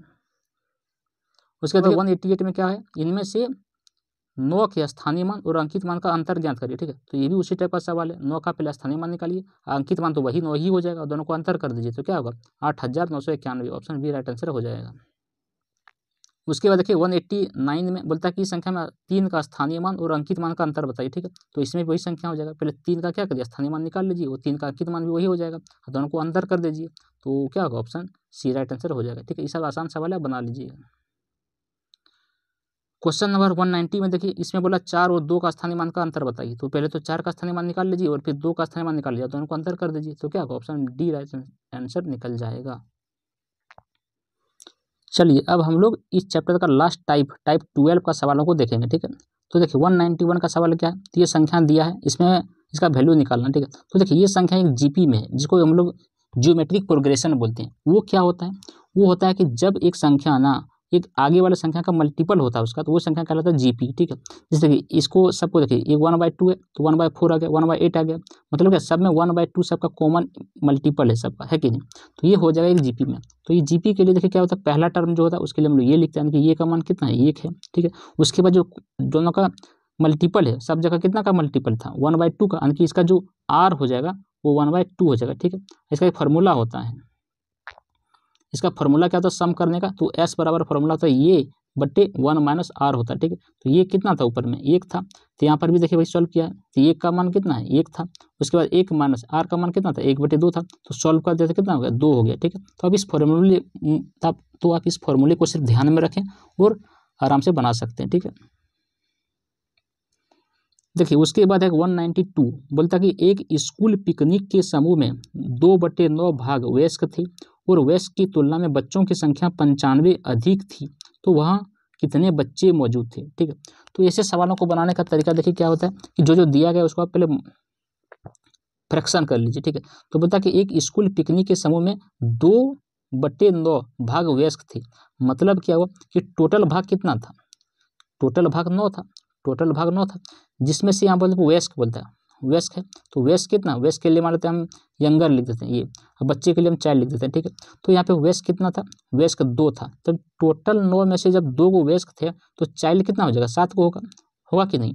जब टोटल नौ गो बच्चे, आदमी, वहाँ पे तो पूरा था, समूह था, नौ ठो, उसमें से यंगर, यानी कि वेस्क था, दो ठो तो बच्चे क्या होगा? सात को होगा। तो यहाँ पे सवाल में क्या बोला गया है? और वेस्क की तुलना में बच्चे की संख्या पंचानवे अधिक था। सवाल क्या बोलता है कि जहाँ पे जितना भी वेस्ट की तुलना में पंचानवे ज़्यादा था कौन? बच्चे लेकिन यहाँ पे हम लोग का जो रेशियो में, उसमें क्या बोलता है कि ज़्यादा तो है, बच्चे जो है, वो यंगर से ज़्यादा तो है, लेकिन यहाँ पे कितना है? पाँच ज़्यादा है। लेकिन सवाल बोलता है कि पाँच ज़्यादा नहीं है, वो पंचानवे ज़्यादा है। तो कितना मल्टीपल ज़्यादा है? तो उन्नीस का मल्टीपल ज़्यादा है है कि तो बोला था कि वहाँ कितने बच्चे मौजूद हैं? तो बच्चे निकालना है। तो बच्चे कितना था? सात था। तो उन्नीस सत्य कितना होगा एक सौ तैंतीस। तो ऑप्शन बी क्या होगा राइट आंसर हो जाएगा, ठीक है? उसके बाद देखिए वन नाइन्टी थ्री का सवाल। इसको सॉल्व करिए, ठीक है? तो सबसे पहले देखिए फिफ्टी टू है, ठीक है? और ये वाला जो साइन होता है ना, इसको क्या होता है कि यहाँ पे कुछ भी सॉल्व करिए। इससे जैसे ही बाहर आएगा ना, वो हमेशा पॉजिटिव में आता है, इसको मोड बोलते हैं, ठीक है? इससे हमेशा मोड जैसे ही हटता है, उसका रिज़ल्ट हमेशा पॉजिटिव में आता है। तो देखिए, आठ में से बीस घटेगा तो कितना बचेगा? बारह माइनस बारह बचेगा। तो ये मोड के बाहर का क्या होगा प्लस बारह बन जाएगा। यानी कि बावन में बारह घटेगा कितना होगा? चालीस। ऑप्शन बी राइट आंसर हो जाएगा, ठीक है? देखिए, उसके बाद वन नाइन्टी फोर का सवाल देखिए, बोलता कि अगर एक दर्जन सेब का भार कितना है? एक दशमलव आठ के जी है, तब जाकर के तीन बक्सों जिनका समूह का भार कितना दे दिया है? तेईस दशमलव दो पाँच के जी है तो कितने सेब होंगे? ठीक है तो देखिए, क्या बोला कि एक दर्जन एक दर्जन में कितना होता है? बारह होता है। यानी कि बारह को का वैल्यू कितना दिया? वो वन पॉइंट एट दिया, ठीक है? तो एक का निकाल सकते हैं, कितना हो जाएगा? वन पॉइंट एट बटे कितना हो जाएगा? ट्वेल्व हो जाएगा, ठीक है? तो अब बोलता है टोटल का तो दे दिया था। तो इसमें से क्या करें? टोटल में से इससे क्या करेंगे डिवाइड कर देंगे तो कितना सेब था? निकल जाएगा, ठीक है? तो हम यहाँ पे लिख सकते हैं कितना? कि तेईस दशमलव कितना है? तो हम यहाँ पे लिख सकते हैं कि तेईस दशमलव कितना? दो पाँच। इसको डिवाइड करना है अट्ठारह यानी कि एक पॉइंट आठ। तो ये बारह से तो बारह क्या होगा? ऊपर चल जाएगा। तो यहाँ पे क्या होगा? ये ट्वेल्व आ जाएगा, ठीक है? अब देखिए, काट दीजिए। तो छः से काटिए। छः दोनों ये कितना बारह हो जाएगा। और छेतिया अट्ठारह ठीक है? पॉइंट में आएगा ये। तो कितना होगा? अब देखिए, तीन से क्या ये कटेगा? ये पॉइंट हटा दीजिए। नीचे कितना होगा? एक सौ बैठ जाएगा। इसका भी पॉइंट हटेगा। नीचे ऊपर में कितना? दस ज़ीरो बटे ये ज़ीरो ज़ीरो काट लीजिए, ठीक है? उसके बाद देखिए, ये तीन से कटेगा। तो तीन से देखिए, ये सात बार में कटेगा। सत्या ये कितना? दो होगा, दो। सत्या और ये पाँच। कट जाएगा। यानी कि फिर देखिए दो से दस काट दीजिए, कितने बार? पाँच बार में? फिर पाँच से सात सौ पचहत्तर काटिए, कितनी बार में कटेगा? तो एक सौ पचपन बार में कट जाएगा, ठीक है? काट के देख लीजिएगा तो ऑप्शन बी क्या होगा? राइट आंसर हो जाएगा। उसके बाद वन नाइन्टी फाइव का सवाल देखिए, बोलता है कि उस समुच्चय को चुने जो छत्तीस के गुणनखंडों से बनता है। तो सबसे पहले क्या करिए, आप पूरे छत्तीस का गुणनखंड निकालिए। कौन कौन सा डिजिट से छत्तीस कटता है? पूरा लिखिए सबका। और उसके बाद उसका जो यहाँ पे देखिए ऑप्शन में कौन इसका समुच्चय में आएगा, ठीक है? तो यहाँ पे देखिए छत्तीस का गुणनखंड निकाला गया, एक, दो, तीन, चार, पाँच पाँच नहीं होगा, छः होगा, सात, उसके बाद नौ होगा, अठारह, बारह होगा, अठारह होगा, छत्तीस होगा, ये सबसे क्या होगा? छत्तीस कट जाएगा। तो इसमें ऑप्शन में कौन होगा? ऑप्शन सी हो जाएगा, ठीक है? क्योंकि यहाँ पे देखिए दो भी है, तीन भी है, चार भी है, छः भी है, नौ भी है, बारह भी है, अठारह भी है तो ऑप्शन सी इसका राइट आंसर हो जाएगा।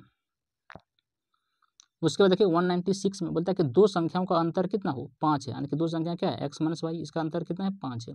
उसका गुणनफल यानी कि एक्स, वाई, इसका कितना दिया? थ्री थ्री, सिक्स दिया है, ठीक है? तो बोलता है कि वो संख्या कौन सा है? तो देखिए, या तो आप इसको इक्वेशन से सॉल्व करिए, या तो आपको अगर लगता है कि ऑप्शन से हम जल्दी बना सकते हैं तो ऑप्शन भी का ऑप्शन का भी सहारा ले सकते हैं, ठीक? तो इक्वेशन से ही बनाइए। तो देखिए, इसको इक्वेशन से बनाने के लिए क्या करिए? यहाँ पे दोनों साइड स्क्वायर करना होगा, ठीक है? दोनों साइड जैसे स्क्वायर करिएगा तो वहाँ से भी निकाल सकते हैं। जैसे देखिए, यहाँ पर वही बना के करके दिखाया है कि एक्स माइनस वाई बराबर पाँच है एक्स इंटू वाई दिया है दोनों का यहाँ पे क्या फॉर्मूला लगा दिया है। तो एक्स प्लस वाई निकल गया कितना? थर्टी सेवन ठीक है? आप इसको निकाल कर भी देख सकते हैं। उसके देखिए वन नाइन्टी सेवन में बोलता है कि एक संख्या का वर्ग उसी संख्या के दोगुने से तीन ज़्यादा है, ठीक है? तो वो संख्या क्या है? बोलता है कि एक संख्या का वर्ग, एक संख्या है, उसका वर्ग है, उसी संख्या के दो गुण यानी कि दो एक्स उसे तीन ज़्यादा है। तो देखिए ये भी क्या बनेगा? एक इक्वेशन बनेगा। ये दोनों इधर आ जाएगा कितना होगा? एक x square minus two x और minus three equal to zero तो ये इसको भी इक्वेशन बना करके आप सॉल्व कर सकते हैं, ठीक है? तो सॉल्व कर लीजिएगा क्वालिटी इक्वेशन सॉल्व करके तो इसका ऑप्शन डी राइट आंसर हो जाएगा। एक का मान माइनस एक आएगा, एक का मान प्लस तीन आएगा, ठीक है?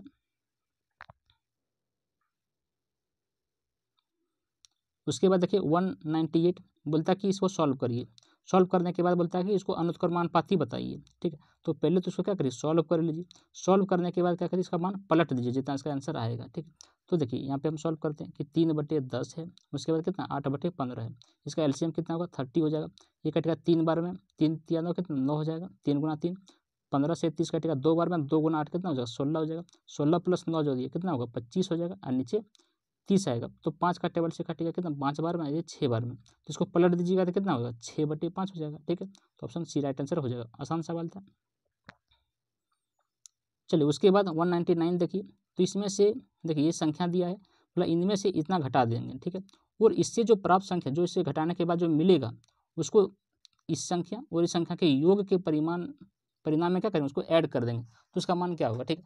ये तो आसान सवाल है, इसको आप सॉल्व करके देख सकते हैं। तो क्या होगा, इसका ऑप्शन डी राइट आंसर हो जाएगा। उसके बाद देखिए टू हंड्रेड का सवाल लास्ट सवाल है ये। बोलता है कि सीमा को अपने पिता से पचास रुपये मिले जिसमें से उसने पंद्रह रुपये की टॉफ़ी खरीद ली, उसकी माँ ने तीस रुपये दिए और उसके भाई ने उसे बयालीस रुपये ले लिए, उसके पास कितने रुपये बचे, ठीक है? तो देखिए, सवालों को पहले पढ़िए और एक एक करके सॉल्व करते चलिए। तो उसके पिता ने कितना रुपये दिए? पचास रुपये दिए, ठीक है? उसने पंद्रह रुपये की टोपी खरीद ली तो पंद्रह रुपये की टोपी खरीद ली, कितना बचा? पैंतीस रुपये बचा। उसकी माँ ने तीस रुपये दिए, फिर तीस रुपये दे दी उसकी माँ ने, कितना बना? फिर पैंसठ रुपये उसके पास हो गया उसके भाई ने उससे बयालीस रुपये ले लिए, फिर इसमें बयालीस माइनस कर दीजिए, कितना बनेगा? थ्री टू तेईस बनेगा। तो वही पूछा था, कितना बचेगा कितना बचेगा? तेईस रुपये उसके पास अब बचेगा। तो ऑप्शन ये क्या होगा? इसका राइट आंसर हो जाएगा। ठीक है? तो आई होप आप लोग समझ गए होंगे। तो फ्रेंड्स ये पूरा नंबर सिस्टम संख्या पद्धति चैप्टर हम लोग खत्म कर लिए। तो आई होप आप लोगों को वीडियो पसंद आया होगा। अगर पसंद आया होगा तो उसको दोस्तों के पास भी शेयर करिएगा। ठीक है? अगले वीडियो में हम लोग एक नए टॉपिक के साथ इसका नेक्स्ट चैप्टर शुरू करेंगे। ठीक है? तो आज के लिए इतना ही। धन्यवाद। जय Hind. Thank you for watching